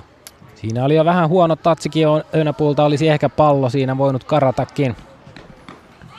Jakob Käisä ampumaan tuota pilkkua.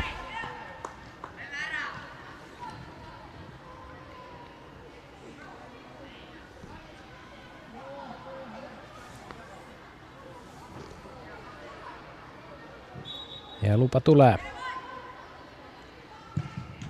Loistava Oi. torjunta, se ei ole huono pilkku missään nimessä, mutta Sakari Huttunen venyttää sieltä tolpan juuresta upean pelastuksen. Pitää vielä HJK jotenkin pelissä mukana. Kahden maalin päässä edelleen. Tärkeä torjunta. Mieletön venytys. Luo varmasti luottamusta ja uskoa tuohon joukkueeseen. Käis antamaan sitten saman tien kulmapotkua.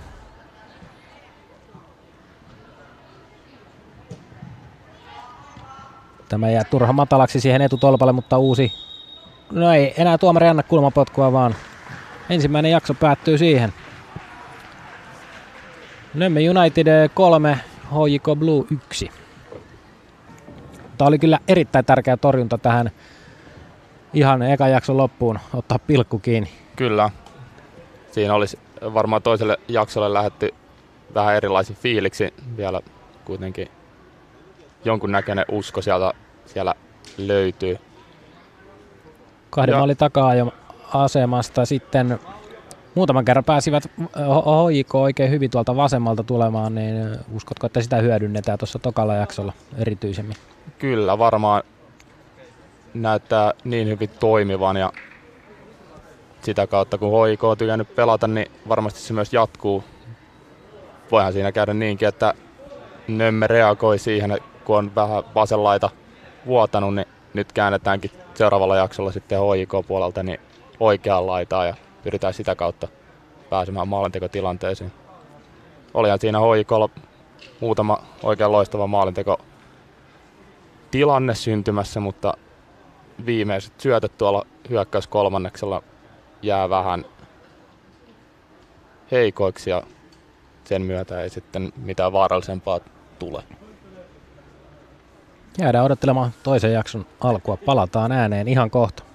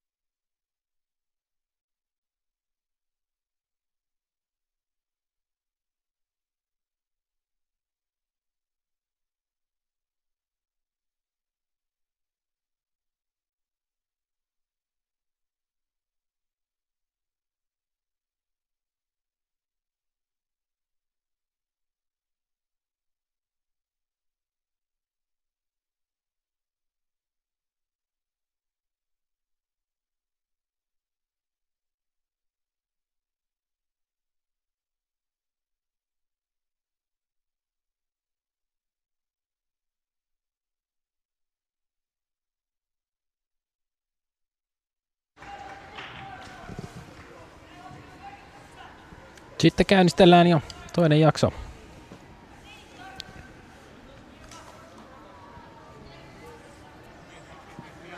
Nömme United 3, Hoiko Blue 1. Ja Nömme United potkaisee tämän toisen kaksikymppisen käyntiin.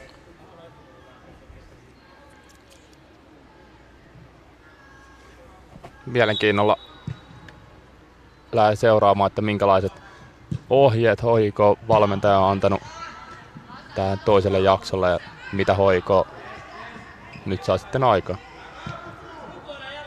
Mä näyttäisi siltä, että sieltä on Jakob Käis otettu nyt ainakin hetkeksi pois kentältä. Nyemme United tuolta keskikentän pohjalta. Se saattaa aukasta sitten hoikolle jonkun näköistä otetta tuohon keskikentällä, jos sieltä Nömmen johtohahmo on otettu pois. Nyemmen prässi taas todella ylhäällä. Hoika pääsee nyt hyvällä nousulla sieltä tulemaan. Vasemmalla olisi tilaa. Sieltä taustalta myös nousussa.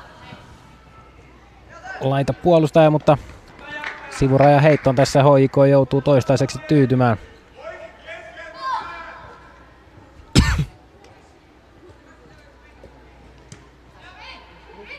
Oiko pystyy taistelemaan pallo vielä itselleen. Ja vapaa potku. Sivuvapari siitä nyt HIKlle tulee. Ensimmäinen kulma tuotti ainakin HJKlle tulosta, niin tästä voi olla kans uusi maalintekomahdollisuus. Takua, taka-alueella mies vapaana. Ja sinne palloa haetaan. Aika hyvin tulee tuo vapari, mutta Nemmen puolustus selviää. Ja nyt vaarallinen paikka, mutta kyllä siinä on HJK puolustus hereillä. Ehditään ensimmäisenä palloon.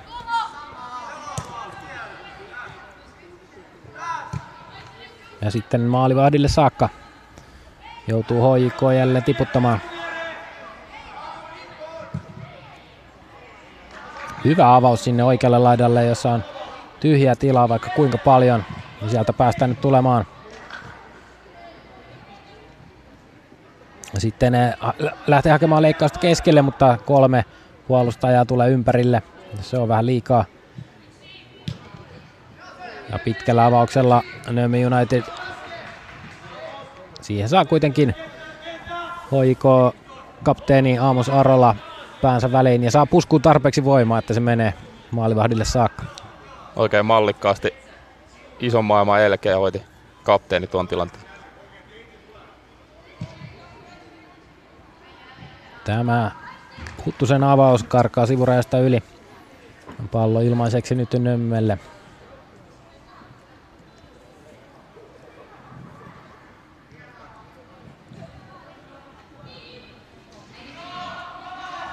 Hoiko pääsee katkoon. Sitten Huttusen pitkä avaus. Keskiympyrään tippuu ja siellä on Oiko pelaaja, mutta ei millään ehdi tuohon palloon kuitenkaan. Hieman arvioi tuo pompun väärin. Urho Lahti.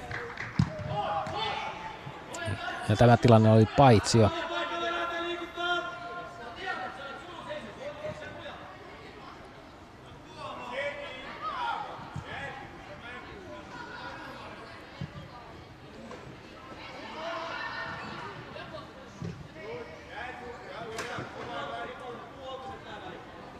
Edelleen kolmella prässää Nemme United ylhäältä. Maalivahdikimppuun ei mennä, mutta miten nyt kun sieltä tullaan jo boksi ulkopuolellekin. Hyvä avaus Huttuselta. Rohkeasti tulee sieltä boksista ulos, kun painetta ei tule hänelle, niin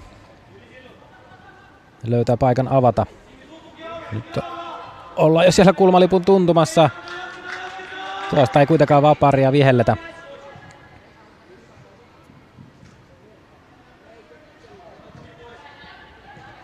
OJK nostaa prässiä, pakko nostaakin.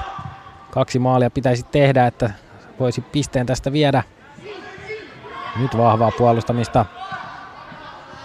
Pallo saadaan riistettyä.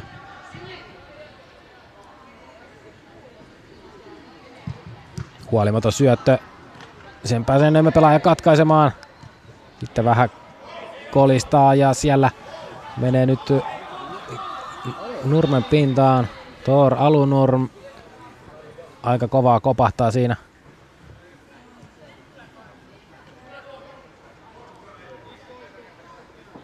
Kova tuli tilanteeseen kapteeni Aamos Arolla. Siitä ei, mutta kuitenkin puhtaasti. Alunurm siitä hetkeksi vaihtopenkin puolelle puhaltelemaan.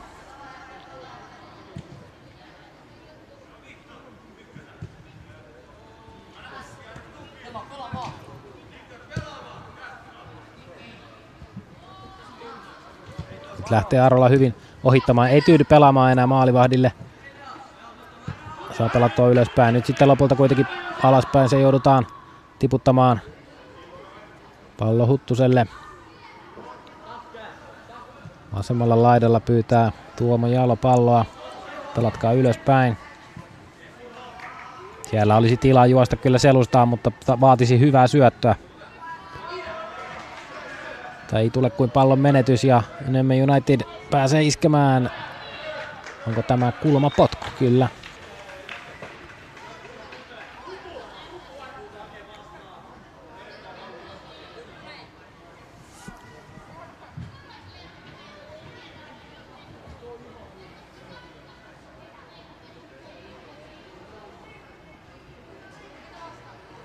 takaisin kentälle tullut Jakob Käis antamaan tätä kulmaa.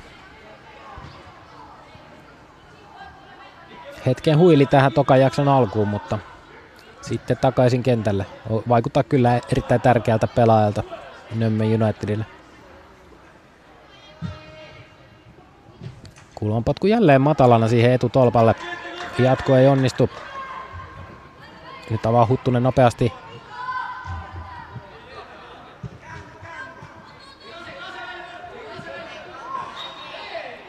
Siitä vapaa potku hoikolle.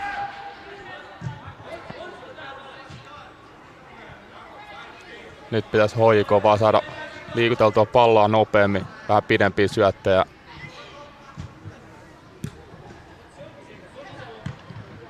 Siinä vähän kehno yritys.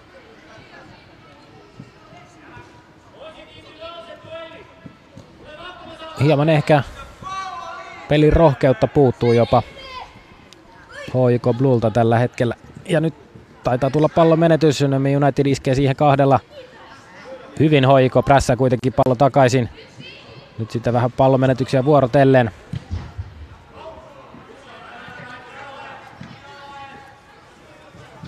Ja lopulta HJK saa rauhoitettua sinne Huttuselle saakka, mutta vaikeaa on tuo maalitekopaikkoihin pääseminen nyt HJKlle.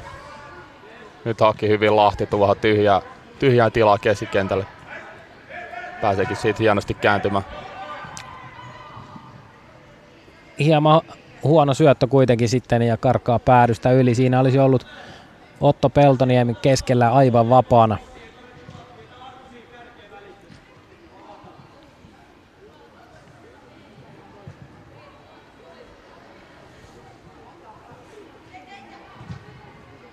Ja kohta on hoikon kyllä nostettava tätä prässiä vielä enemmän. Aika yksinään Lahti juoksee tuolla aika koko joukkueen mukana. Nömme purkaa helposti tuo prässi.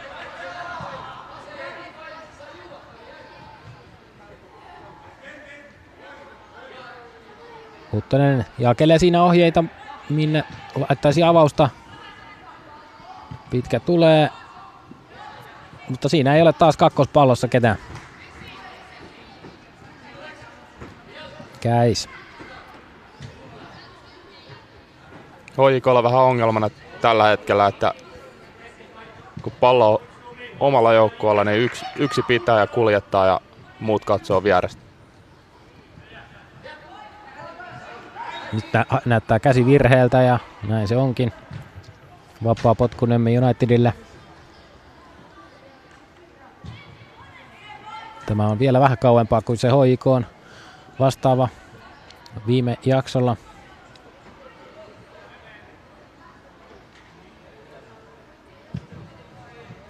Samantyyppistä yritystä siinä haetaan ja nyt on pientä hapuilua sitten Huttuseltakin. En tiedä muuttaako pallo hieman siinä suuntaa vielä nenän edessä ja näin se pääsee lipsahtamaan maaliin. 4-1 Nömme Unitedille ja nyt alkaa olla vähän ratkaisun makua. Kyllä, noin on erittäin ilkeitä palloja maalevahdille, kun lähellä tapahtuu niin sanotusti. Niin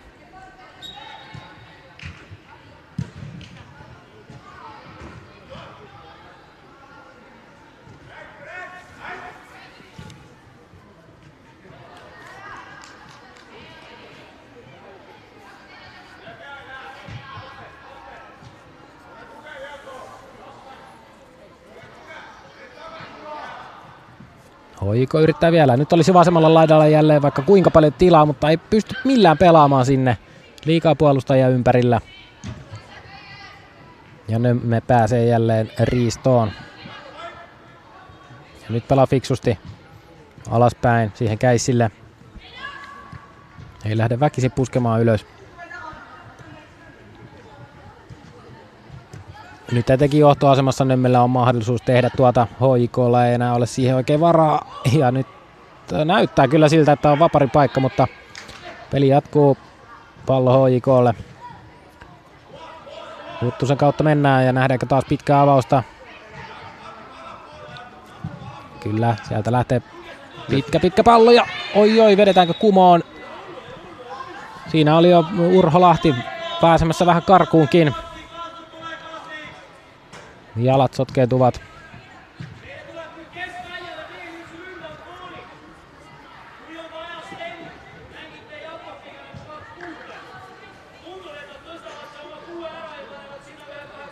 Tuo saattoi olla HIKlle ihan ok ratkaisu, että siitä vapaapotku tuli, sillä Lahti olisi ollut yksin kolmea Nömmen pelaajaa vastaan.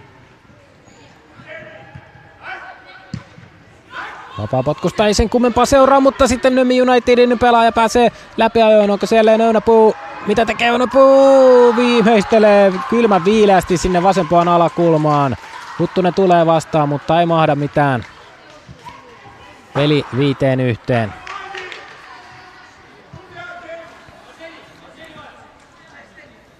Siellä on HJK pakkasen verran ylhäällä vielä vaparin jälkitilanteessa, että läpiajo aukeaa sitten Nömme Unitedille.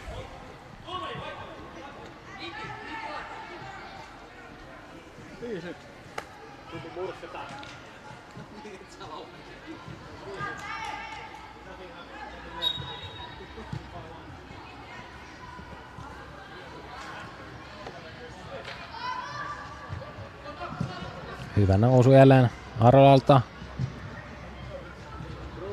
Mutta vähän yksin jäädään siellä HJK hyökkäyksessä. Nyt päästään murtautumaan jo boksiin asti. Kääntö sinne takatolpalle. Taitaa valua kuitenkin päädystä yli.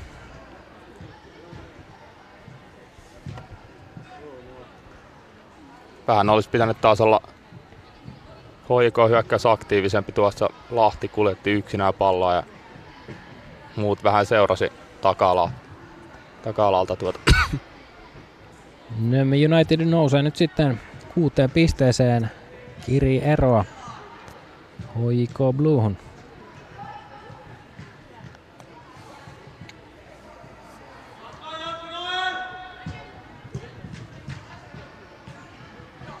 Pitkällä avauksella haetaan Öynäpuuta. Ei tällä kertaa aivan tule perille. HJK pääsee palloon. Vasemmalla olisi tilaa. Aika kauan kestää tuokin syöttö. Tulee lopulta perille. Sitten harhasyöttö. Ja Nömme United pääsee iskemään vastaan. Nyt Arola taistelee hienosti. Todella kova vääntöä.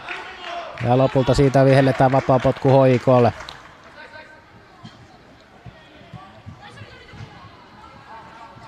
Jälleen hyvin suojaa Arola. Hieno levitys Aroalta. Sitten taas harhasyöttäjä nyt sattuu käisiä selkään. Siinä tuli HIK keskenttä vähän myöhässä tilanteeseen.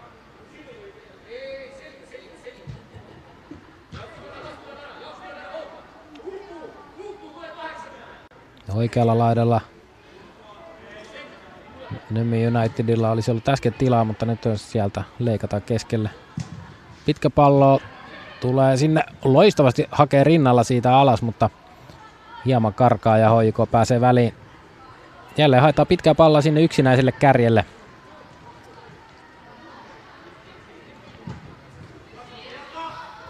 Ja Nömi United katkoo hienosti näitä klubin pystysyöttöyrityksiä.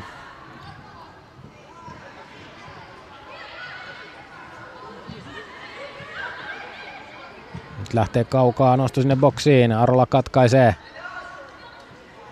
Hyvin Nömme oli ja taas, siinä kumoon. hyvin Nömme oli taas heti kakkospallolla hanakasti. Ja se tuottikin tuottikin vapaa potku jälleen samalta paikkeelta kuin nuo kaksi edellistä. Edellinen tuotti maalin Nömme Unitedille. Nyt on sitten täällä oikealla laidalla mies aivan vapaana ja viittoileekin, että palloa sinne. Eipä kuitenkaan. Siinä oli hetken aikaa Orgmets aivan yksin. Nyt taidetaan hakea suoraan ja tolppaan se menee. Ei ihan kehno veto. Sieltä Sten Mihelsson. Tällä kertaa ei tolppaa lähemmäs kuitenkaan pääse. Vähän ehkä Huttunen luki tuota palloa väärin, kun näytti vähän, että olisi vetänyt kädet alas tuossa.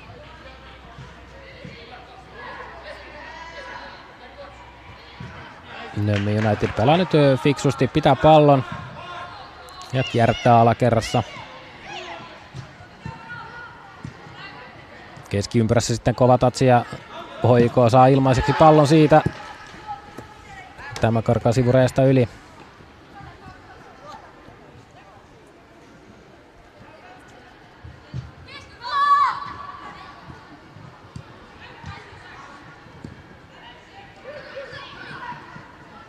Siellä edelleen on vain yksi kärki HJKlla häiritsemässä tuolta puolustuslinjaa. Ja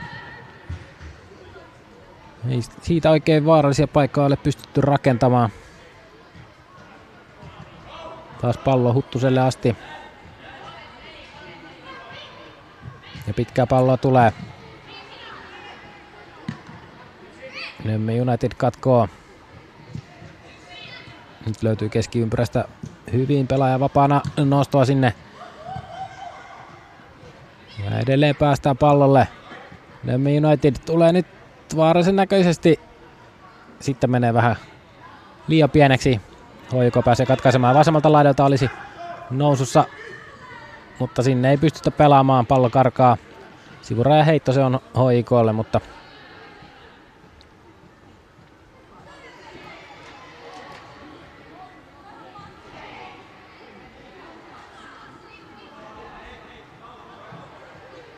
Nyt sitten Nömme Unitedin rajaheitto.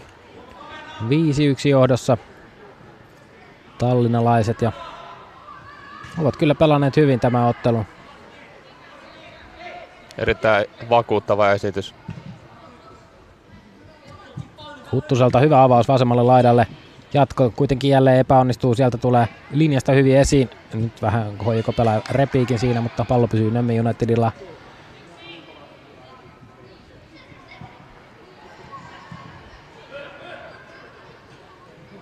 Nyt pääsee haastamaan hyvin. Tulee jo leikkaa keskustaan. Pääseekö vetopaikkaan? Öynäpuu. Pienet harhautuksetkin siinä, mutta ei saa millään jalka vapaaksi. Sitten sieltä kaukaa päästään laukomaan. Vähän menee ohi.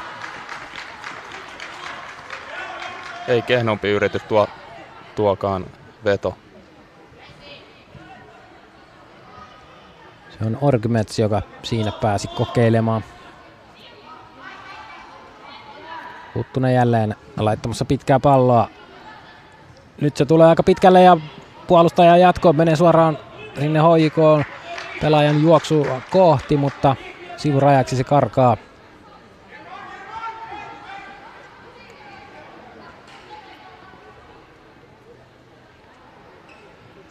Tuossa jälleen vaikka siellä olisi Peltoniemi saanut pallon mukaansa, niin olisi ollut taas aivan yksi haastamassa Nömmen puolustusta. Ja nyt HIKlle vapaa potku sieltä sivuvapari. Ja nyt sinne viedään pelaaja maalintekosektoriinkin. Ja hyvin tippuu siihen, mutta hieman on taas huono tatsi. Ja pallo karkaa. Hyvä vapaa potku.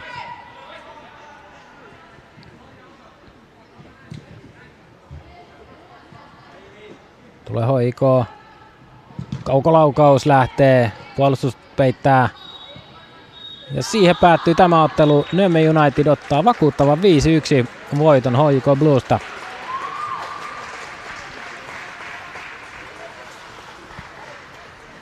ei HJK saanut oikein luotua vaarallisia tilanteita tällä toisella jaksolla. Tuo loppuhetken vapaa potku oli varmaan parhain maalintekotilanne. Ja jostain syystä HJK ei tällä jaksolla yrittänyt täältä vasemmalta laidalta niinkään.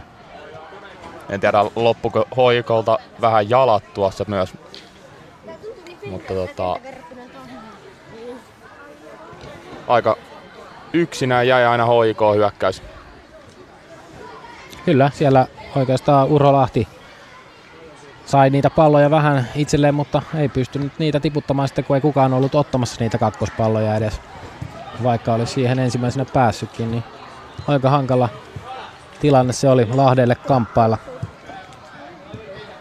Jatkaa ajatellen, toivotaan, että HJK tekee jotain tuolle kakkospalloille. Jos, se, jos sen aina häviää, niin se on erittäin vaikea voittaa ottelua. Nemme Unitedilta kuitenkin hyvä esitys. Jakob Käis keskikentän pohjalla. Jakeli hyviä palloja ja toimi maestrona.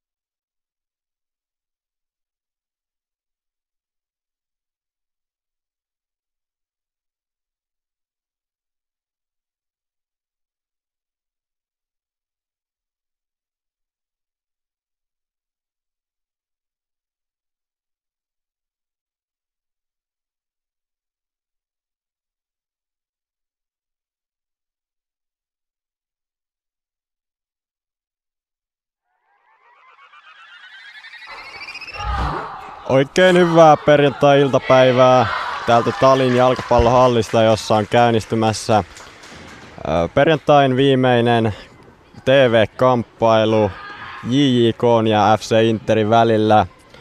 FC Inter tosiaan pelasi tänään jo promopoikkarina vastaan mulla, joista tuloksena 0-4 tappio.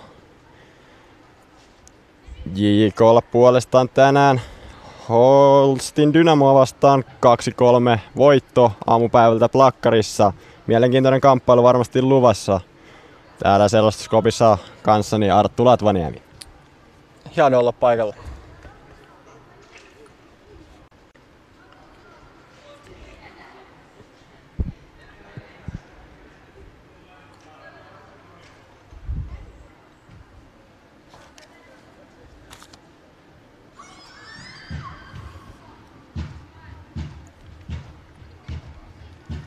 Molemmat joukkueet tosiaan taistelee sijoista 5-8. Tässä on isojen panosten ottelu siis luvassa. Joo, Inter on lohkoassa kuudessa pisteessä ja JK neljässä pisteessä ja mitä tahansa tässä pelissä käy, niin tulevat joukkueet siis pelaamaan sijoista 5-8 jatkopeleissä ei Nommekalliolla riitä enää pisteet ohittamiseen, kun kaikki pelit on pelattu.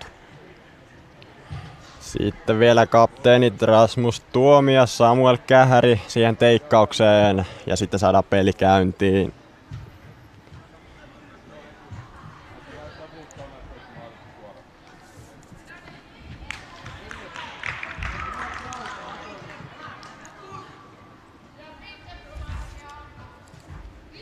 Joo, siellä on vaihtunut kapteeni edellisistä peleistä. Rasmus Tuomi ei enää kanna kapteenin nauhaa, vaan siellä on Matias Ryytyn vasemmassa hihassa nyt kapteenin nauha tässä ottelussa. Ai ai, erittäin hyvä huomio Arttu. Rasmus Tuomi on ollut erittäin näkyvä pelaaja tässä turnauksessa, niin sen takia myös kapteenin nauhaa kantanut. Nyt tulee JK ensimmäisen kerran vahvasti, mutta Interin maalivahti Mio Höglund koppaa pallon käsiinsä ensimmäistä kertaa, avaa siihen viereen. Nyt lähtee nostamaan numero 32. Kasperi Kantola.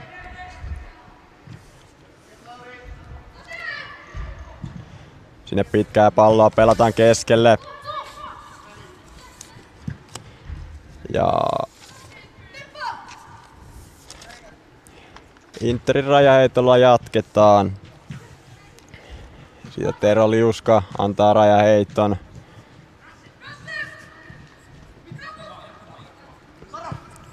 Nyt tulee sitten Inter laidasta. Numero 5, Kaado Leemuskoski. Leemuskoski tuo, tuo palloa, laittaa keskelle. Ei, ei saa Inter siihen jalkaa väliin. Tuomi laukkoo. Ja nyt, nyt tulee, tulee sitten paikka. sieltä ensimmäinen maali ja maalin tekijänä on Karo Lehmuskoski. Aivan loistavasti käy tökkäämässä pallon sisään ja Inter johtaa 1-0. Kapteeni Tuomelta hyvä, hyvä pommi siitä ja kävi vähän tuuri, että pallo Lehmuskoskelle tulee ja nätisti pistää pallon maali. Erittäin hieno, hieno viimeistely Lehmuskoskella. Ja nopeasti salama alku tälle kamppailulle niin sanotusti Arttu. Joo, hienoa nähdä tämmöinen intensiteetti heti pelin alku. Ja nyt lähtee klassinen pitkä päätyjä perään JJKlta. Sinne menee numero 51 Veikko Ojala.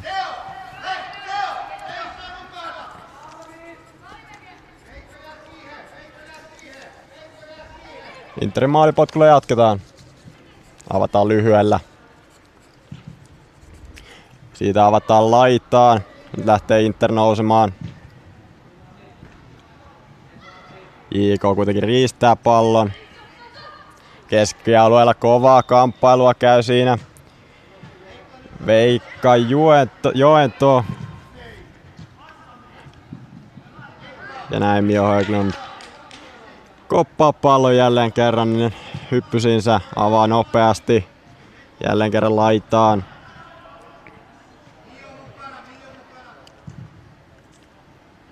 Palloa kierrättää Höglundin kautta. Vasempaa laittaa, mutta nyt on hankala pallo ja siihen pääsee JK väliin saa rajaheiton hankittua itsellensä.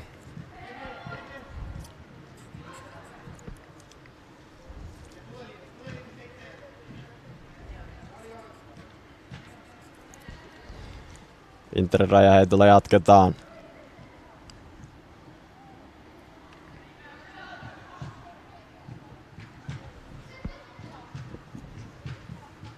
Hyvin pyörittää nyt JJK palloa.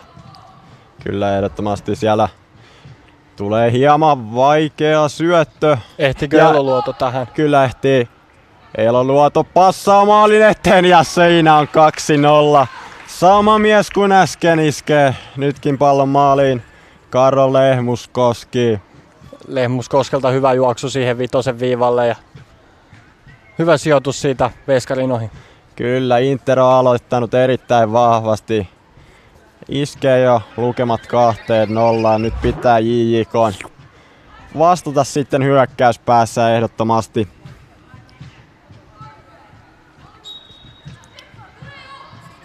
Jälleen lähdetään pitkään päätyy laittamaan. Nyt on JJK pallossa. Kova kamppailu, mutta hienosti riistää. Tuo- Interin Tuomi tulee jälleen sieltä hyvällä Rasmus. Tuomi siitä. Otto Eloluoto. Hienoa palloa sinne keskelle ja siitä taas kikkailee Inter. Mitä käy tässä tilanteessa? Siitä ei kuitenkaan Inter pääse laukasta saamaan. Ja näin. Interin rajaheittolla jatketaan. Vahvasti on myös kapteeni Otto Eloluoto tullut sisään tähän otteluun. Ottanut kyllä ton kapteenin rooli heti käyttöönsä. Nyt pyörii pallo. Kierrättää Inter sinne puolustuslinjaa. Kasperi Kantolalla pallo tällä hetkellä ja Kantola avaa Otto Eloluodolle sinne laitaan. Eloluoto tuo Haastaa, haastaa, haastaa, menee ohitse. Laittaa crossin keskelle ja sinne ei kuitenkaan pääse Interin pelaajat väliin. Siellä oli Veikko Joento takatolpalla hyvin valmiina. Kyllä Interi on nyt selkeästi terävämpi ollut heti tässä alussa. Siinä nyt on pallo vasemmassa laidassa, siellä on Eino Rumpunen. Nyt pääsee sitten JK avaamaan puolestaan. Mutta sekin katkaistaan Rasmus Tuomi. Tuomi on ollut kyllä erittäin taitava pelaaja ja pelannut erittäin hyvin tämän turnauksen. Pyörii pallo keskellä, siitä pääsee jälleen kerran katkaisemaan Inter. Nyt sitten Sieltä tulee Lehmuskoski. Kyllä, kyllä sieltä. Ja hieno veto, mutta vain vähän ohi maalin.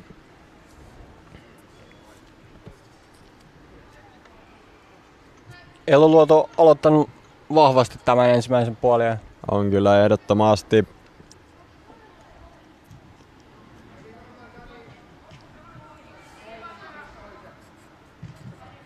Nyt avaa JJK. Oi- oikealta laidalta.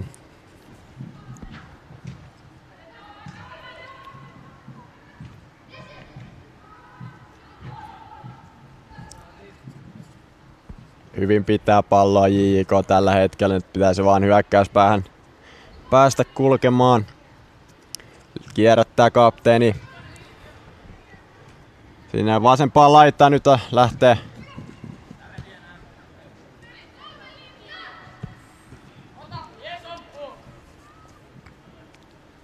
Ja näin jatketaan. JK rajaheittolla Veikko Ojala antamaan sitä.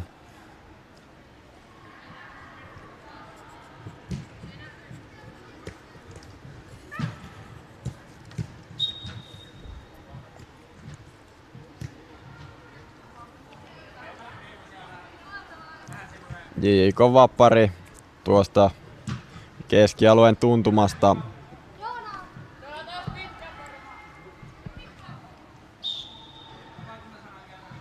Kapteeni Samuel Kähäri sitä antamaan. Ja pelaa maalivahden kautta. Hyvä kierrätys JJKlta siihen. Nyt tulee paha, paha syöttö siihen, mutta sen Kähäri selvittää. Nyt on kova paine Interillä myöskin. Mutta hyvin JJK purkaa. Purkaa paineen ja nyt lähtee sitten hyökkäys.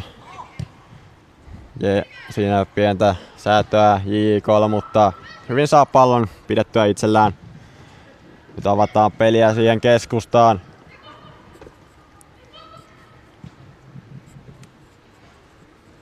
Numero 36 Linus Abrahamsson pallossa tällä hetkellä Interiltä. Haastaa, haastaa, tulee kohitse. Kyllä. Mutta JK pääsee purkamaan ja Interin rajaheitolla jatketaan. Kähäri heitti siitä vaan hätylillä pallon pois rajan ulkopuolelle. Ja Interillä pallo nyt kierrätään jälleen. Pitkä pallo sinne keskustaan, mutta Kähäri on vahvasti ollut mukana tässä alussa jo. Ottaa taas katkon, nyt on puolestaan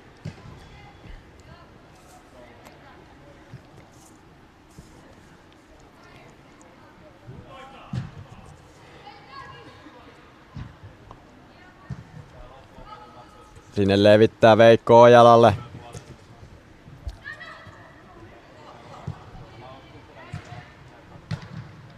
Kähäri on taas välissä tässä pallossa. Nyt lähtee IIKlta vahvan näköisesti. Siinä tulee Nikolas Liimatainen.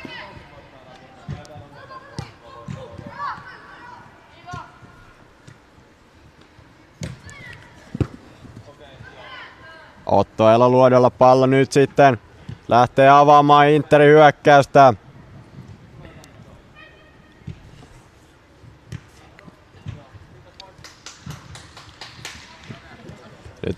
Vahvasti suojaa siinä Nikolas Liimatainen, mutta sitten heikko, heikko syöttö tulee Lehmuskoskelle. Lehmuskoski siihen, mutta hienosti Samuel Kähäri katkaisee ja lähtee jalalla nostamaan. Meinaa käydä köpelösti, mutta hyvin selvittää. Sitten avataan laittaa Linus Abrahamsson. Abrahamsson ja kulmapotku. Koottelun ensimmäinen kulmapotku. Se tulee Intelille.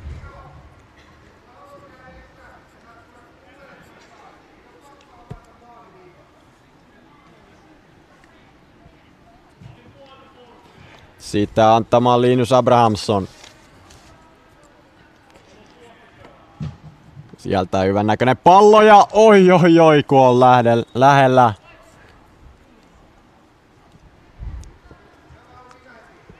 Ja se menee, sitten mennään toiselle kulmalipulle ja sieltä Interin toinen kulmapotku.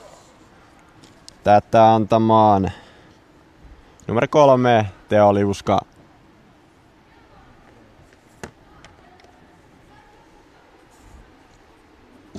Sieltä tulee matala pallo etutolpalle.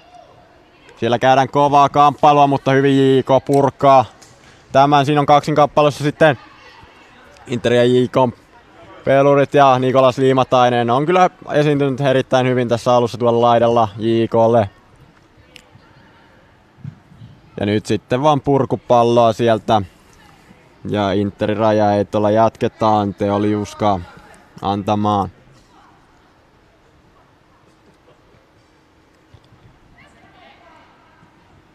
Hyvin tulee sieltä JK pelaaja, mutta hyvin Rasmus Tuomi myöskin katkaisee tämän. Sitten Otto luodon keskitys on hyvä. Hyvän näköinen ja Linus Abrahamsson siellä on päineen välissä, mutta ei saa tästä maali, maalia kohti laukausta.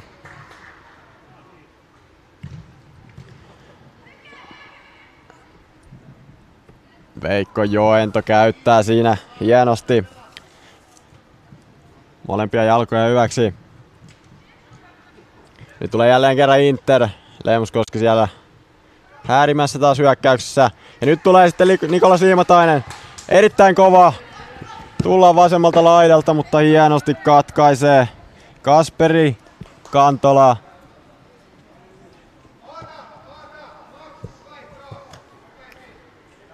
On nopea kaveri Kasperi Kantola. Selkeästi, että Nikolas Liimotaisella saa juosta ihan täysillä, että pääsee äänestä ohi. Nyt JJK on rajaheittoa sitten heittämään Veikko, Liima, ää, Veikko Ojala. Ja hyvin kierrättää JJK Samuel Kährin kautta. Peliä jälleen kerran oikealle laidalle. Sieltä meni Nykänenkin vaihtopenkin puolelle. Kyllä, juurikin näin. Nyt tulee JJK hyvän näköisesti, mutta hyvin suojaa siinä Interin pelaaja ja laittaa oikealle. Otto Elluoto haastaa, haastaa siinä, pääseekö ohitse? Hyvin tulee sitten Leemuskoski. Oi oi oi. Kähäri pelaa pallon kulmapotkuksi. Interille kolmas kulmapotku. On kyllä hienoa katsottavaa tämä Rasmus Tuomen pelaaminen tuossa keskikentällä. Kyllä on tota, erittäin pallovarma kaveri kyseessä ja pelannut tosiaan vahvan turnauksen. Nyt puolestaan Teo Liuska antamaan Interin kolmatta kulmapotkua. Katsotaan tuleeko tästä Interille lisämaaleja. Hyvän näköinen pallo sinne ja hyvä pusku. Oi oi oli lähellä. Pääsikö sieltä? Interin pelaaja pääsi puskemaan. Numero 16 Veikko Joento taisi olla kyseessä.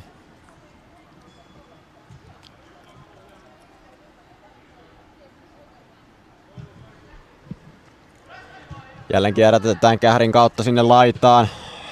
Veikko Ojalalle. Ojala antaa kuitenkin pa- pallon keskelle. Siellä on Leemuskoski. Leemuskoski antaa keskelle, mutta menijöitä ei ole. Joten tämänkin JK selvittää toistaiseksi Otto Eloluoto. Eloluoto kulmassa kamppailee nyt kovasti siinä Veikko Ojalan kanssa. Ja nyt saa JK pallon, lähtee terävästi Nikolas Liimatainen siitä avaa kuitenkin takaisin toppari Samuel Kähärille. Sinne Kähäri ja Nyt on hyvä prässi Interiltä. Kyllä, pallo Veikko Ojalalle jälleen pitkään lähdetään hakemaan, mutta Inter pääsee väliin. Teo Liuska myös pelannut vahvasti tässä turnauksessa. Ja ai ai ai, mitä, Tulee hieno mitä syöttö. tota, pelaamista. Ja ei mene tämä pallo maaliin, mutta jälleen kerran Rasmus Tuomi numero 17. Aivan mieletön kikkailu siinä keskialueella ja avaa pelin Otto Eloluodolle, mutta ei, ei pääse Otto Eloluoto siitä laittamaan palloa pussiin. Ja nyt tulee Interille jo ottelu neljäs, neljäs kulmapotku. Kyllä, aivan selkeästi on Inter hallinnut tätä peliä. Veikko Ojalalla ollut vähän kiire tällä vasemman laitapakin tontilla. Että Kyllä, kyllä. Sieltä tulee taas korkea pallo. Ei kuitenkaan pysty Inter tästä. Katsotaan jatkotilanne. Siitä pääsee JK purkamaan. Pallo kuitenkin Interin hallussa. Kasperi Kantola.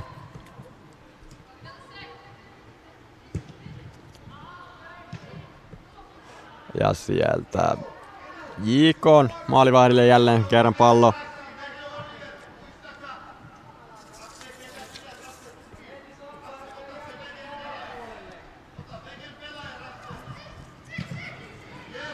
Ja jälleen kerran katkaistaan Interin puolesta keskikentällä.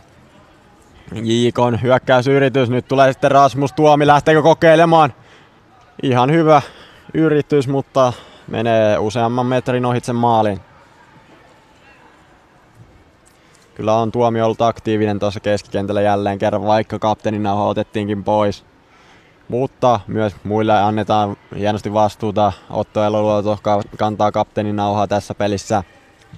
Nyt on riskaa peliä peliä siinä. Kähäri ei saa kuitenkaan Inter katkaistua ja laidasta Veikko Ojala. Hyvin pitää palloa vasemman laitapakin tontilla.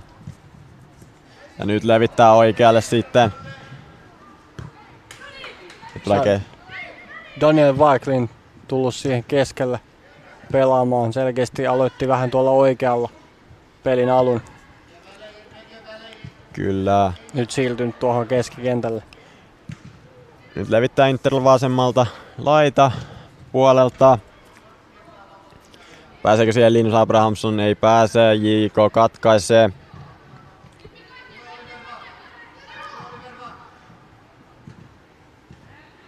Nyt on pallo Rasmus Tuomella. Tuomi rauhoittaa toppareille sen siitä hienosti.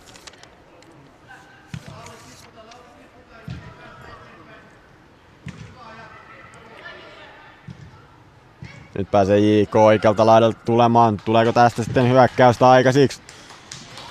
Kuitenkin pallo Mio Höglundille.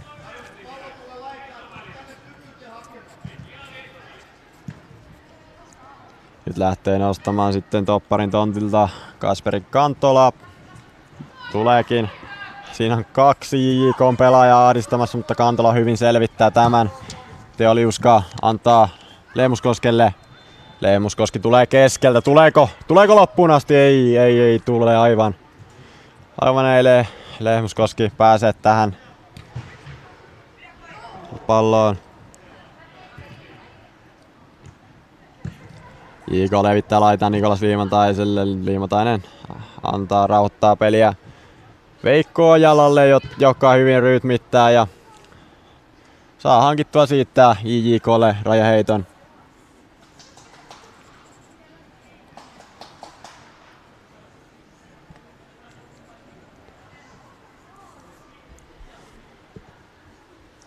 Nyt on tilat vähissä. Ja numero 15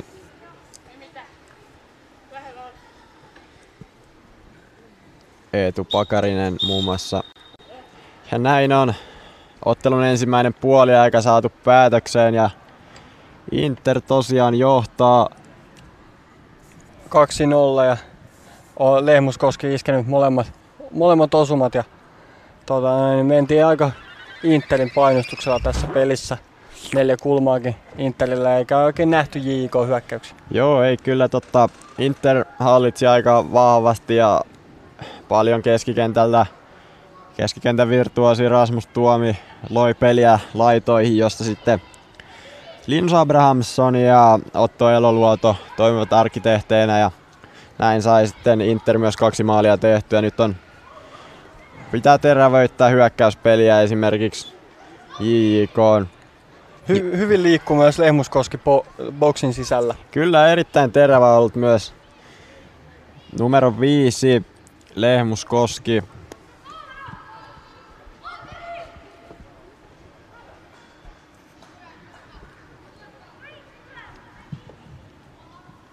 Joo, saa nähdä mitä. Onko?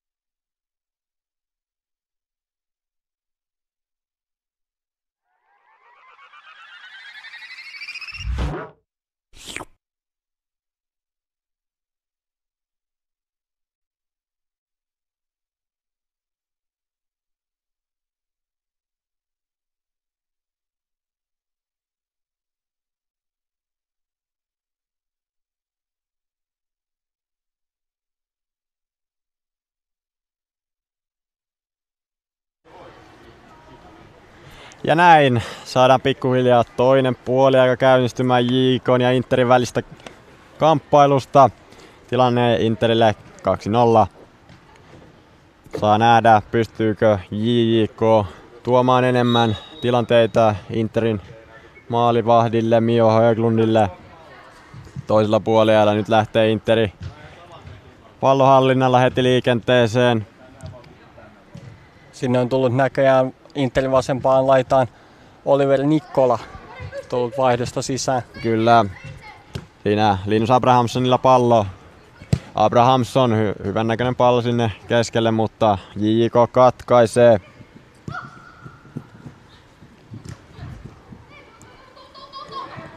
Ei ole oikein JJK päässyt peliin mukaan. Inter on hallinnut, hallinnut tätä ottelua ja pistänyt pelille niin sanotusti temmon. Kyllä. Nyt pyörii JK. Peli hyvin.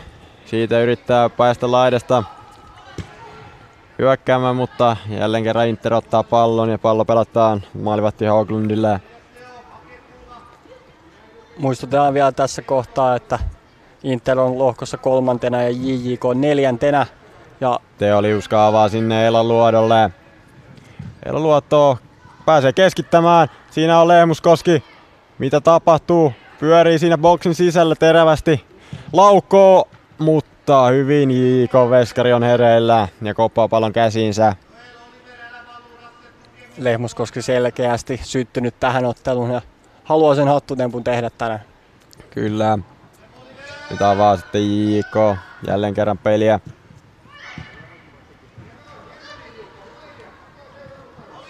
Otto Eloluoto pelaa alaspäin Teo Liuskalle. Liuska kierrättää Kasperi Kantola ja Höglundin kautta Veikko Joento avaa pitkällä pallolla, sieltä tulee Nik- Nikkolalle heittää pallon, Kyllä, siitä. Nikkola tulee vahvan näköisesti, hienot harhautukset. Nyt imee JK puolustajan itseensä siinä. Hyvä pallo, Lehmuskoski. Sitten tulee Inter oikealta laidalta. Hienosti pelaa. Hienosti pelaa JJK tämä. Kyllä, ja, muuttaminen. mutta Lehmuskoski, ai ai ai ai. Lehmuskoski hyvin riistää pallon hyökkäys päässä. Nyt lähtee kuitenkin JK vaavan näköisesti. Numero 41. Toivo Jahlava. Nyt on pallossa kuitenkin Nikolas Liimatainen.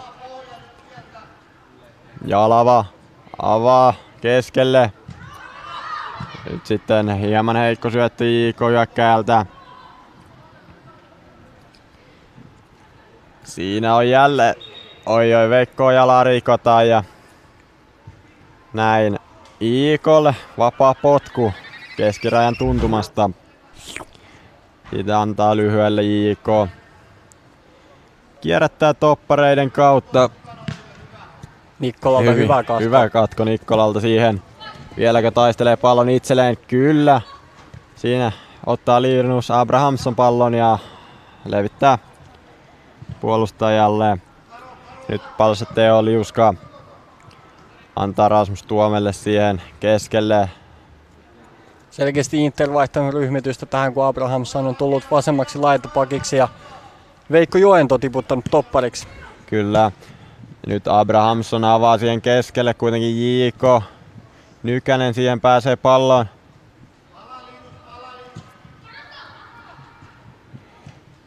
Samuel Kähäri avaa Veskarille ja Veskari laittaa pallon vasempaan laitaan Veikko Ojalalle, joka jälleen kerran hankkii JKlle vapaa potkun. Hyvin on pelannut Veikko Ojalle tuolla vasemman laitapakin tontilla. Nyt avaa JK, nyt on vaaralliseen vastaajakseen mahdollisuus, mutta pallo Mio Höglundille ja Höglund purkaa. Ei ihan ehtinyt Eetu Pakarinen tähän, tähän pystypallon. Hieno kikka Eloluodolta. Kyllä.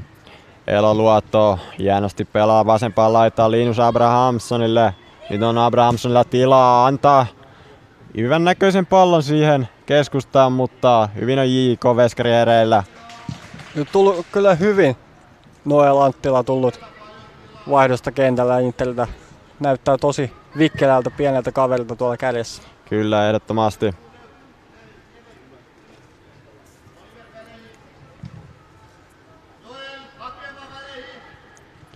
Nyt kierrättää Inter jälleen kerran Linus Abrahamsonin kautta, mutta ei aivan saa palloa haltuun Abrahamson.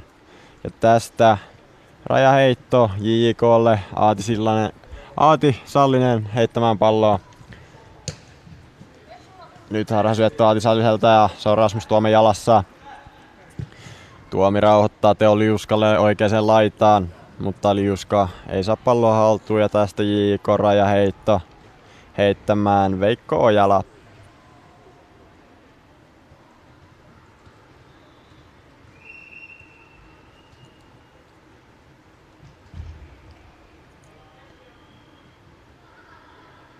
Nyt puuttuu JJKn keskikentältä liike ja siinä oli heikko kosketus keskikentältä ja vaihtuu taas pallonhallinta Interille. Jälleen kerran kierrättää Inter toppari kaksikon Kasperi Kantolan ja Veikko Joenon kautta. Hyvin Joento avaa Abrahamson. Nikkola Abrahamson tulee laidalta vahvasti. Vahvan näköinen tilanne, mutta kuitenkin pallo karkaa ja JK maalipotkulla jatketaan.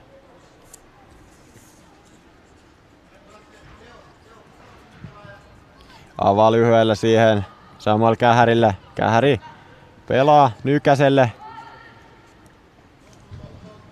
Ja pallo Veikko Ojalalle vasempaan laitaan. Nyt on ahde, ahtaassa Ojalan tila ja siellä kovaa kamppailua käydään pallosta. Mutta siitä IK kuitenkin selvittää. Nyt aukeaa vasta hyökkäyksen mahdollisuus. Ai ai siitä. Veikko Joento on varmasti kyllä pelannut tämän toisen puoliajan topparin paikalla. Nyt Rasmus Tuomi jälleen kerran terävät liikkeet siellä oikealla laidalla. Oi oi kun pysyy pallo timanttisti hallussa tällä kaverilla. Hienoa, hieno Zidane harhautus siitä Interiltä. Teo Liuska pallossa. Käyttää taas Rasmus Tuomen kautta. Avataan Interin peliä.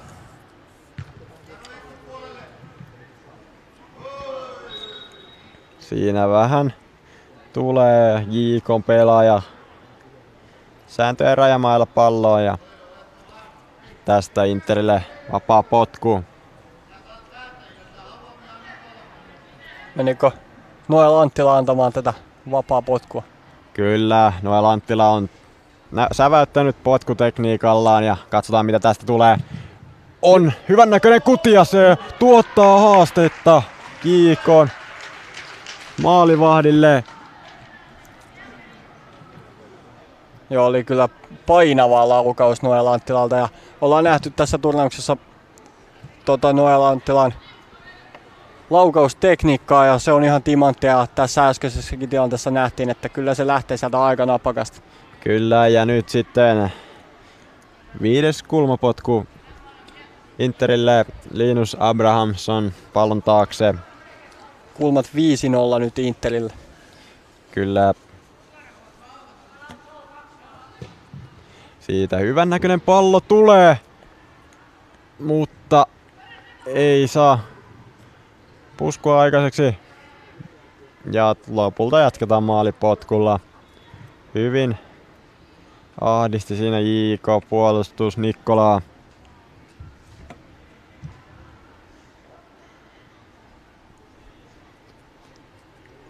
Ei ole päässyt kyllä JK ollenkaan Interin paineelta tekemään peliä, että hyvin, hyvin peittää Inter kaikki syöttösuunnat ja prässää loistavasti ylhäältä. Kyllä Samuel Kähri avaa keskustaan.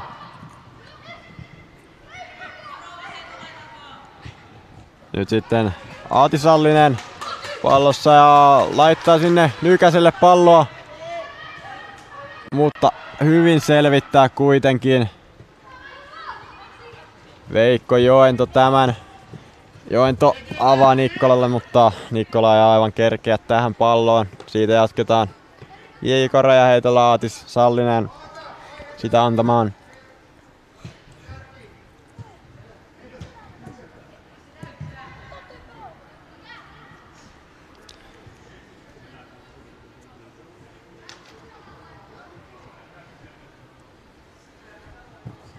Hyvin hakee Nykänen siihen jalkaan tämän heiton. Kyllä nyt on kuitenkin Lehmuskoski taas terävänä pallossa tuo keskeltä. Vaihtaa laittaa hienosti pois paineen alta. Pallo taas Rasmus Tuomelle, Rasmus Tuomi, Veikko Joento. Abrahamsonille laittaan.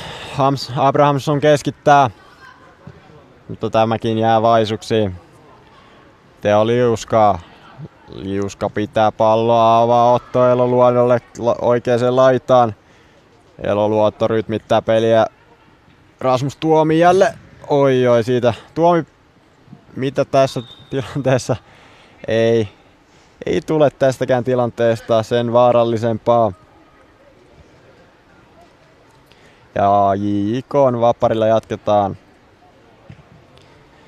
Pallo Samuel Kähärille. Kähäri avaa Veikko Ojalan laitaan. Ojala ahdistaa kuitenkin Otto Eloluoto sinne laitaan, mutta vielä pysyy pallo JKlla Kähäri kaksin kamppailussa. Lehmus koskea vastaan. Nyt saa Abrahamson vasemman vapaaksi laukoo, mutta hyvin JK. Koppari on jälleen kerran perillä.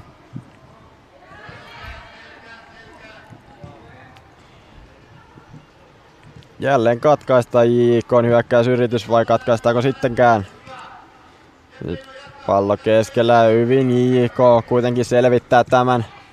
Nyt tulee sitten Nykänen, mutta jälleen pelataan pallo Mio Höglundille, joka ei kyllä hirveästi ole laukauksia saanut tässä pelissä.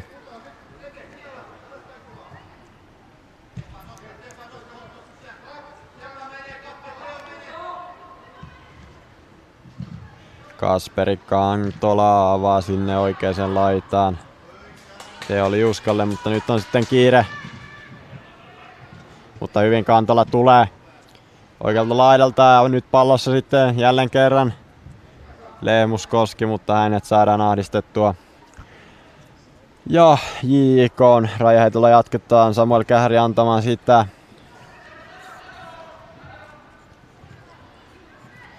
Rasmus Tuomi. Tuomi rauhoittaa peliä. Veikko Joento levittää vasempaan laitaan. Abrahamson. Nyt kuitenkin Peti Liukkonen avaa siihen. Aati Sillan päälle asti aina. Nyt tulee Aati Sillanpää.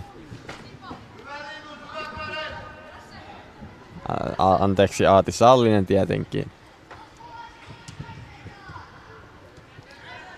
Liukkonen, kun on siirtynyt tuohon keskikentälle, niin on tuonut JJKlle jotain energiaa tuohon keskikentälle lisää, mitä on puuttunut ekalta elältä ja tokan puoliajan alusta. Kyllä juuri näin, mutta ei ole oikein JJK hyökkäyspäähän saanut maalintekopaikkoja, mutta katsotaan tuleeko tästä sitten sellainen. Hyvin taistelee siinä JJK Nykänen, mutta hyvin puolustaa myös Inter. Avaa jälleen pitkällä, sinne haetaan Otto Eloluotoa, mutta siitä rauhoittaa Veeti Liukkonen aina maalivahdille asti. Nyt on, nyt on paha paikka, mutta hyvin selvittää Mikko Nykänen.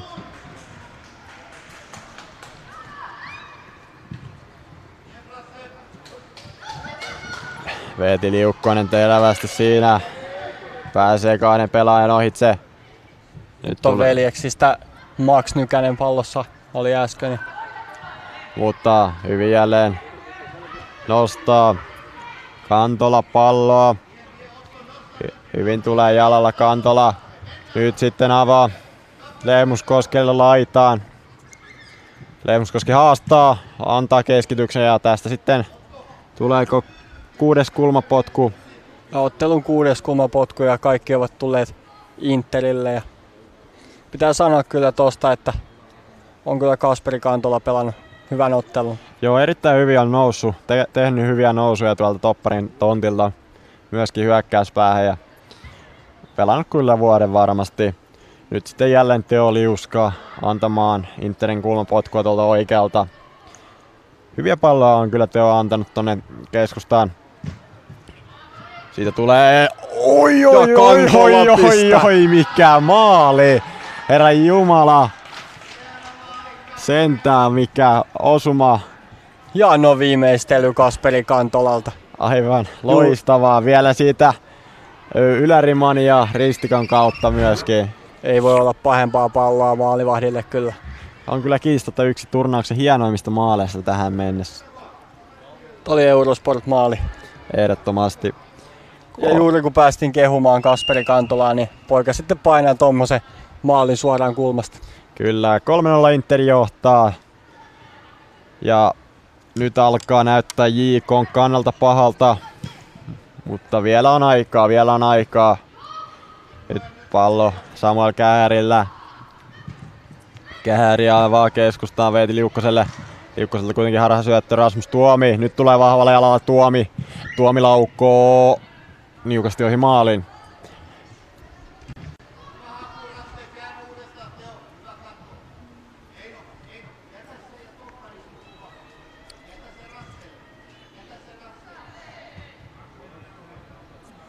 Siellä oli Noel Anttila menossa palloon.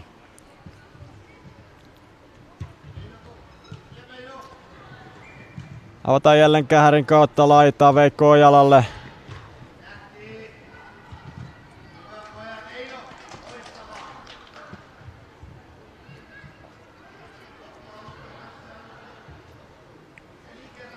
Interin rajaheitolla jatketaan sinne. Tulee, mutta hyvin purkaa kapteeni Samuel Kähäri pallon pois. Sieltä tulee taas Kantolalta ihan hyvän näköinen pallo.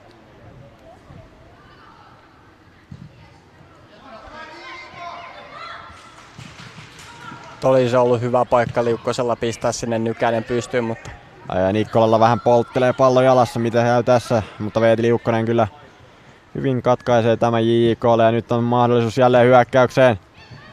Ai ai, hy- hyvä katko Teo Liuskolta oikea laitapakin paikalla. Pallo pelataan jälleen Veikko Ojalalle.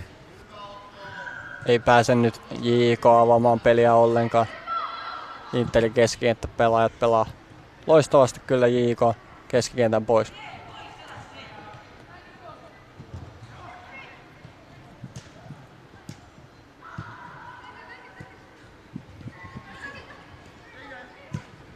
Nyt on pallossa Nikkola. Nikkola laittaa keskityspallon sinne, mutta Samuel Kähäri välissä.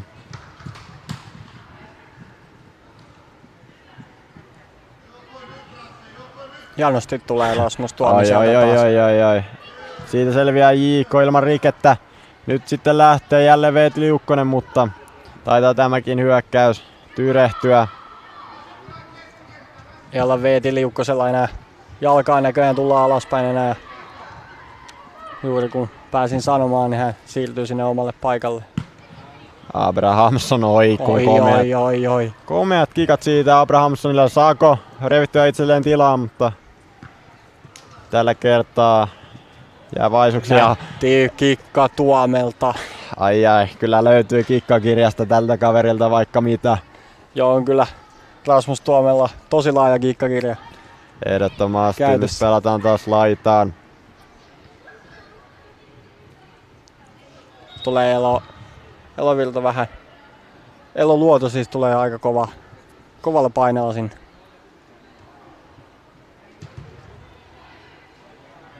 Siitä ei pääse nopeasti ama- avaamaan Samuel Kähäri palloa. Antaa vasempaan laitaan pitkän pallon suoraan Kantola jalkaan. Nyt on pallo jälleen Rasmus Tuomala, tulee sitä kahden JK-pelaajan lävitse, tulee kolmannen. Ja sitten on Lehmuskoski pallossa. Levittää laitanotto, Eloluoto. Pienet harhautukset siitä ja hieno pallo keskelle, mutta JK selvittää tämän. Ja sieltä tulee sitten Teoli Juskalta mielenkiintoinen ratkaisu. Oli niin sanotusti hehtaaripyssy, mikä sieltä lähti Liuskalta. Ja näin on peli päättynyt. Se päättyy Interin 3-0 voittoon. Aika, aika suvereeni Inter nähtiin tässäkin ottelussa. Joo, hieno, hienoja suorituksia Inter-pelaajat Rasmus Tuomi tietenkin keskikentällä.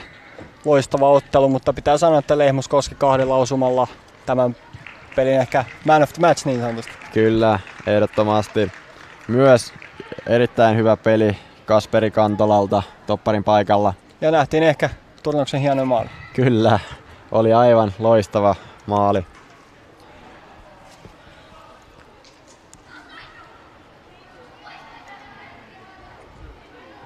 Tähän päättyy tämän toisen turnauspäivän TV-ottelut. Erittäin iso kiitos seurastanne ja tästä on hyvä jatkaa kolmatta turnauspäivää kohti. Minä olin Veli Tuokko studiossa, kanssani oli Arttu Latvaniemi. Kiitos, Hyvää kiitos. illan jatkoa. Hyvää illan jatkoa.